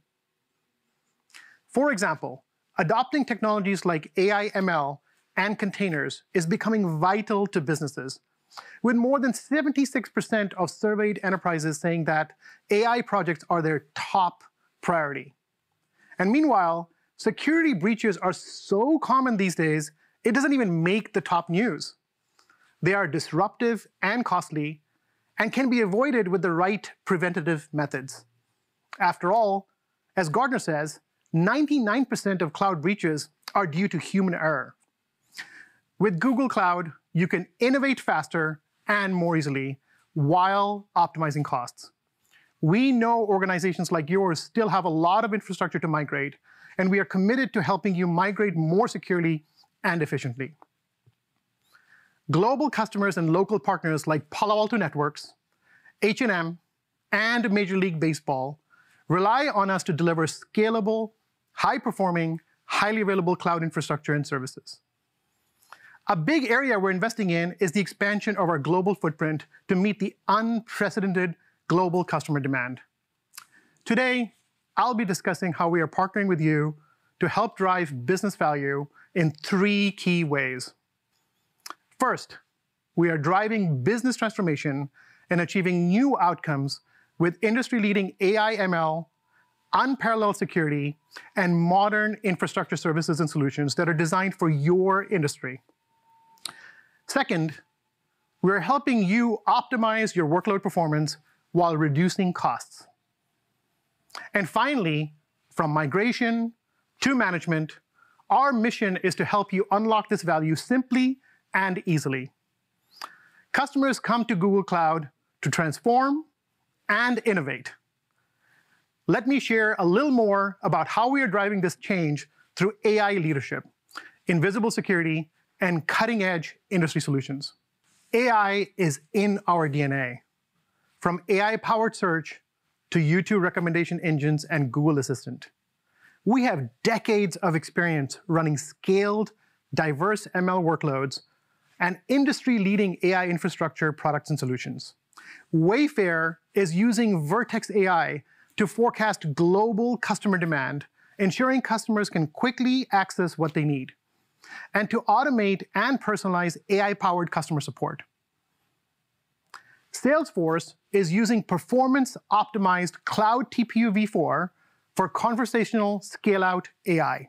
These outcomes are made possible because of the innovation across our AI stack, and it starts with hardware choices and performance that help you keep pushing the limits of AI in large models. Cloud TPU v4 delivers industry-leading ML training performance and scale. With 6 terabits per second interconnect, you can run large-scale training workloads up to 80% faster and up to 50% cheaper compared to alternatives. And that's how companies like Cohere deliver cutting-edge natural language processing faster and with a lower carbon footprint. We're also announcing new A2 Ultra GPUs built on NVIDIA's A180 gig GPUs with high-speed memory. AI Singapore has reduced the loading time of large-scale language models by 40% and increased throughput by over 50% with A2+, resulting in increased productivity. And customers are also using Google Batch to orchestrate and schedule AI jobs of any scale. With Batch, our customer Locomation was able to unlock AI insights from their autonomous trucks 80% faster. Google is committed to making AI and machine learning more open and accessible. To further this, in partnership with Meta, we recently co-founded the PyTorch Foundation. And for over a decade, we've contributed to critical AI projects like TensorFlow and JAX. Today, we are announcing a new industry consortium, the Open XLA Project, that will unite an ecosystem of leading machine learning compiler technologies and accelerate and simplify machine learning innovation. These open source AI contributions enable you to take your AI idea and turn it into reality easily and at low cost. Next, I want to share how we're transforming security. At Google Cloud, we are championing a future of invisible security, where security is engineered in and operations are simplified. We package the expertise that we use to protect our own business and our billions of users and make it available to you. You can easily deploy a wide range of tools depending on your own risk profile, from prevention to detection to remediation. Today, I want to highlight the next step in our cybersecurity journey as we welcome Mandiant to Google Cloud. By taking advantage of Google Cloud's existing security portfolio, our Google Cybersecurity Action Team and Mandiant's leading cyber threat intelligence you can stay protected at every stage of the security lifecycle. Cloud Armor is another security innovation that provides advanced ML-powered DDoS and WAF protection for web apps, services, and APIs. It has prevented some of the largest DDoS attacks on the planet with zero impact to customers. Recently, the largest HTTPS attack was staged against a Cloud Armor customer. It was 76% larger than anything previously reported, the equivalent of Wikipedia's daily requests in 10 seconds. And the customer experienced no impact. And for regulated industries with stringent and country-specific requirements, we offer controls to meet your digital sovereignty objectives. Sovereign controls allows you to define the location of your core data set access permissions, and control your cryptographic keys. Supervised Cloud, which is coming soon, is a fully partner-managed and operated solution that supports data, operational sovereignty needs, and country or region-specific regulatory requirements. For highly sensitive workloads that require the most stringent security requirements, Hosted Cloud offers air-gapped hardware and software, including managed infrastructure, AI/ML, and database services. Since transformation takes different forms for different industries, we partner with customers to build industry-leading, innovative solutions. Together with the CME Group, we plan to transform the derivatives market through technology, expanding access, and creating efficiencies for market participants. In telecom, communication service providers like Bell Canada rely on Google's network to expand globally and deploy 5G networks with Google Distributed Cloud Edge. Google Distributed Cloud Edge GPU optimized configurations bring the power of GPU acceleration and machine learning to enable the future of retail. Customers and partners such as 66 Degrees, AWM Smart Shelf, and Ipsotek are using GPU optimization to deliver innovative retail solutions at the edge, including AR in the store, shelf stockout notifications for quicker restocking, and cashierless checkout to reduce lines. In media and entertainment, we provide solutions to customers like U-NEXT, with streaming built on the same Google infrastructure we've tested and tuned to serve YouTube's 2 billion users globally. To get a better picture of how our media and entertainment industry customers innovate with Google Cloud, I'm proud to introduce Senior Vice President, Technical Infrastructure of Major League Baseball, Truman Boyes.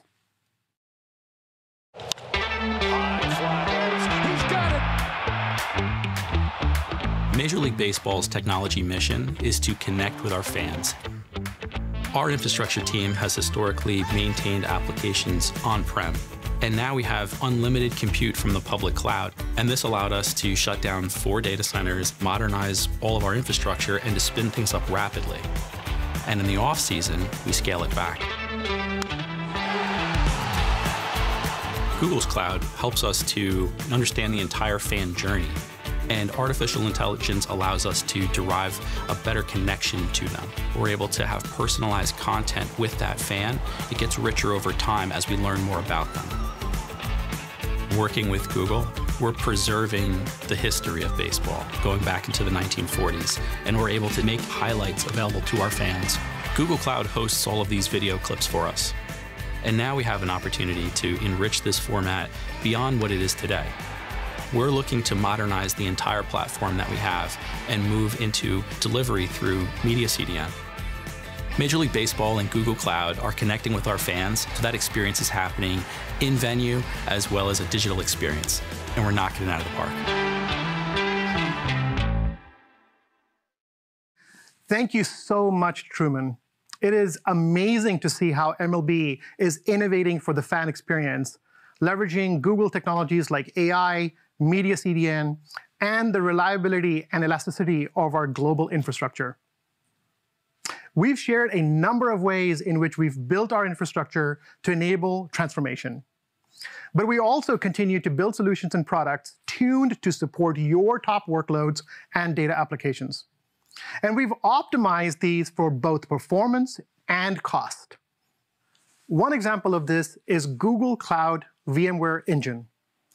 VMware Engine is a fully managed native Google service that helps you lift and shift your VMware applications to Google Cloud faster and easier. We are the first external provider to support VMware's Cloud Universal program, which makes it easier for you to migrate to the cloud. And with built-in point-and-click migration tools and our instant provisioning feature, you can get workloads running in your private cloud in less than one hour.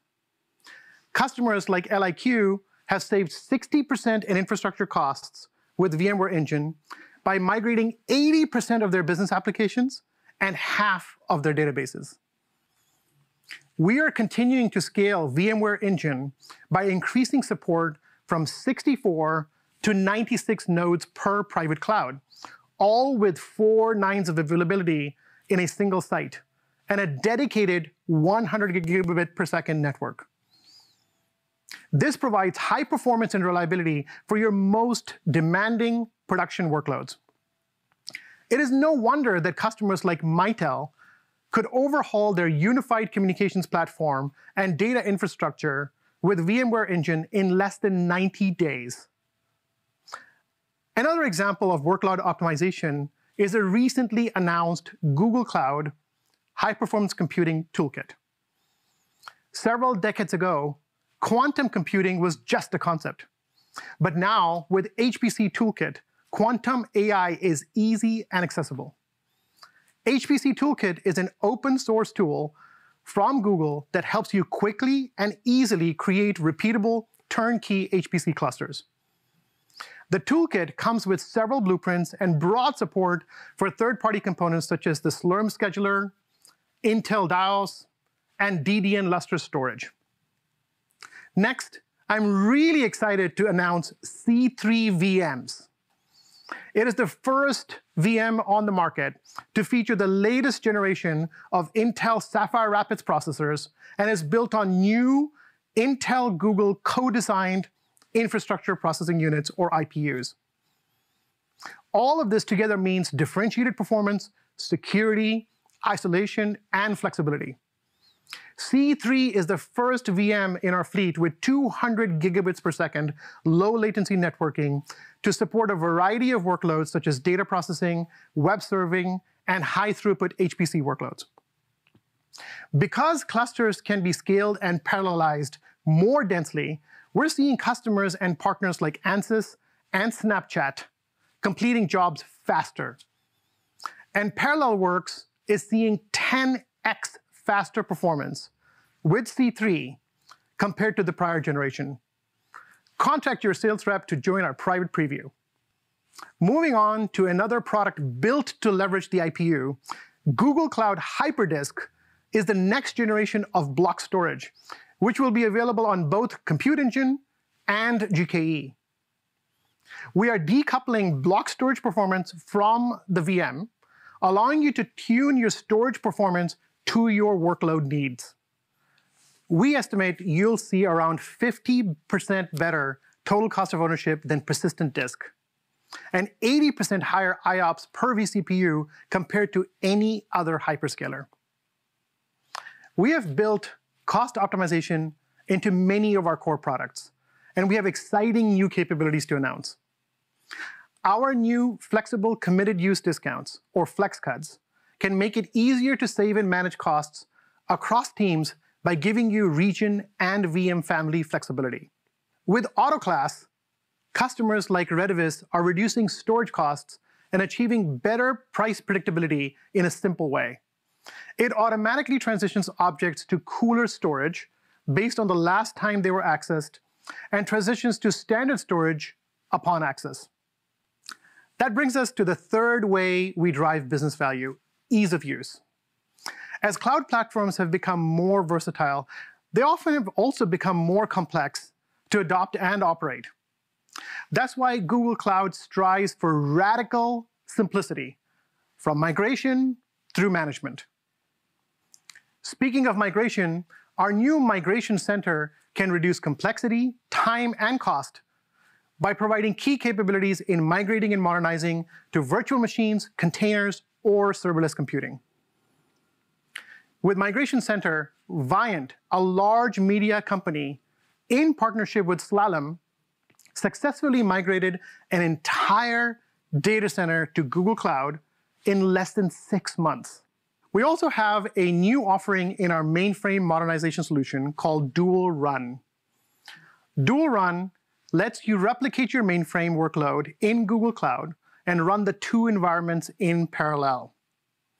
This allows you to confirm successful operations in Google Cloud before your cutover, which can massively reduce risk. And that's why customers and partners across industries, like financial services company Santander, are seeing success with dual run. We also want to simplify the way you manage and scale. Managed instance groups, or MIGs, with auto-scaling use application metrics to radically simplify and improve operational efficiency, allowing you to scale in and out without manual intervention. And with the power of Google's ML, MIGs can predictably scale in and out based on historical data. These three defining pillars for Google Cloud infrastructure, transformative, optimized, and easy, are the key tenets behind our intentional engineering efforts. This is why so many customers trust Google Cloud, and what helps to power such innovation across the industry. I invite you to try Google Cloud and our innovative new releases. We look forward to delighting you. Thank you.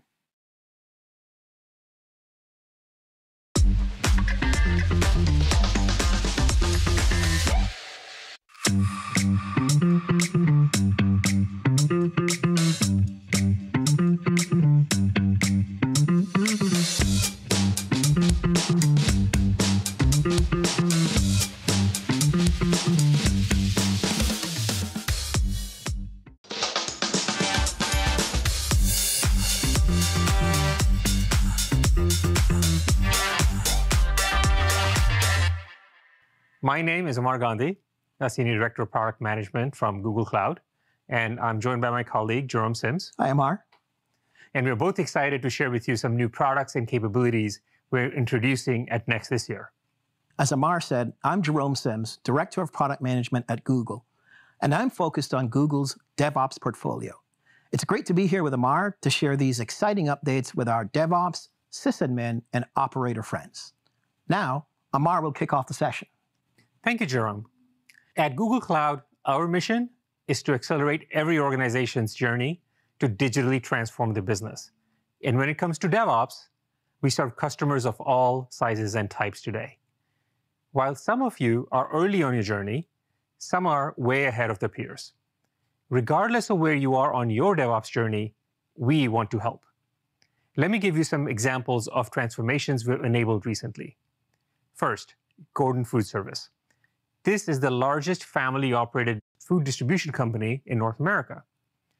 With Google Cloud, they've been able to increase the number of deployments from just four times a year to 2,900 times a year.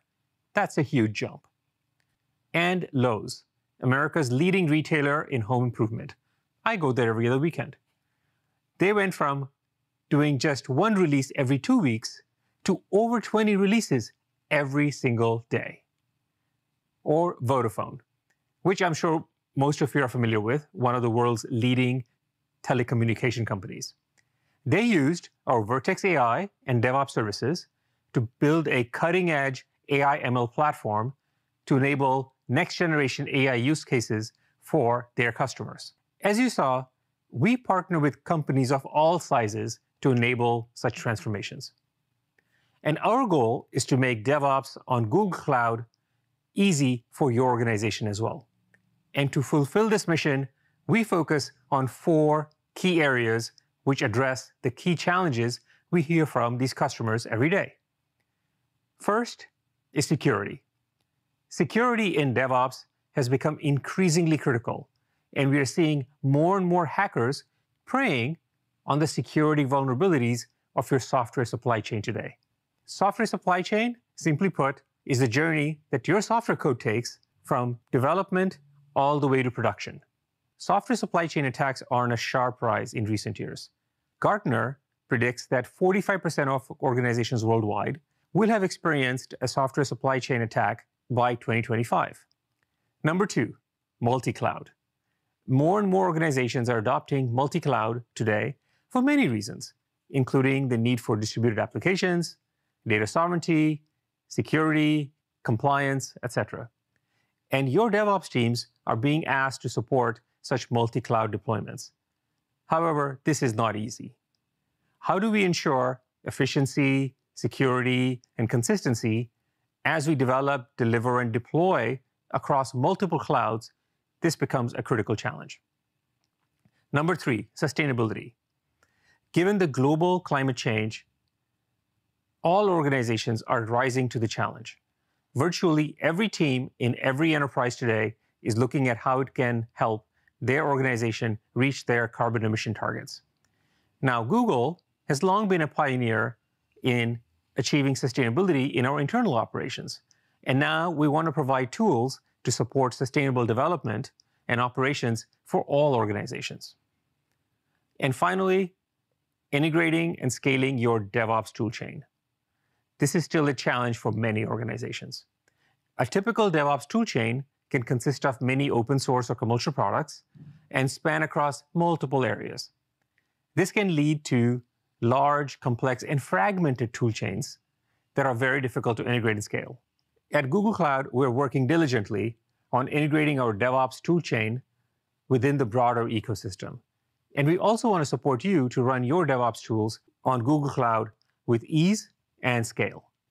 This year, we are launching many new products and capabilities across all of these four areas. And now I'm going to hand over to my colleague Jerome to tell you more. Thanks, Amar. Let's dive into some details of our announcements today. As Amar just mentioned, software supply chain security is becoming an increasingly critical concern for many DevOps teams. And to help you better protect your software supply chains, we're very excited to bring you Software Delivery Shield. Software Delivery Shield is a comprehensive yet modular set of capabilities that spans a set of Google Cloud products, delivering a fully managed end-to-end solution to help protect your software supply chain. It can start from helping to protect your applications at the local developer environment, enhance the security posture of your software supply, build a more secure CI/CD pipeline, and finally, protect your application once deployed to production. On top of that, we let you establish, maintain, and verify a chain of trust along your supply chain through policy enforcement. At Next this year, we're introducing new capabilities across many of these areas. First, shifting all the way left. To help you better secure your applications during development, we are launching Cloud Workstations, a new service which provides a fully managed local development environment on Google Cloud with built-in security measures. If you're worried about source code exfiltration or privacy risks, Cloud Workstations allows you to limit access to sensitive resources or the public internet, or even use a fully private gateway. If tomorrow you patch a vulnerability or base image, with Cloud Workstation's forced image update, your developers will automatically have updates reflected in their own local environments the next day. With Cloud Workstations, you can be much better off in terms of securing your local development environments. More than that, we are also giving your developers tools to help them code faster with greater security. With Cloud Code Source Protect, developers will get real-time security feedback as they work in their IDE, such as identification of vulnerable dependencies and licensing information. This quick and actionable feedback can allow developers to promptly make corrections to their code at the beginning of the software development process, thereby saving hours of time that would otherwise be spent in costly future fixes.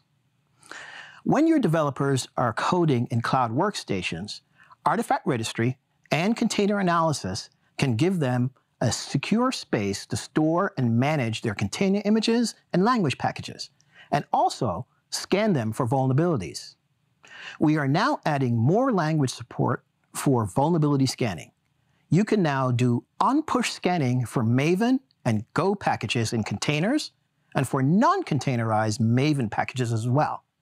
To help you improve the security of your open source dependencies, our Assured Open Source Software Service provides a trusted source for you to access open source packages curated and tested by Google. This service now provides over 250 packages across Java and Python. These packages are built in our own secured pipelines and regularly scanned, analyzed, and fuzz tested for vulnerabilities. It also includes verifiable SLSA build provenance. SLSA stands for Supply Chain Levels for Software Artifacts. It is a framework that brings industry-recognized best practices for software supply chain integrity. In continuing to help secure your pipelines, I'm really excited to announce Cloud Build. Our fully managed continuous integration platform now supports SLSA Level 3 builds. In addition to providing an ephemeral and isolated build environment, Cloud Build now generates authenticated and non-falsifiable build provenance for both containerized applications and non-containerized Java packages, and also displays security insights for built applications.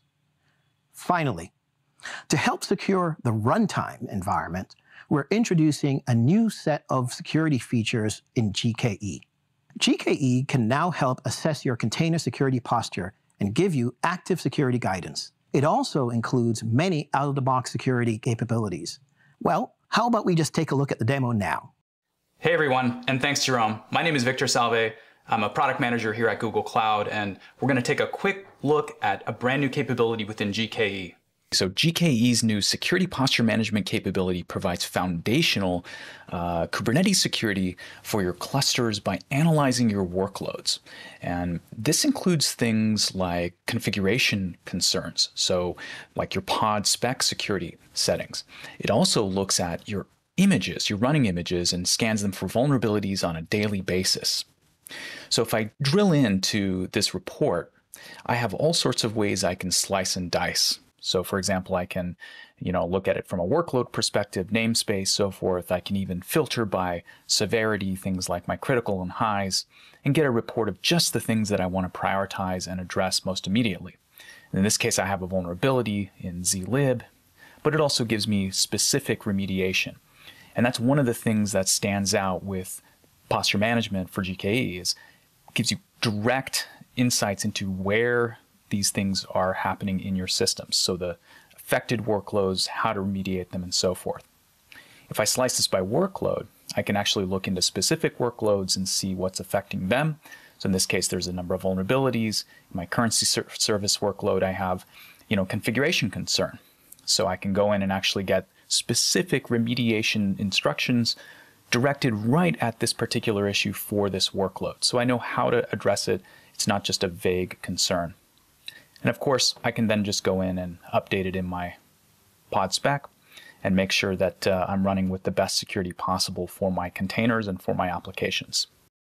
With these many features in GKE, we're helping to make security easy for every customer who is using our fully managed Kubernetes services. For customers on Cloud Run, our serverless platform, we're introducing new enhancements to Cloud Run's security panel. It now displays software supply chain security insights, such as the SLSA build level compliance information, build provenance, and vulnerabilities found in running services. When your developers are building application, oftentimes they will need databases. I'm happy to introduce Cloud SQL Security Recommender powered by ActiveAssist. Cloud SQL is the fully managed relational database from Google Cloud. With Security Recommender, it can now automatically monitor the security posture of your databases, alert you on potential security vulnerabilities, and also provide guidance to help mitigate the risks. Today, more and more DevOps teams are being asked to support multi-cloud deployment. To make multi-cloud easier for you, we're introducing a set of new features to our Anthos platform. Anthos is a cloud-centric container platform to run modern apps anywhere consistently at scale. With the newly introduced features, Anthos customers can now enjoy a unified management experience everywhere from a single Google Cloud Console, and to drive consistent security, governance, and observability across a fleet of clusters spanning all environments, whether on-prem, hybrid, or multi-cloud.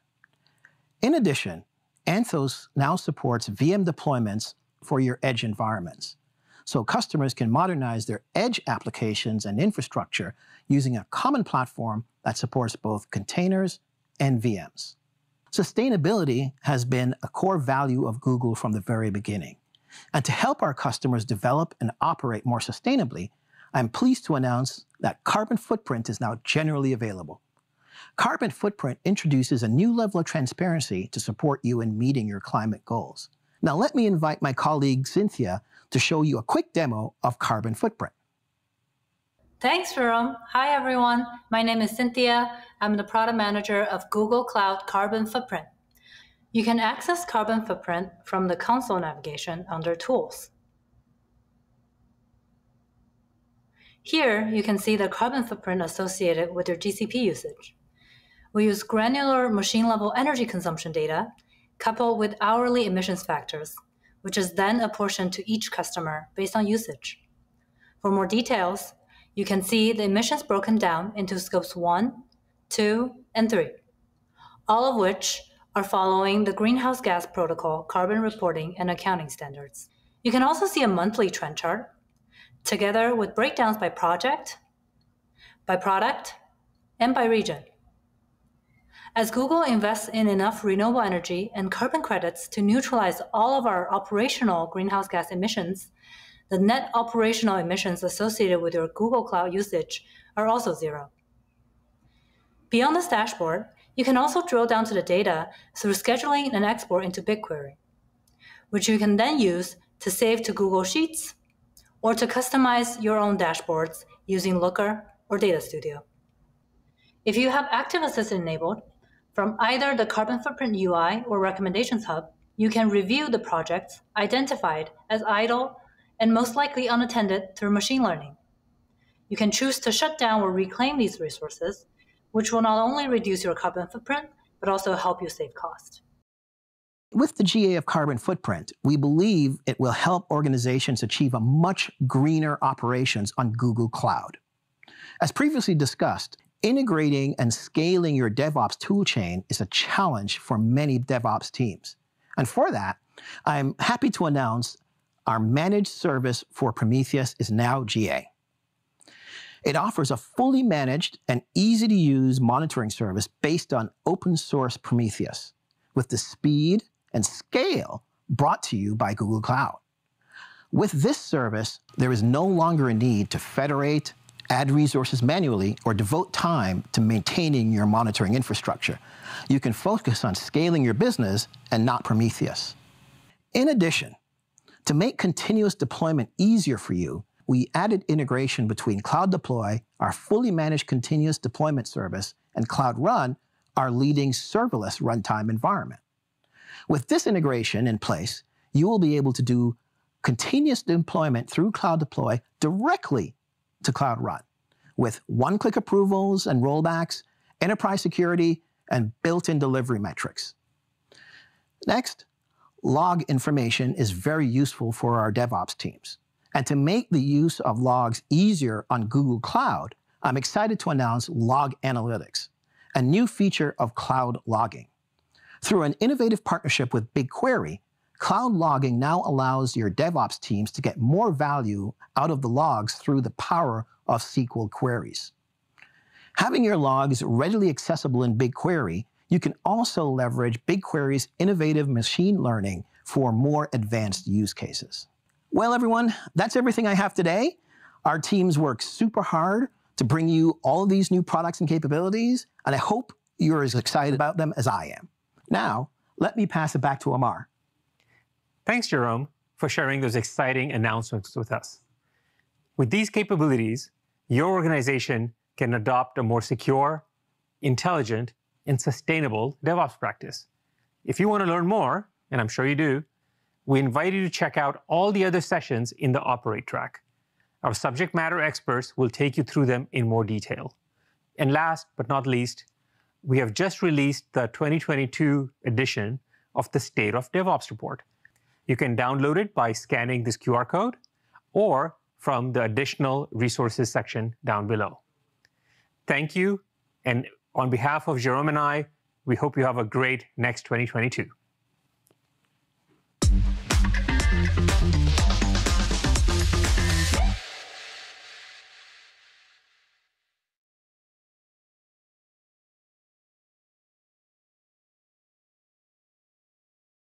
Everyone.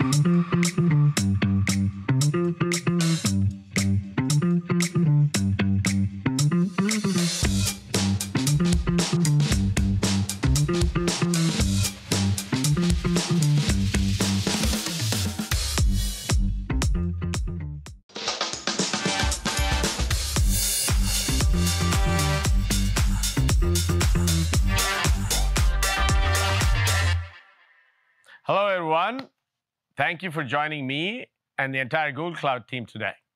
And a special welcome for what's next for security professionals. My name is Sunil Potti, and I'm the VP and General Manager for Google Cloud Security. As many of you know, organizations large and small are realizing that digital transformation and the changing threat landscape requires a ground up security transformation. Attackers' tactics, techniques, and procedures have evolved as their targets have shifted and their desired outcomes have changed. So long gone are the days of a limited number of malicious nation state actors only targeting specific governments or critical infrastructure.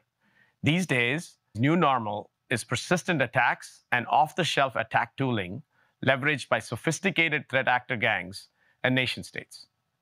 And these folks are primarily focused on financial gain and business disruption across the mainstream enterprise, from the mid market credit union bank to a very large enterprise in the Fortune 500.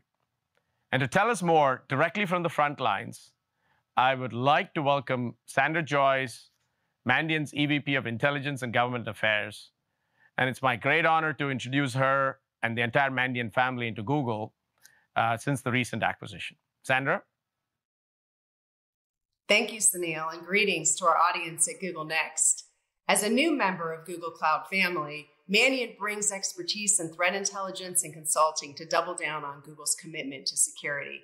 At Mandiant Threat Intelligence, we're always vigilant, tracking threat actors across the cyber domain as they seek to spy, steal, and sabotage the networks of organizations around the world.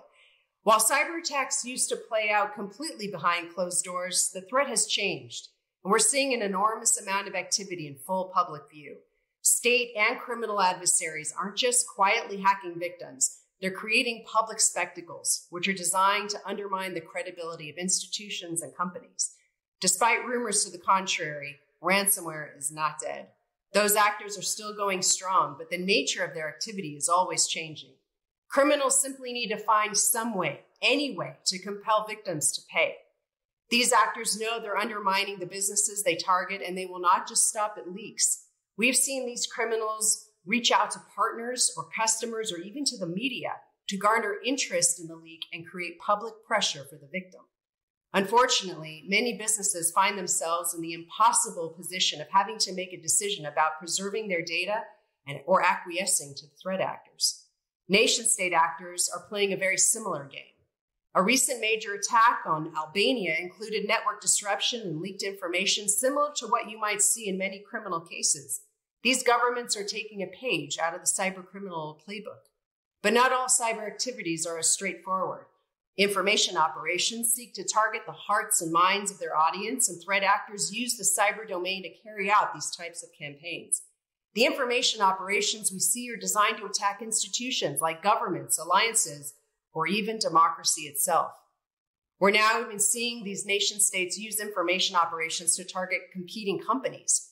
For instance, an information operations we call Dragon Bridge has been posting on social media as residents living near a mineral processing facility. These fabricated online personas complain about the facility in order to stop competition of their country's activities.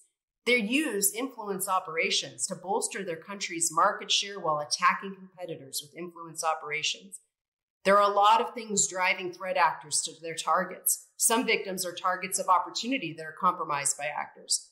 Our supply chain has already proven to be an effective means of gaining access to downstream victims, and aggregated access has been abused by both criminals and nation states to great effect.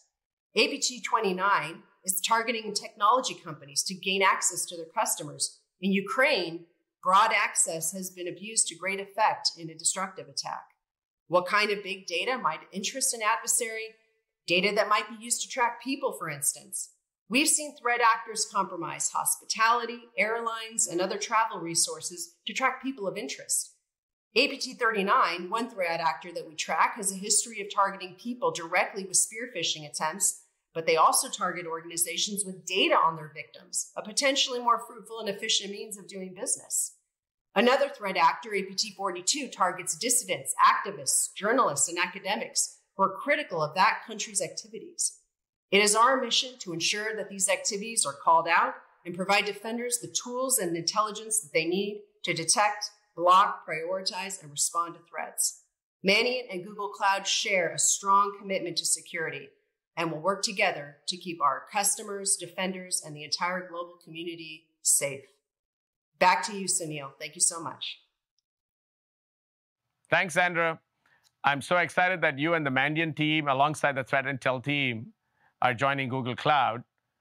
Now, as many of you know, Mandiant clearly shares our mission to reinvent how enterprises detect and respond to threats and incidents.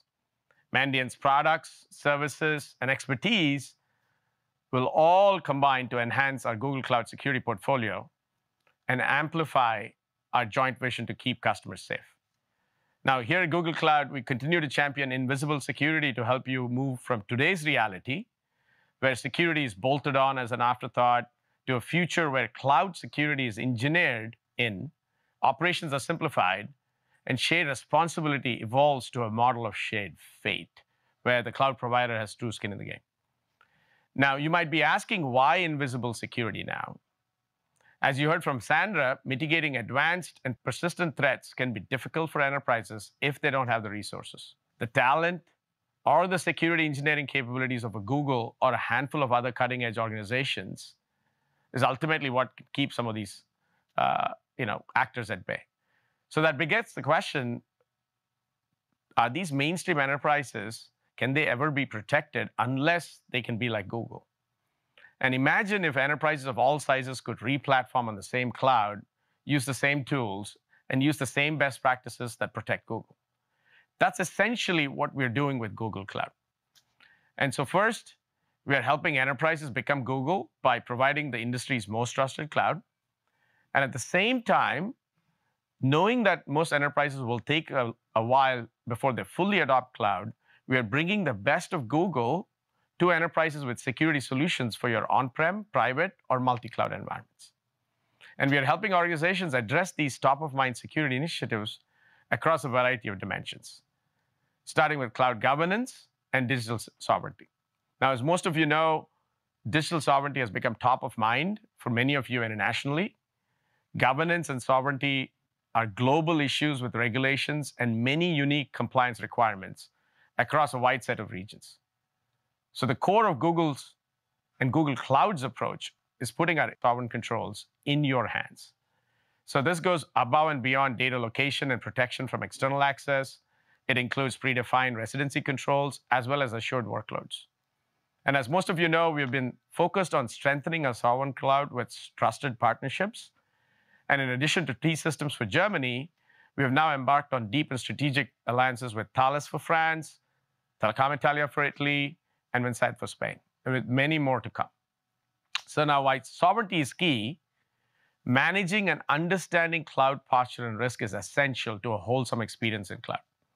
Now, we help teams understand their Google Cloud security posture and risk profile by incorporating world-class innovations, starting with Forseti, a recent groundbreaking technology and an acquisition into Security Command Center. With this new addition, you can now fully understand your attack posture. You can prioritize, contextualize vulnerability findings. But that's not all, because you can now step ahead.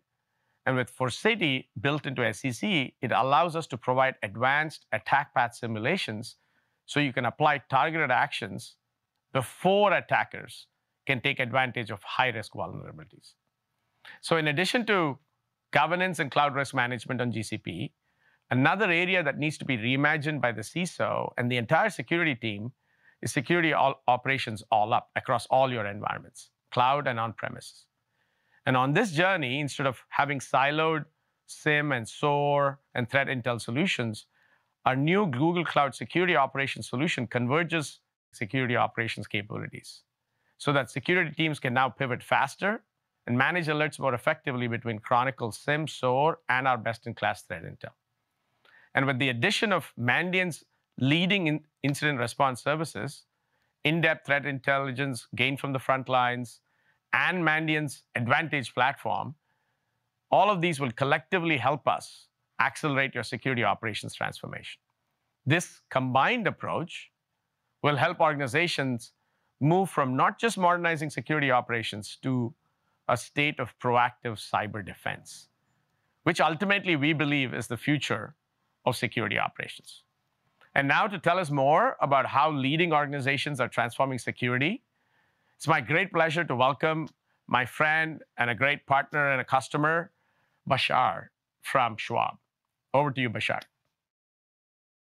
Thank you, Sunil. Transforming security for me is all about how security can be a business enabler while making sure the team embraces change and leverages all the latest cloud native security controls available to us. To transform our security program, we are really focused on three key areas security transformation to support business growth, zero trust by default, and threat detection and response going cloud native. Now let's dig a little bit deeper on securing our cloud transformation. For my team and I, our what isn't really changing. In other words, we aren't taking more risk just because we are embracing the cloud. And our risk appetite has largely stayed the same. but what has changed is the how. Now, what does that mean to us? It means that just because we used to do things certain way, mostly in legacy data centers, doesn't mean we should do them the same way in the cloud. Yes, we need to stay true to our risk appetite, but we also need to use this as an opportunity to innovate, to champion and embrace change, to do things differently, if and where it makes sense. To use the power of hyperscale cloud infrastructure, cloud native controls, and AI and machine learning to achieve greater automation. I want to use machines to reduce my team's toil and enable faster decision making based on data sets we weren't even able to analyze previously due to scale and various constraints. Now, as I mentioned, our second key focus area is all about embracing zero trust architecture at scale. For us, that means putting identity at the center of all decisions and removing implicit trust relationships. We focus instead on establishing an explicit trust for each transaction. Context and visibility are the other dimensions that are crucial to a successful implementation of zero trust, in my opinion.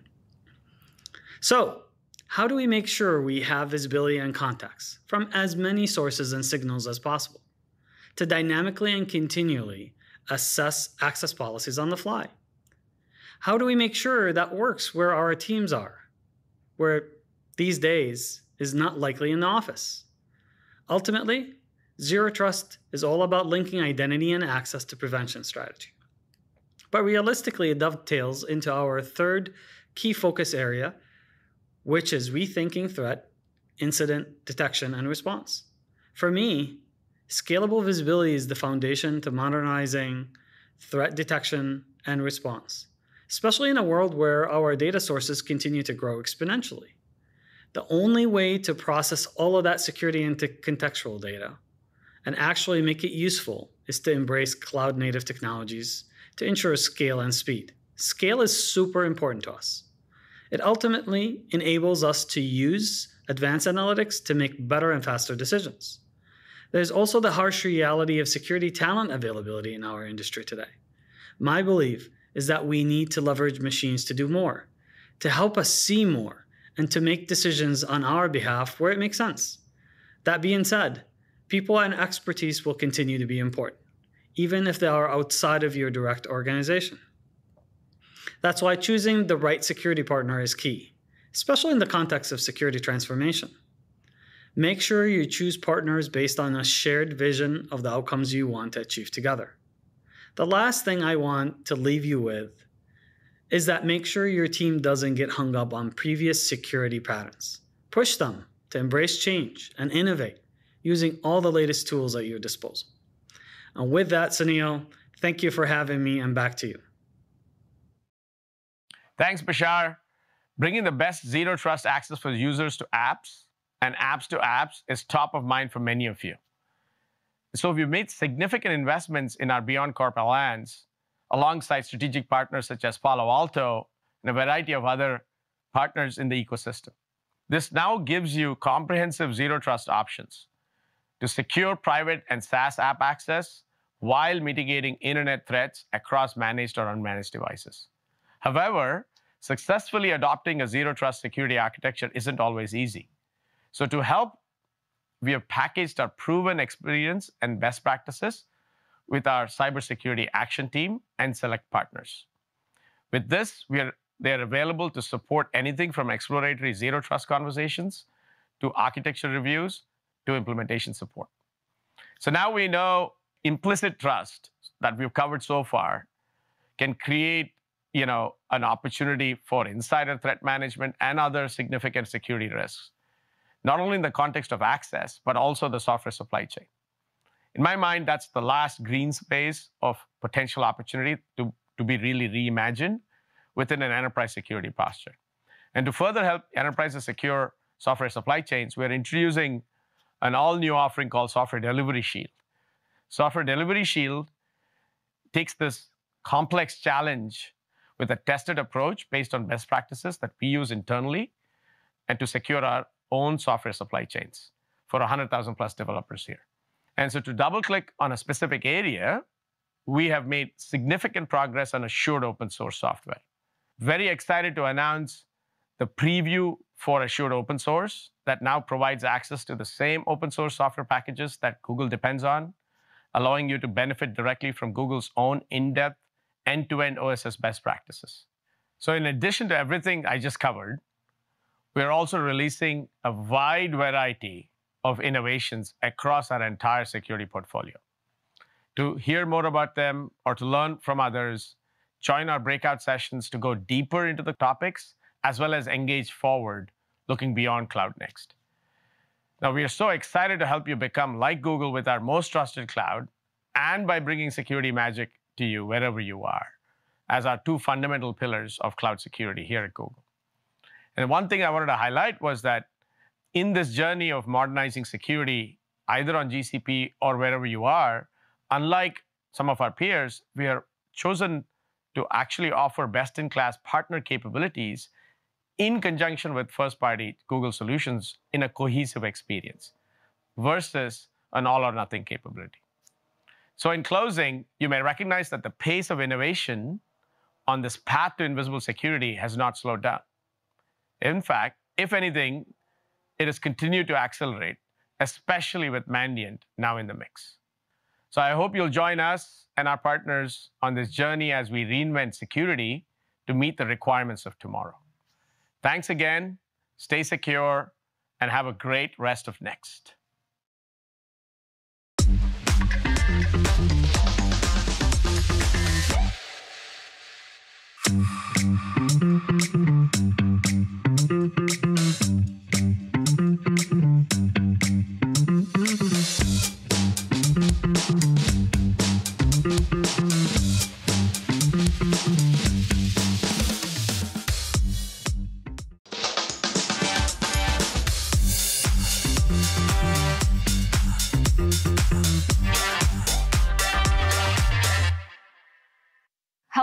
Everyone. It is an honor to kick off this session as the new leader for the Google Workspace business.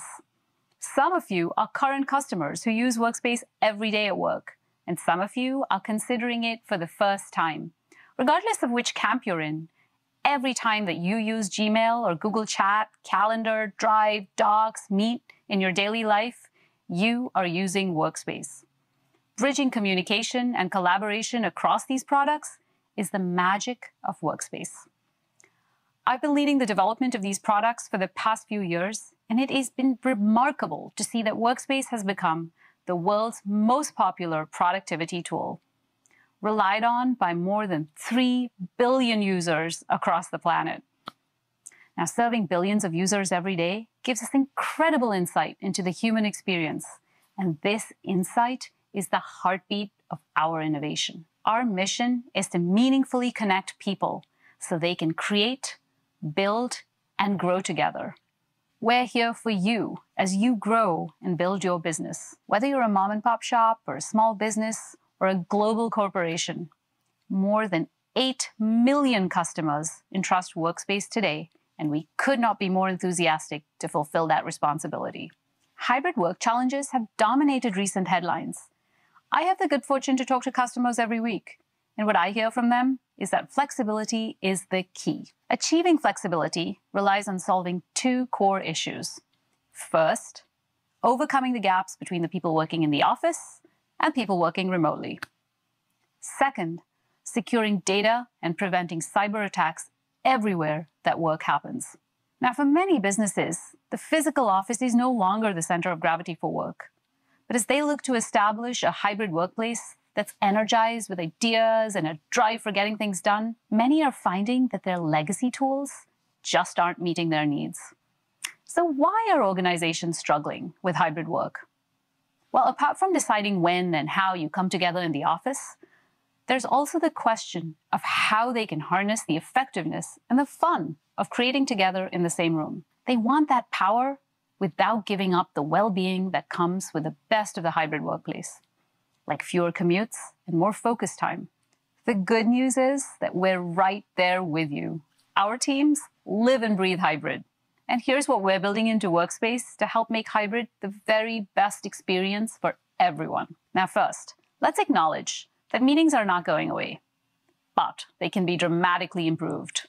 To make the most of meetings, we've introduced features like automatic light adjustments and noise cancellation so that you can look and sound your best. Companion mode gives everyone a front row seat in hybrid meetings, whether they're joining from their phone or from a conference room. And to reduce digital fatigue, we've added features like co presenting and the ability to unpin your own video tile. Now, beyond meetings, creating community and spaces, enabling co creation directly into the conversation with docs is something that we've pioneered in Workspace. With Smart Canvas, we are taking real time co creation to that next level by making docs come alive. A simple at mention in a document can bring in recommended people, meetings, and data to create a flow, which allows teams to stay focused instead of switching between tools and tabs. You can even hold a meeting directly within a doc with one click, bringing the voices and faces of your team in a live discussion without ever leaving your document. Now, once you've set yourself up for success in hybrid work, how can you be sure that your data and people are working in a secure environment no matter what their location or their device? There's a tendency to think that securing people and data in a hybrid environment is more challenging than before. Well, that's only if you're coming on from systems that were built in the legacy pre cloud era. These systems have security bolted on as an afterthought, and frankly, simply cannot scale to the threats that we face today. Workspace has always been cloud only. This means that you are benefiting from decades of Google's deep expertise in threat protection, AI, and global scale. This is deep computer science that you simply cannot develop overnight. The safety of our customers and their data isn't just baked into our solution, it is a fundamental part of how we develop software here at Google. Our cloud native, zero trust security model protects your data against both external threats and internal risks.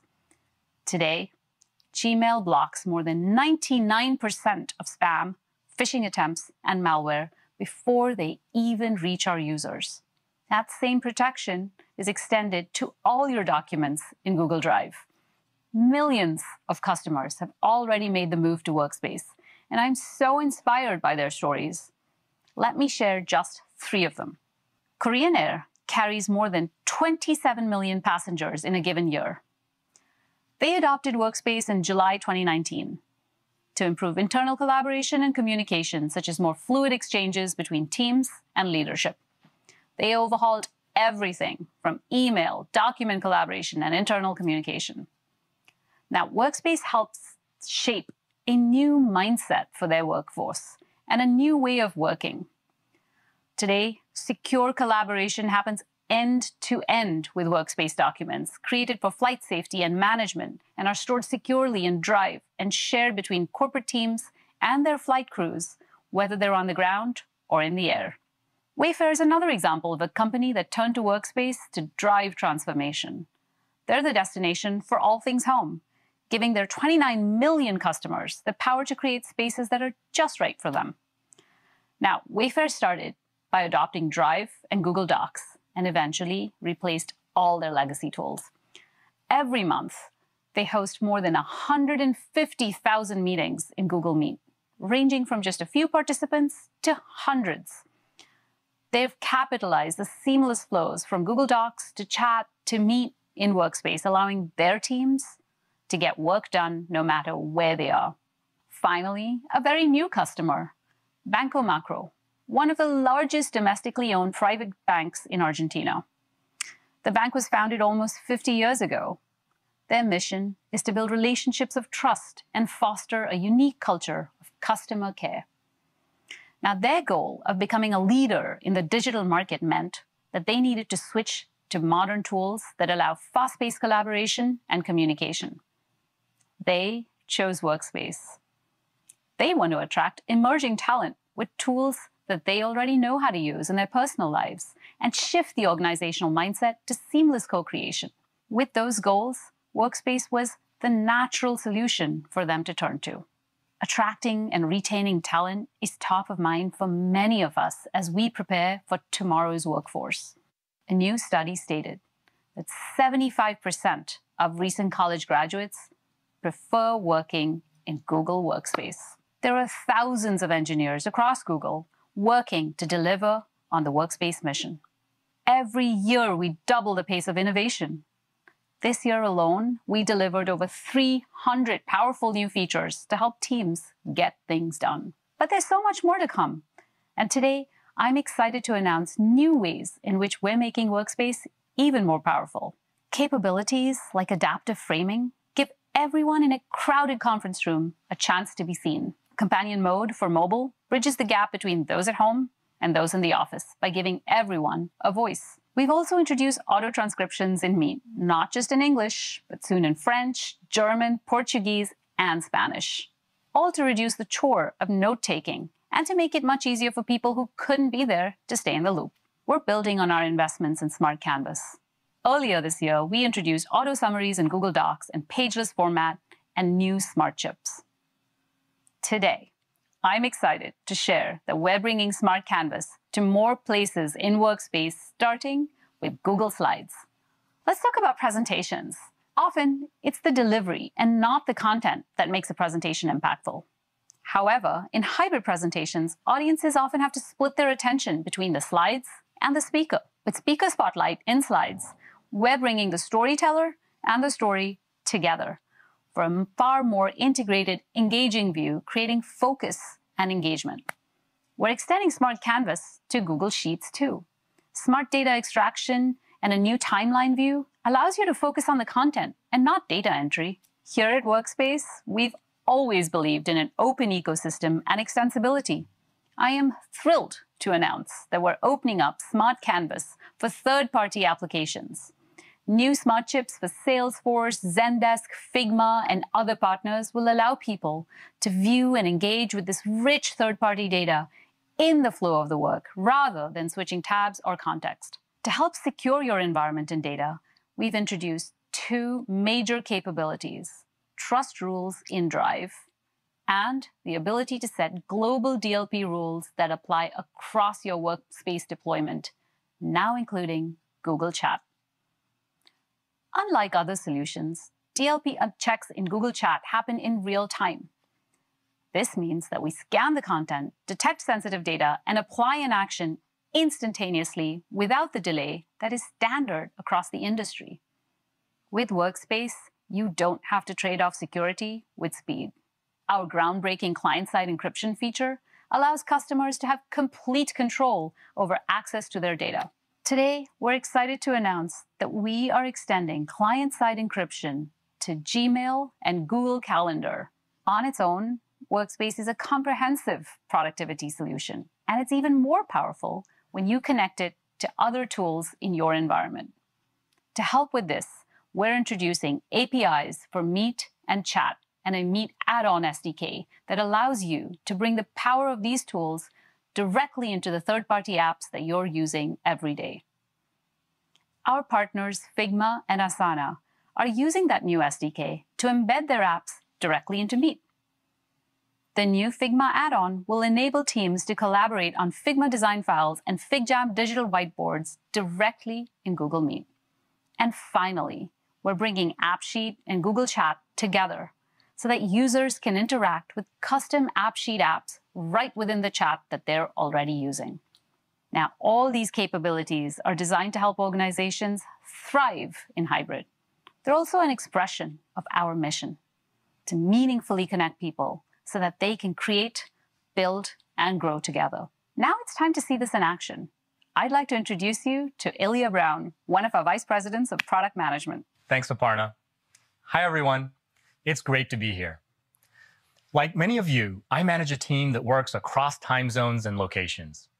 It can be tricky, so I'm excited to get specific and show you how Workspace can help teams adapt and thrive from wherever they work. For demonstration, we'll use Cymbal, a company that relies on Workspace for team collaboration. This is Megan. She's working on a big website launch for Cymbal with her remote and in-office colleagues. We join Megan as she starts her day the website project is mission critical for Cymbal, so Megan's top priority is making sure everything is running smoothly. Let's take a look at how the project's going. Cymbal's website hasn't been updated in five years, and everyone is excited to launch the new design. Megan opens Google Workspace to find her tools in one place. She's thrilled to see the final website messaging and design are in from the agency and can't wait to share them with her team. She greets her team in their project space and lets them know the good news. Carlos, the web developer, asks to take a look at the final website design. Megan shares the file. Now, the file is also stored in files in the project space, preserving the website design for everyone in the space to access, saving the team time and helping the team stay productive. Working with different schedules and time zones can make it harder to assign responsibilities and keep everyone on the same page. Megan uses a project planning doc to keep track of her team members' responsibilities and tag people for input. It shows a project tracker with some team members already tagged. Although the doc is long and detailed, the team can quickly get up to speed with auto-generated summaries of all the main points. Megan can easily track tasks and assign responsibilities with a people chip in the table, which she created automatically with a drop-down template. Megan lets her team know that she plans to organize a meeting where they can review the new website messaging together. And she shares a custom emoji to express her excitement. These quick impromptu chats help keep everyone connected when working from different locations, and custom emojis can allow individuals to express themselves in a more personal way.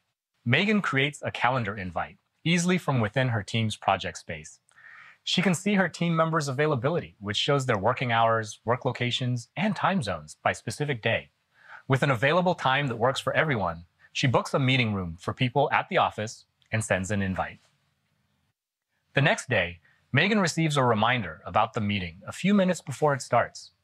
She clicks to join Google Meet directly from the project space. She notices that her room is quite dark and there's some construction work happening on the street outside. Meet automatically applies noise cancellation, optimized lighting, and image enhancement to ensure that Megan can be seen and heard. The team has joined from mobile devices, home laptops, and a meeting room in the office. The in-room Google Meet hardware supports adaptive framing with multiple intelligent cameras from Huddly. These use active speaker tracking to automatically frame people as they speak and capture attendee responses so everyone can be seen clearly and feel included. The attendees also use companion mode from their laptops and check into the meeting room, which displays their names in the video tile and people pane, so everyone knows who's in the room. Megan opens the file they need to review and brings her team meeting there with one click. This way, she can see the team while they review and discuss the final version of the website. They collaborate in real time, adding comments and feedback as they go. Being able to see people while working in the same document can make collaboration so much easier and, frankly, so much more fun. That's right, Aparna. And I personally love the AI magic in noise cancellation and lighting. I don't know about you, but my home can get a little cramped, a little crazy, a little noisy. And these features help me focus on the meeting rather than how I look or how I sound. Now, Megan's ready to share the website prototype to gather feedback. Let's see that in action. Megan is going to have a group of internal stakeholders and trusted external customers test the website prototype and provide feedback before their launch.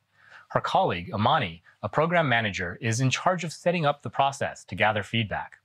She has created an app in AppSheet that uses chat to automatically request feedback from everyone with a central place to track the responses. She messages Megan over chat to ask for the list of testers. When Megan tries to share the sheet of invited testers, the automatic data loss prevention feature, known as DLP, lets her know that the file includes personal user data that's been flagged as sensitive by her admin. Megan removes the sensitive information and shares the sheet. DLP is great for companies that want to help protect sensitive data and help make it easier for users to do the right thing when working with confidential information. Megan sends a team-wide update announcing that final testing is underway.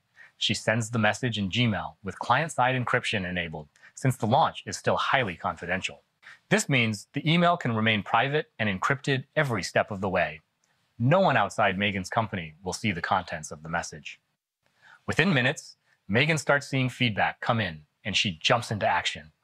Pranav, a regional marketing manager, has reported a translation issue. Megan knows the developer team will need to handle this, so she files a ticket in the Jira bot directly in the project space. It's great to see the smooth workflow happening. And with client-side encryption coming to Gmail, all emails, including attachments, can remain private. At last, the website is ready for launch. Let's see the final stretch of the project. Megan is excited about presenting the team's hard work to the global team. She opens the project planning doc, noting all the completed tasks. The only task left is to present to team. Megan launches the draft presentation through the document chip in the notes column of the review tracker. She uses the slide library to add a cover page. This will allow her colleagues to see Megan's video directly on the slide as she presents, helping to foster a more engaging presentation. Now that she's put the final touches on the presentation, she starts the meeting right on time.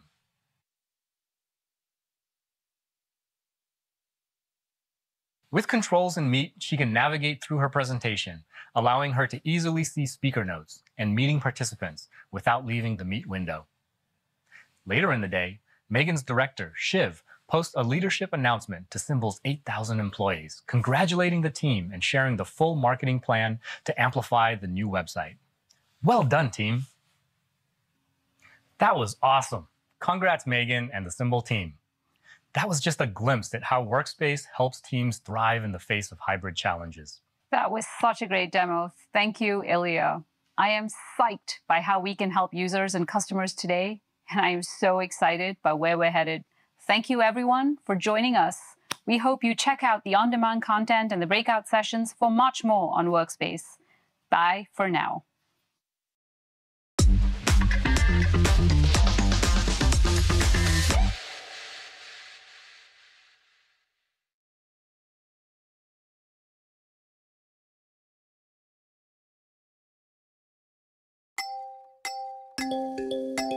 Products provide the information you need when you need it.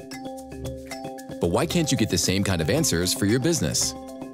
Looker, Google Cloud's business intelligence solution, is here to solve that problem, enabling you to go beyond traditional dashboards and make your organization's information accessible and useful.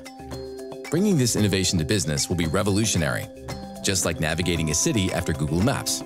Looker is Google for your business data. Here's what we mean. What if Google AI were built into the tools you use to store and analyze data at work? Google's Vertex AI Vision takes data like video, images, and audio, and in real time, turns it into structured data, ready for business intelligence. Going beyond the dashboard means using Google Glass Enterprise to see insights and recommendations based on your data in real time. More access, more transparency. Now that's Google for your business. With Google Maps, you know if a restaurant is busy before you go, or you can get rerouted around a traffic jam. Looker will help you connect similar dots in a predictive way. A concert in five days will increase foot traffic by 65%. Would you like to adjust staffing and inventory? Yes. Looker and AI lets you respond to changes in demand and turn insights into action. Foot traffic continues to be busy. Encourage customers to visit an alternate shop with a reward card? Yes. Smarter insights mean better experiences and happy customers. So go beyond the dashboard and transform the way you do business with Looker, powered by Google Cloud.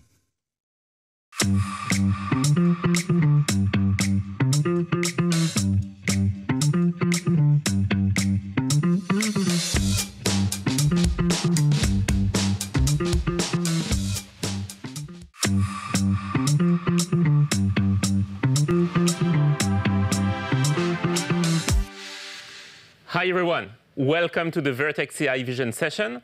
I am Fabien Blampac, Product Manager at Google Cloud.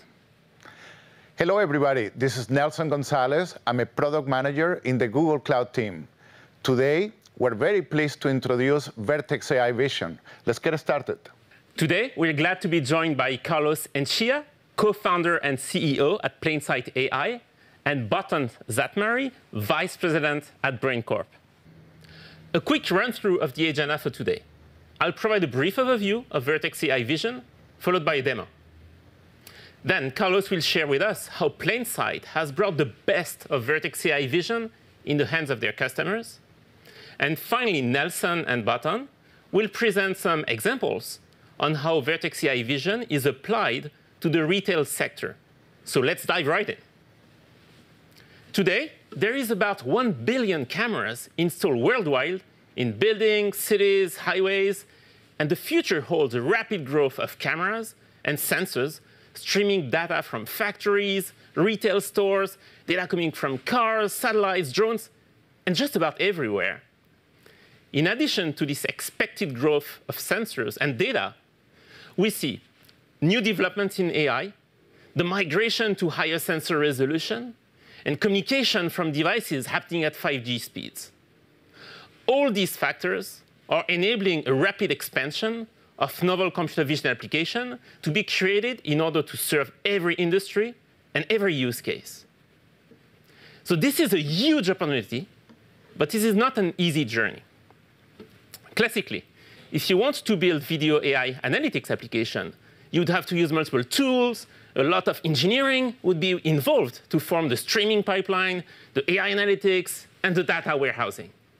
It's taking time, it's expensive, and as importantly, you need to trust the insights delivered by the applications. With Vertex AI Vision, all these things are now simplified. And we've redesigned everything from the ground up to obtain an efficient and easy to use pipeline. And we've reduced the time to build Vision AI applications from days to minutes at the tenth of the cost. Also, you can trust that we've developed Vertex AI Vision responsibly and according to Google's AI principle.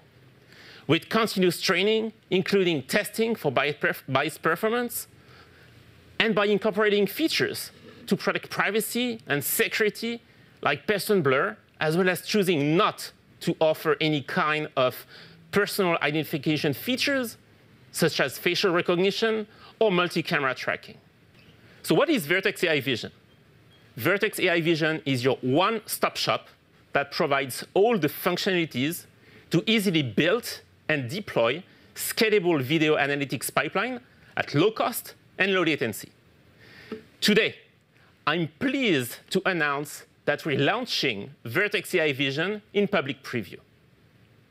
So with Vertex AI Vision, you can ingest media from live cameras or existing data, process media using either state-of-the-art pre-trained AI models or custom-built models, store data in Vision Warehouse, which comes along with powerful uh, search capabilities.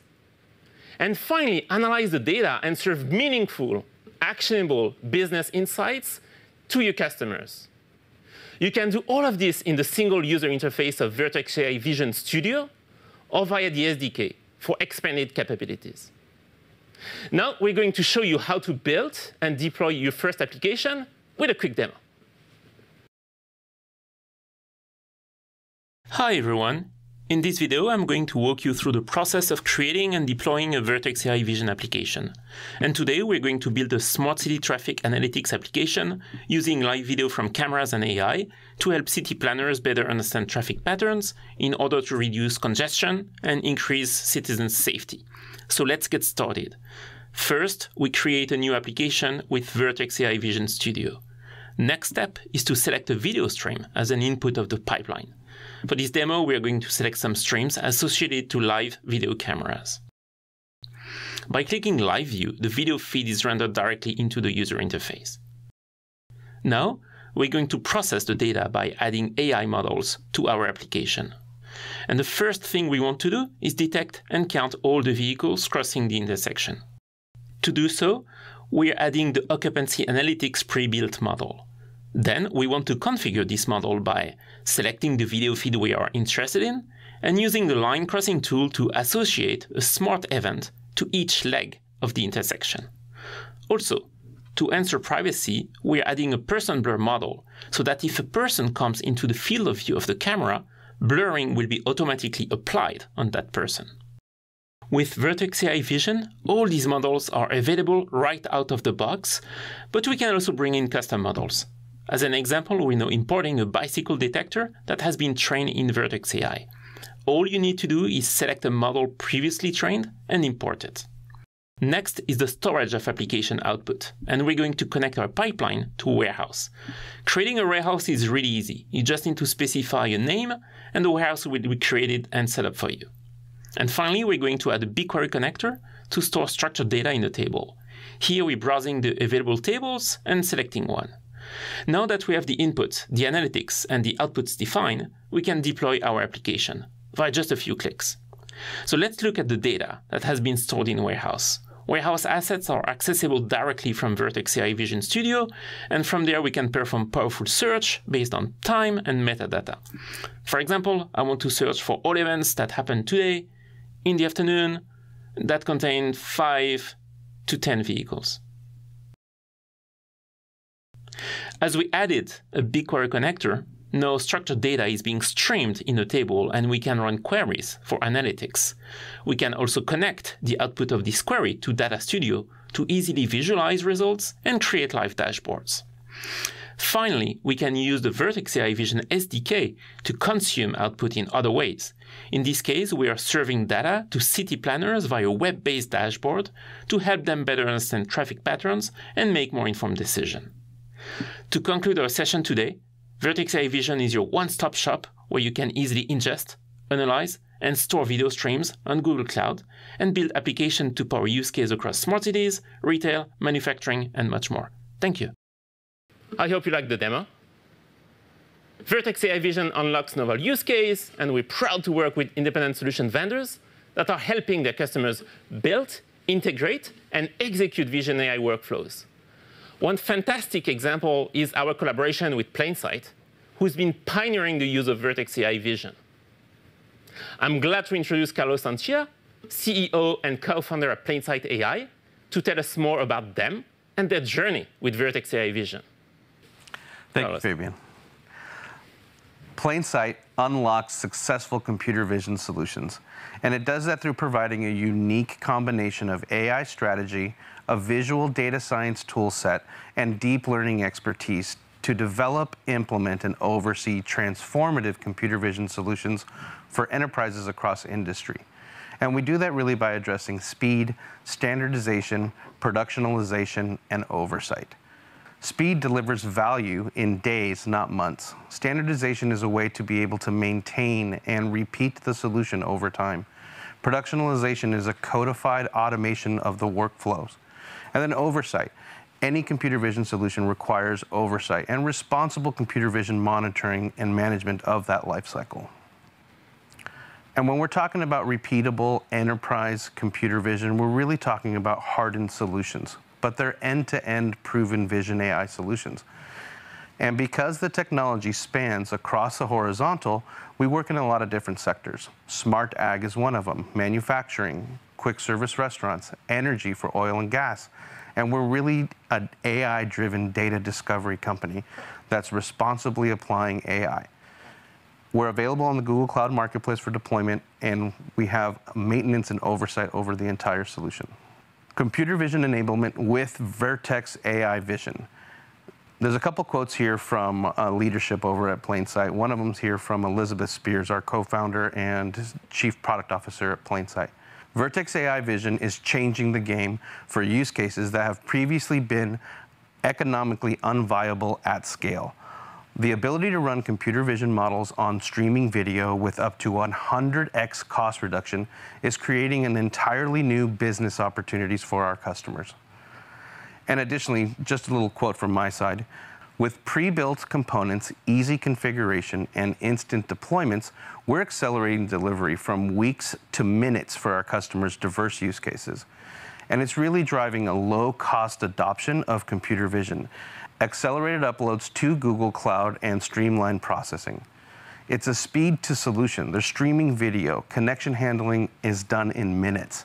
And it's an ease of use. It's a point and click model selection with insights in minutes. I want to take a little time to talk about one of our customers that we've done a solution for. DRW is a diversified training firm innovating across both traditional and cutting edge markets. So the problem we were addressing with them was really around office heating and cooling needs that are fluctuating wildly as employers balance in-office and work from home schedules.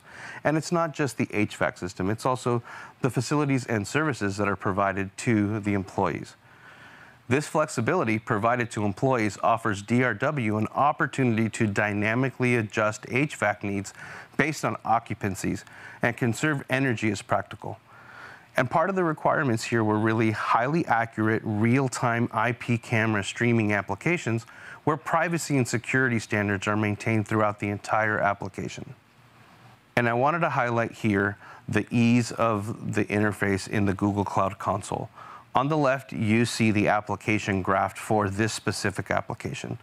It's one stream being processed in real time. A person blur for fully occlusion is being implemented here, and then an occupancy count. The data is being stored in the data warehouse for Vision AI and also in BigQuery so we can analyze it later. Here's the resulting video from that graph. As you can see, PII is being maintained and anonymized throughout the process in real time. No data is landing in Google Cloud that is not anonymized. Thank you, Fabian.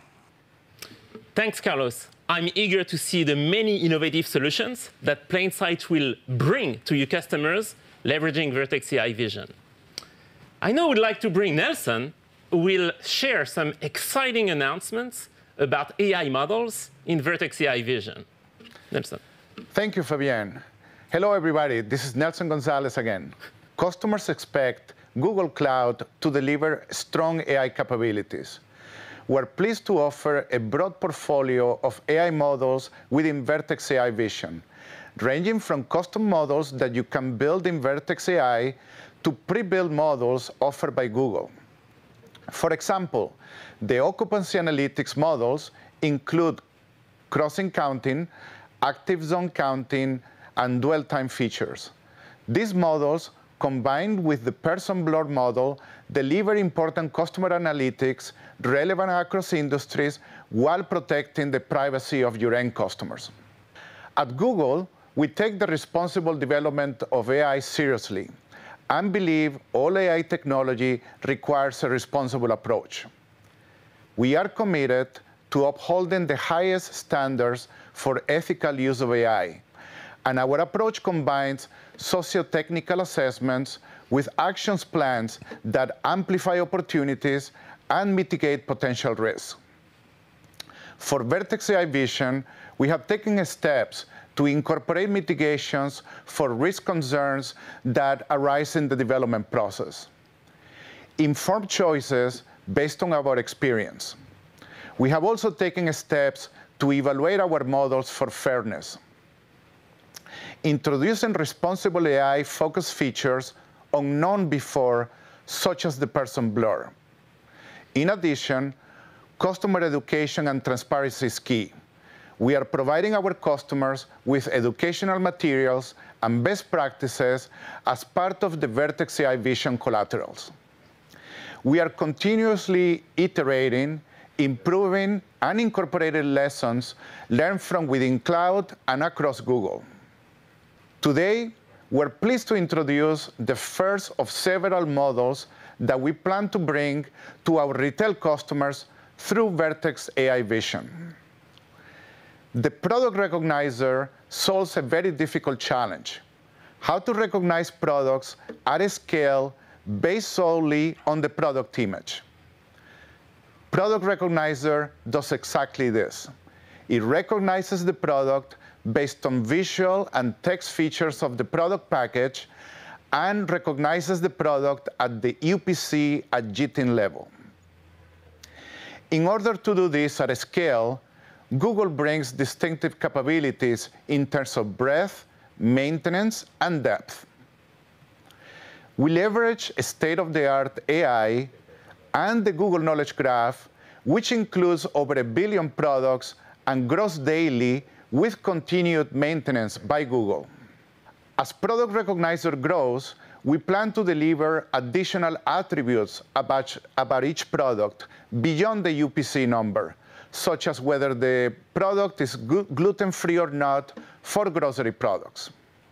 The retail analytics models found within Vertex AI Vision including the product recognizer, will enable customers to realize a broad set of use cases. We also know that our customers need flexible, scalable, and financially viable solutions that are built on trust. In terms of flexibility, we want to enable customers to use multiple sensor modalities, ranging from fixed cameras to robots, to mobile devices that capture the images.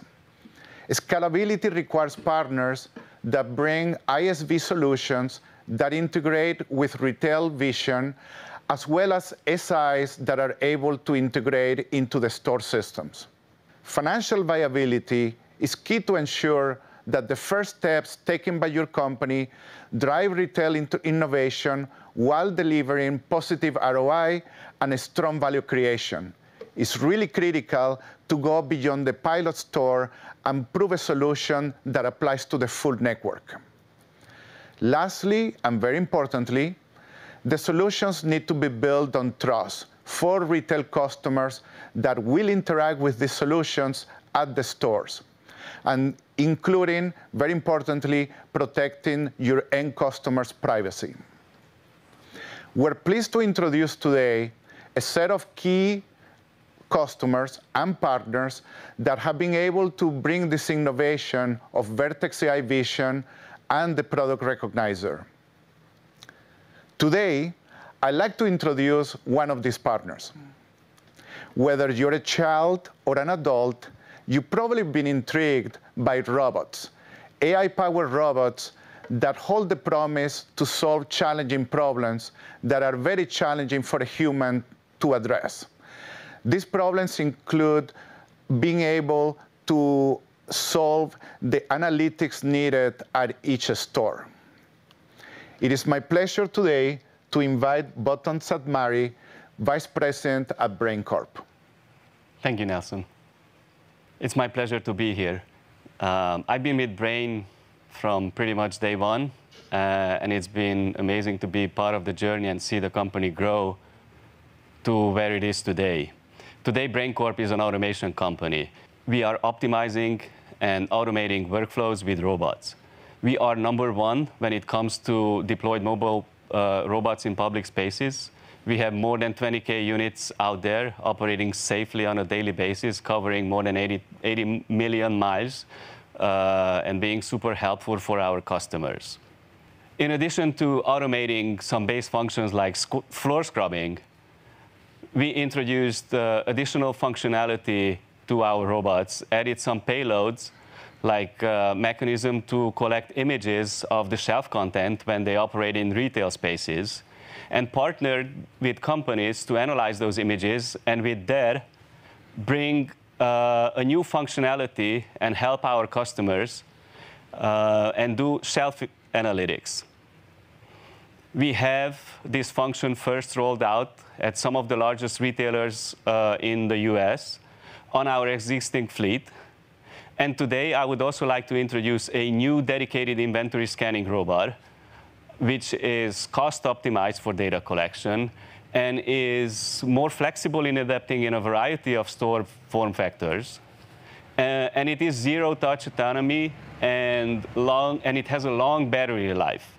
What this means is that it will allow our customers to manage these units remotely uh, and to give you an example, imagine you are a market manager and you want to see if all the seasonal displays are properly out uh, in your market. You could do this with a click of a button at your own will.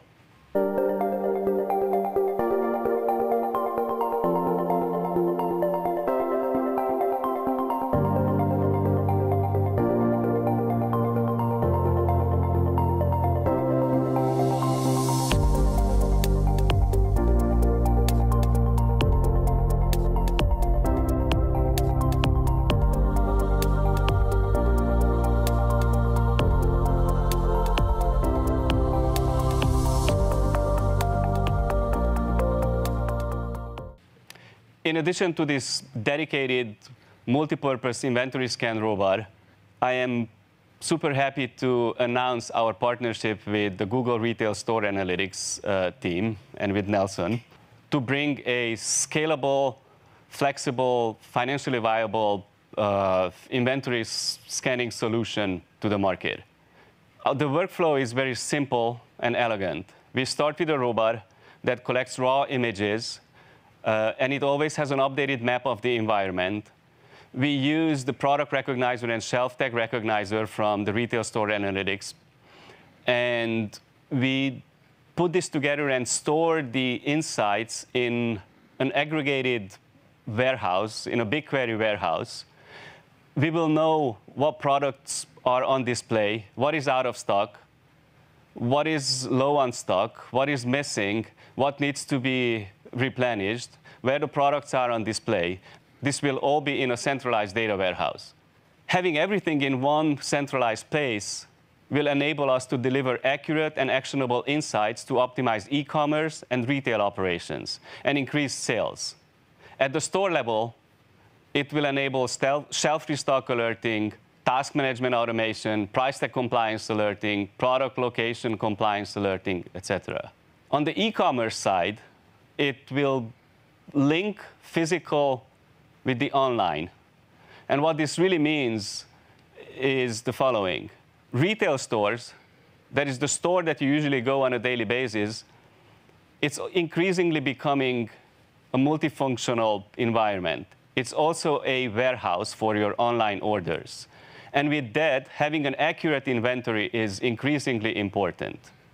Our shelf analytics service will allow you full and accurate and up-to-date visibility of what's available in the store. And with that, you will be able to link online to the physical. You, at all times, you will have an accurate representation on your online presence to what's available in the store, and with that, optimize your operation. We will also give you an updated map of the store.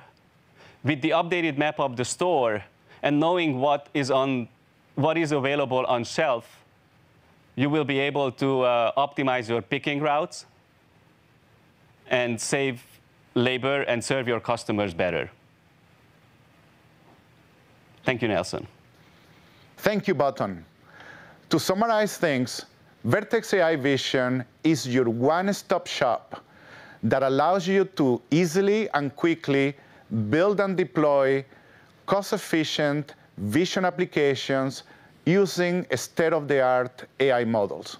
Partners complement Vertex AI Vision by, number one, bringing key capabilities and domain expertise to Vertex AI Vision, integrating Vertex AI Vision platform and models into their solutions. With that, I'd like to turn it to Fabian for some additional thoughts. Thank you, Nelson. Before we go, I want to spend a moment on the exciting things to expect in 2023 and beyond. Edge. We're going to enable the deployment of Vertex AI Vision application on devices at the edge. Custom models.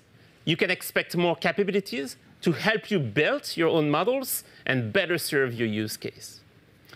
While we don't have the time to go through all these exciting details today, we look forward to sharing more with you as we continue our journey. With that, here are a few ways that you can learn more about Vertex AI Vision and get hands-on with the platform. And you can get in touch with us via your Google Cloud contact. Thank you, Nelson, Botond, Carlos, for joining me in person today during this Vertex AI Vision session.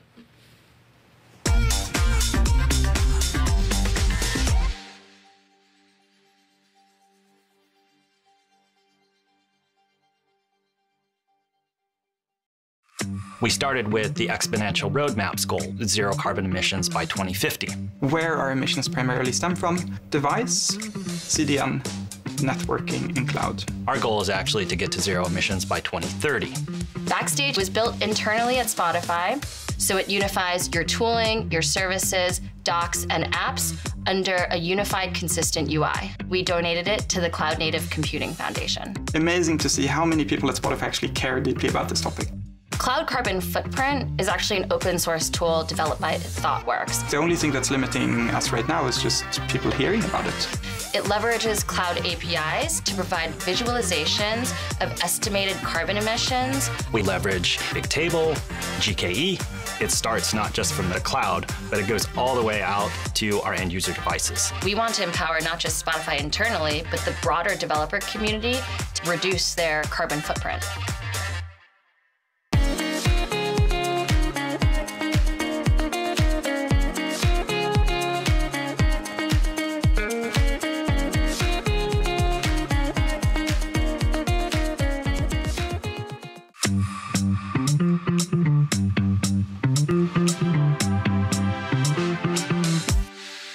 Everyone.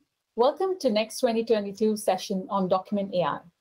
I'm Sudheera Vanguri, and I lead the Document AI product suite here at Google Cloud. Today, I'm also joined by the Managing Director and the Head of Document Lifecycle at Commerzbank, Andreas Wollmann. We have some new exciting announcements for you today in the Document AI product suite. So let's dive right in. Modern economies, businesses, and livelihoods depend on digital documents. Digital manual labor comprises the work that many of us do, but almost never shows up in a job description. It is essential to the vast majority of today's business workflows, and it captures the value of the data in those digital documents. Why AI ML for documents? Employee experience, significantly lower TCO from automation of manual work, speed, and error reduction are some of the reasons why our customers have told us they've tried to automate tedious manual processes with AI and ML.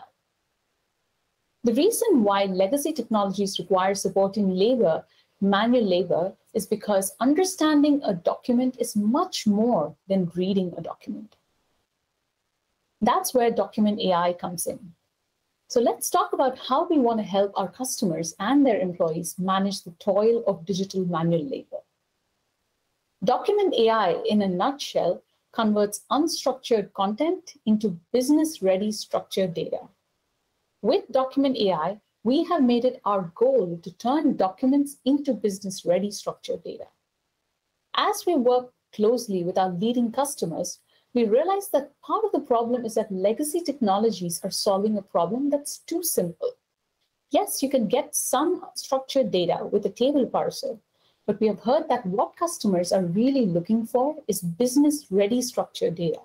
In other words, they're looking for a technology that will read documents in ways similar to humans. They are looking for the confidence that when they start to automate processes, they are not signing themselves up to a different kind of digital manual labor. Google's Document AI presents a simple and cost-effective path to build Document AI processors and a complementary system of record to manage documents and data. Today, we're announcing Document AI Workbench in public preview. Document AI Workbench enables you to automate document processing by using your own data to build models with Document AI's machine learning platform powered by state-of-the-art computer vision, natural language, and neural networks. With Doc AI Workbench, you can use your data to create ML models for many document types, such as printed, scanned, handwritten, tabular, etc. You can label with a simple interface. You can train for free at the click of a button. You can reduce your time to market, all while owning your own data within your own GCP project. You can import already labeled documents, and you have two training options. You can train from scratch to create a model of any document type. You can also uptrain to get accurate results faster for document types which have a relevant processor already that you can use as a starting point, such as the invoice processor. BBVA had this to say about the Doc AI Workbench and several other customers have been echoing the same sentiment.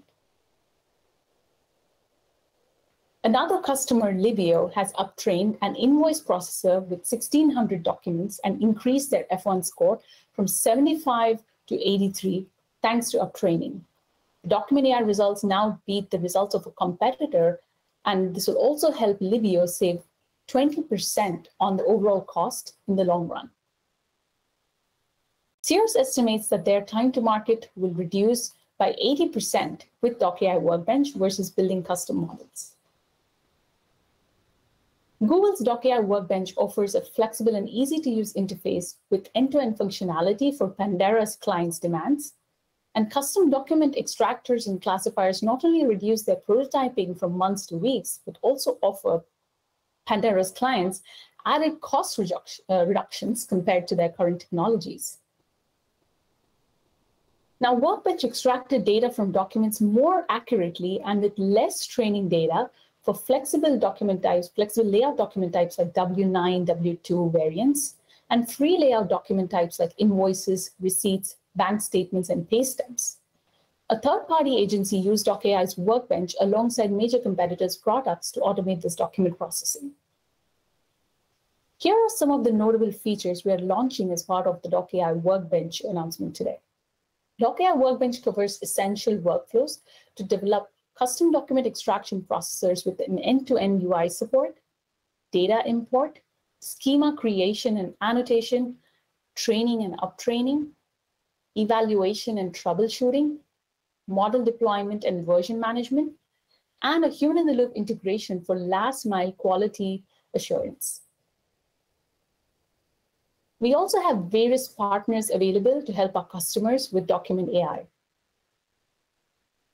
In addition to Workbench, DocAI has pre-trained processors on documents that matter to you, delivering highly accurate data and lowering your processing costs dramatically.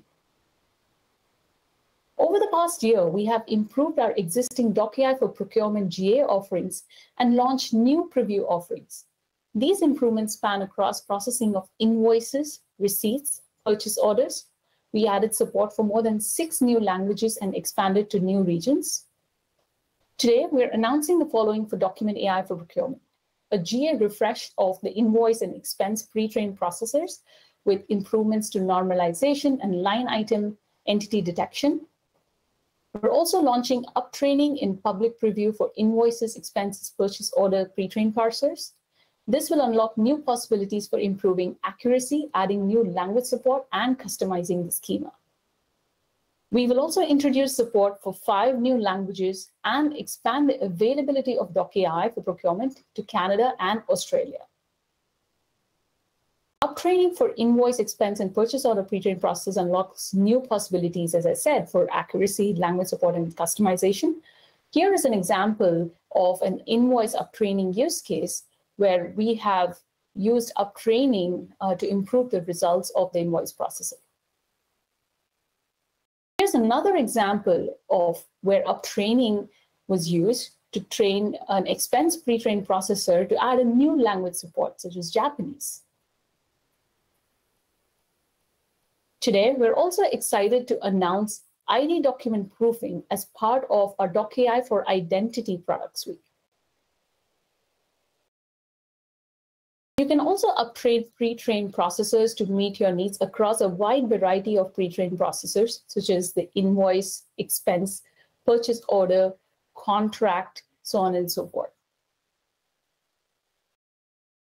In addition to our pre-trained processor product suite, as well as the Workbench, DocAI also has our state-of-the-art, much-loved DocAI OCR form parser, as well as document splitter features that enables customers to convert their unstructured documents into text and structured data.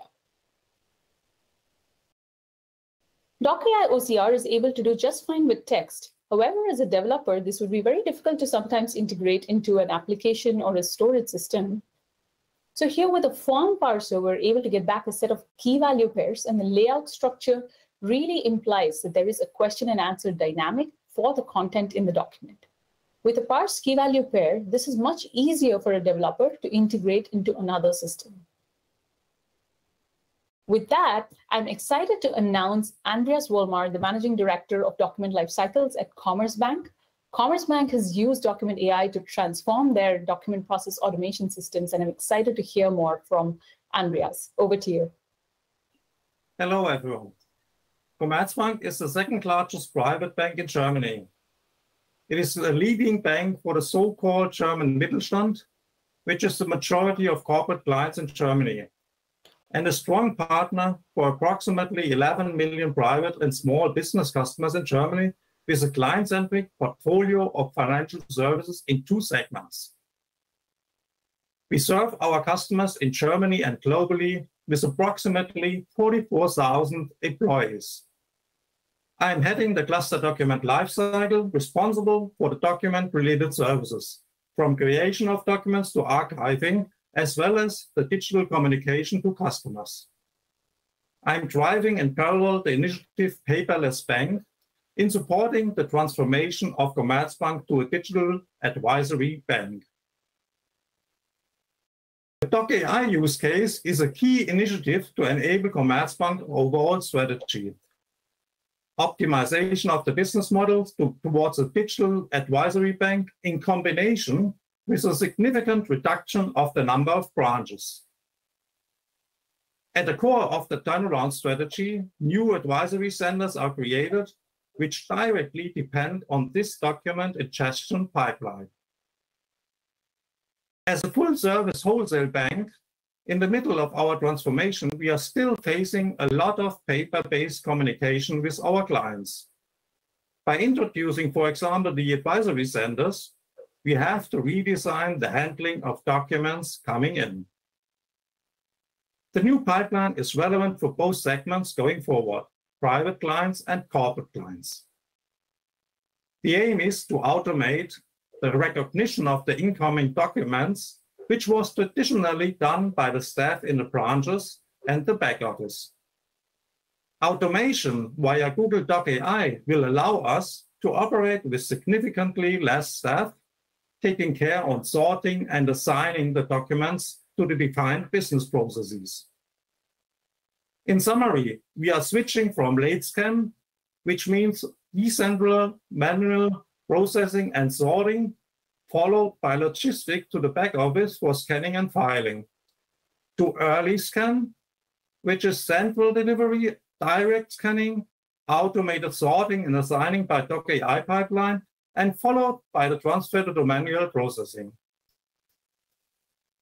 We talk about approximately 50 million scanned pages per year and approximately 30,000 incoming letters per day adding up to a very high number of document types to be brought on the pipeline. We will run trained documents, structured, unstructured, freestyle, as well as barcoded documents through the pipeline. As a further benefit, it will free us from our own infrastructure by using a fully cloud-based model. At the same time, we will increase customer experience by reducing the running time for incoming documents and therefore much faster fulfillment of the requested service for our customers. Overall, it is helping us to transit to digital processes with significantly higher efficiency. In addition, the new pipeline will allow us a step-by-step migration of approximately 20 historically grown scanning processes with a high degree of manual interaction to the new pipeline within the next years. Not only an innovation case, as well a renovation case. Going forward, we will use the same technology to fully end-to-end automate high volume processes, which will be done by a partnering cluster in Commerzbank. The MVP will go live soon, and we will then continuously ramp up and retrain to increase the degree of automation. Commerzbank has established cloud partnership with Google, ranging from infrastructure to services. We decided to partner with Google by using Document Workbench due to an innovative and future-oriented approach with a strong partner, the covering of a broad spectrum of documents via different industry, as well as a very comprehensive approach for custom documents. And we were running a successful proof of concept already in 2021. The first step is achieved, and it's adding value to Commerzbank significantly. And going forward, documents will continuously be ramped up to the pipeline. We are using a, a customized human in the, in the loop interface to comply with all our requirements and data sources, making the handling as easy as possible for our back office staff. Nevertheless, it is just the beginning. Besides ramping up the new pipeline, we have to address the growing process and document complexity within Commerzbank. Based on this, we are trying to simplify those dimensions in parallel to being able to scale as good as possible. We understand it as a multi-year journey, creating added value with every step for our customers, as well as concerning the efficiencies in document handling and processing. We are looking forward to realizing the full potential together with our partners. Thank you for having me today. Back to you, Sudheera. Thank you, Andreas.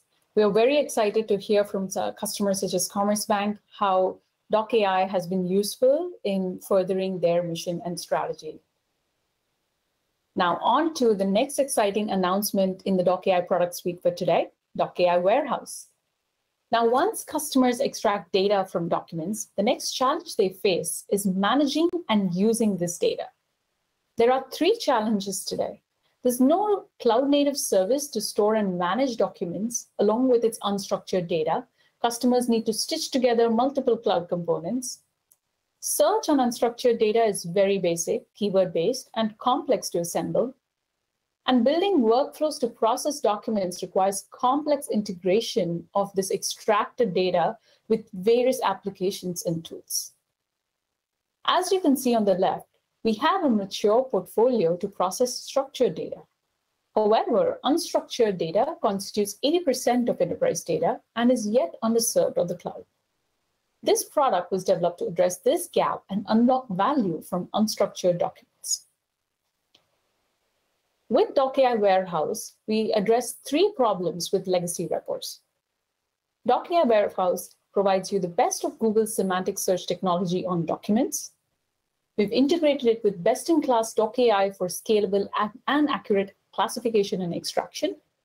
And with a cloud-native Elastic managed service, we manage and scale the compute, storage, and databases. Doc AI Warehouse features span across search and organization, governance and compliance, workflows and integrations, and AI and data processing.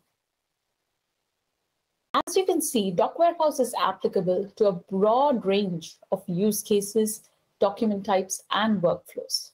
We have seen initial traction with financial services, healthcare, supply chain industries that is applicable to a broader set of operational document-based applications. What we're announcing today is a UI to administer search, browse, folder, and govern documents, APIs, client libraries to manage search documents, folders, schemas, self-serve provision from the Cloud Console catalog with documentation, and GCS connectors and batch Doc AI pipeline management workflows. That wraps up all our announcements in the Doc AI product suite today.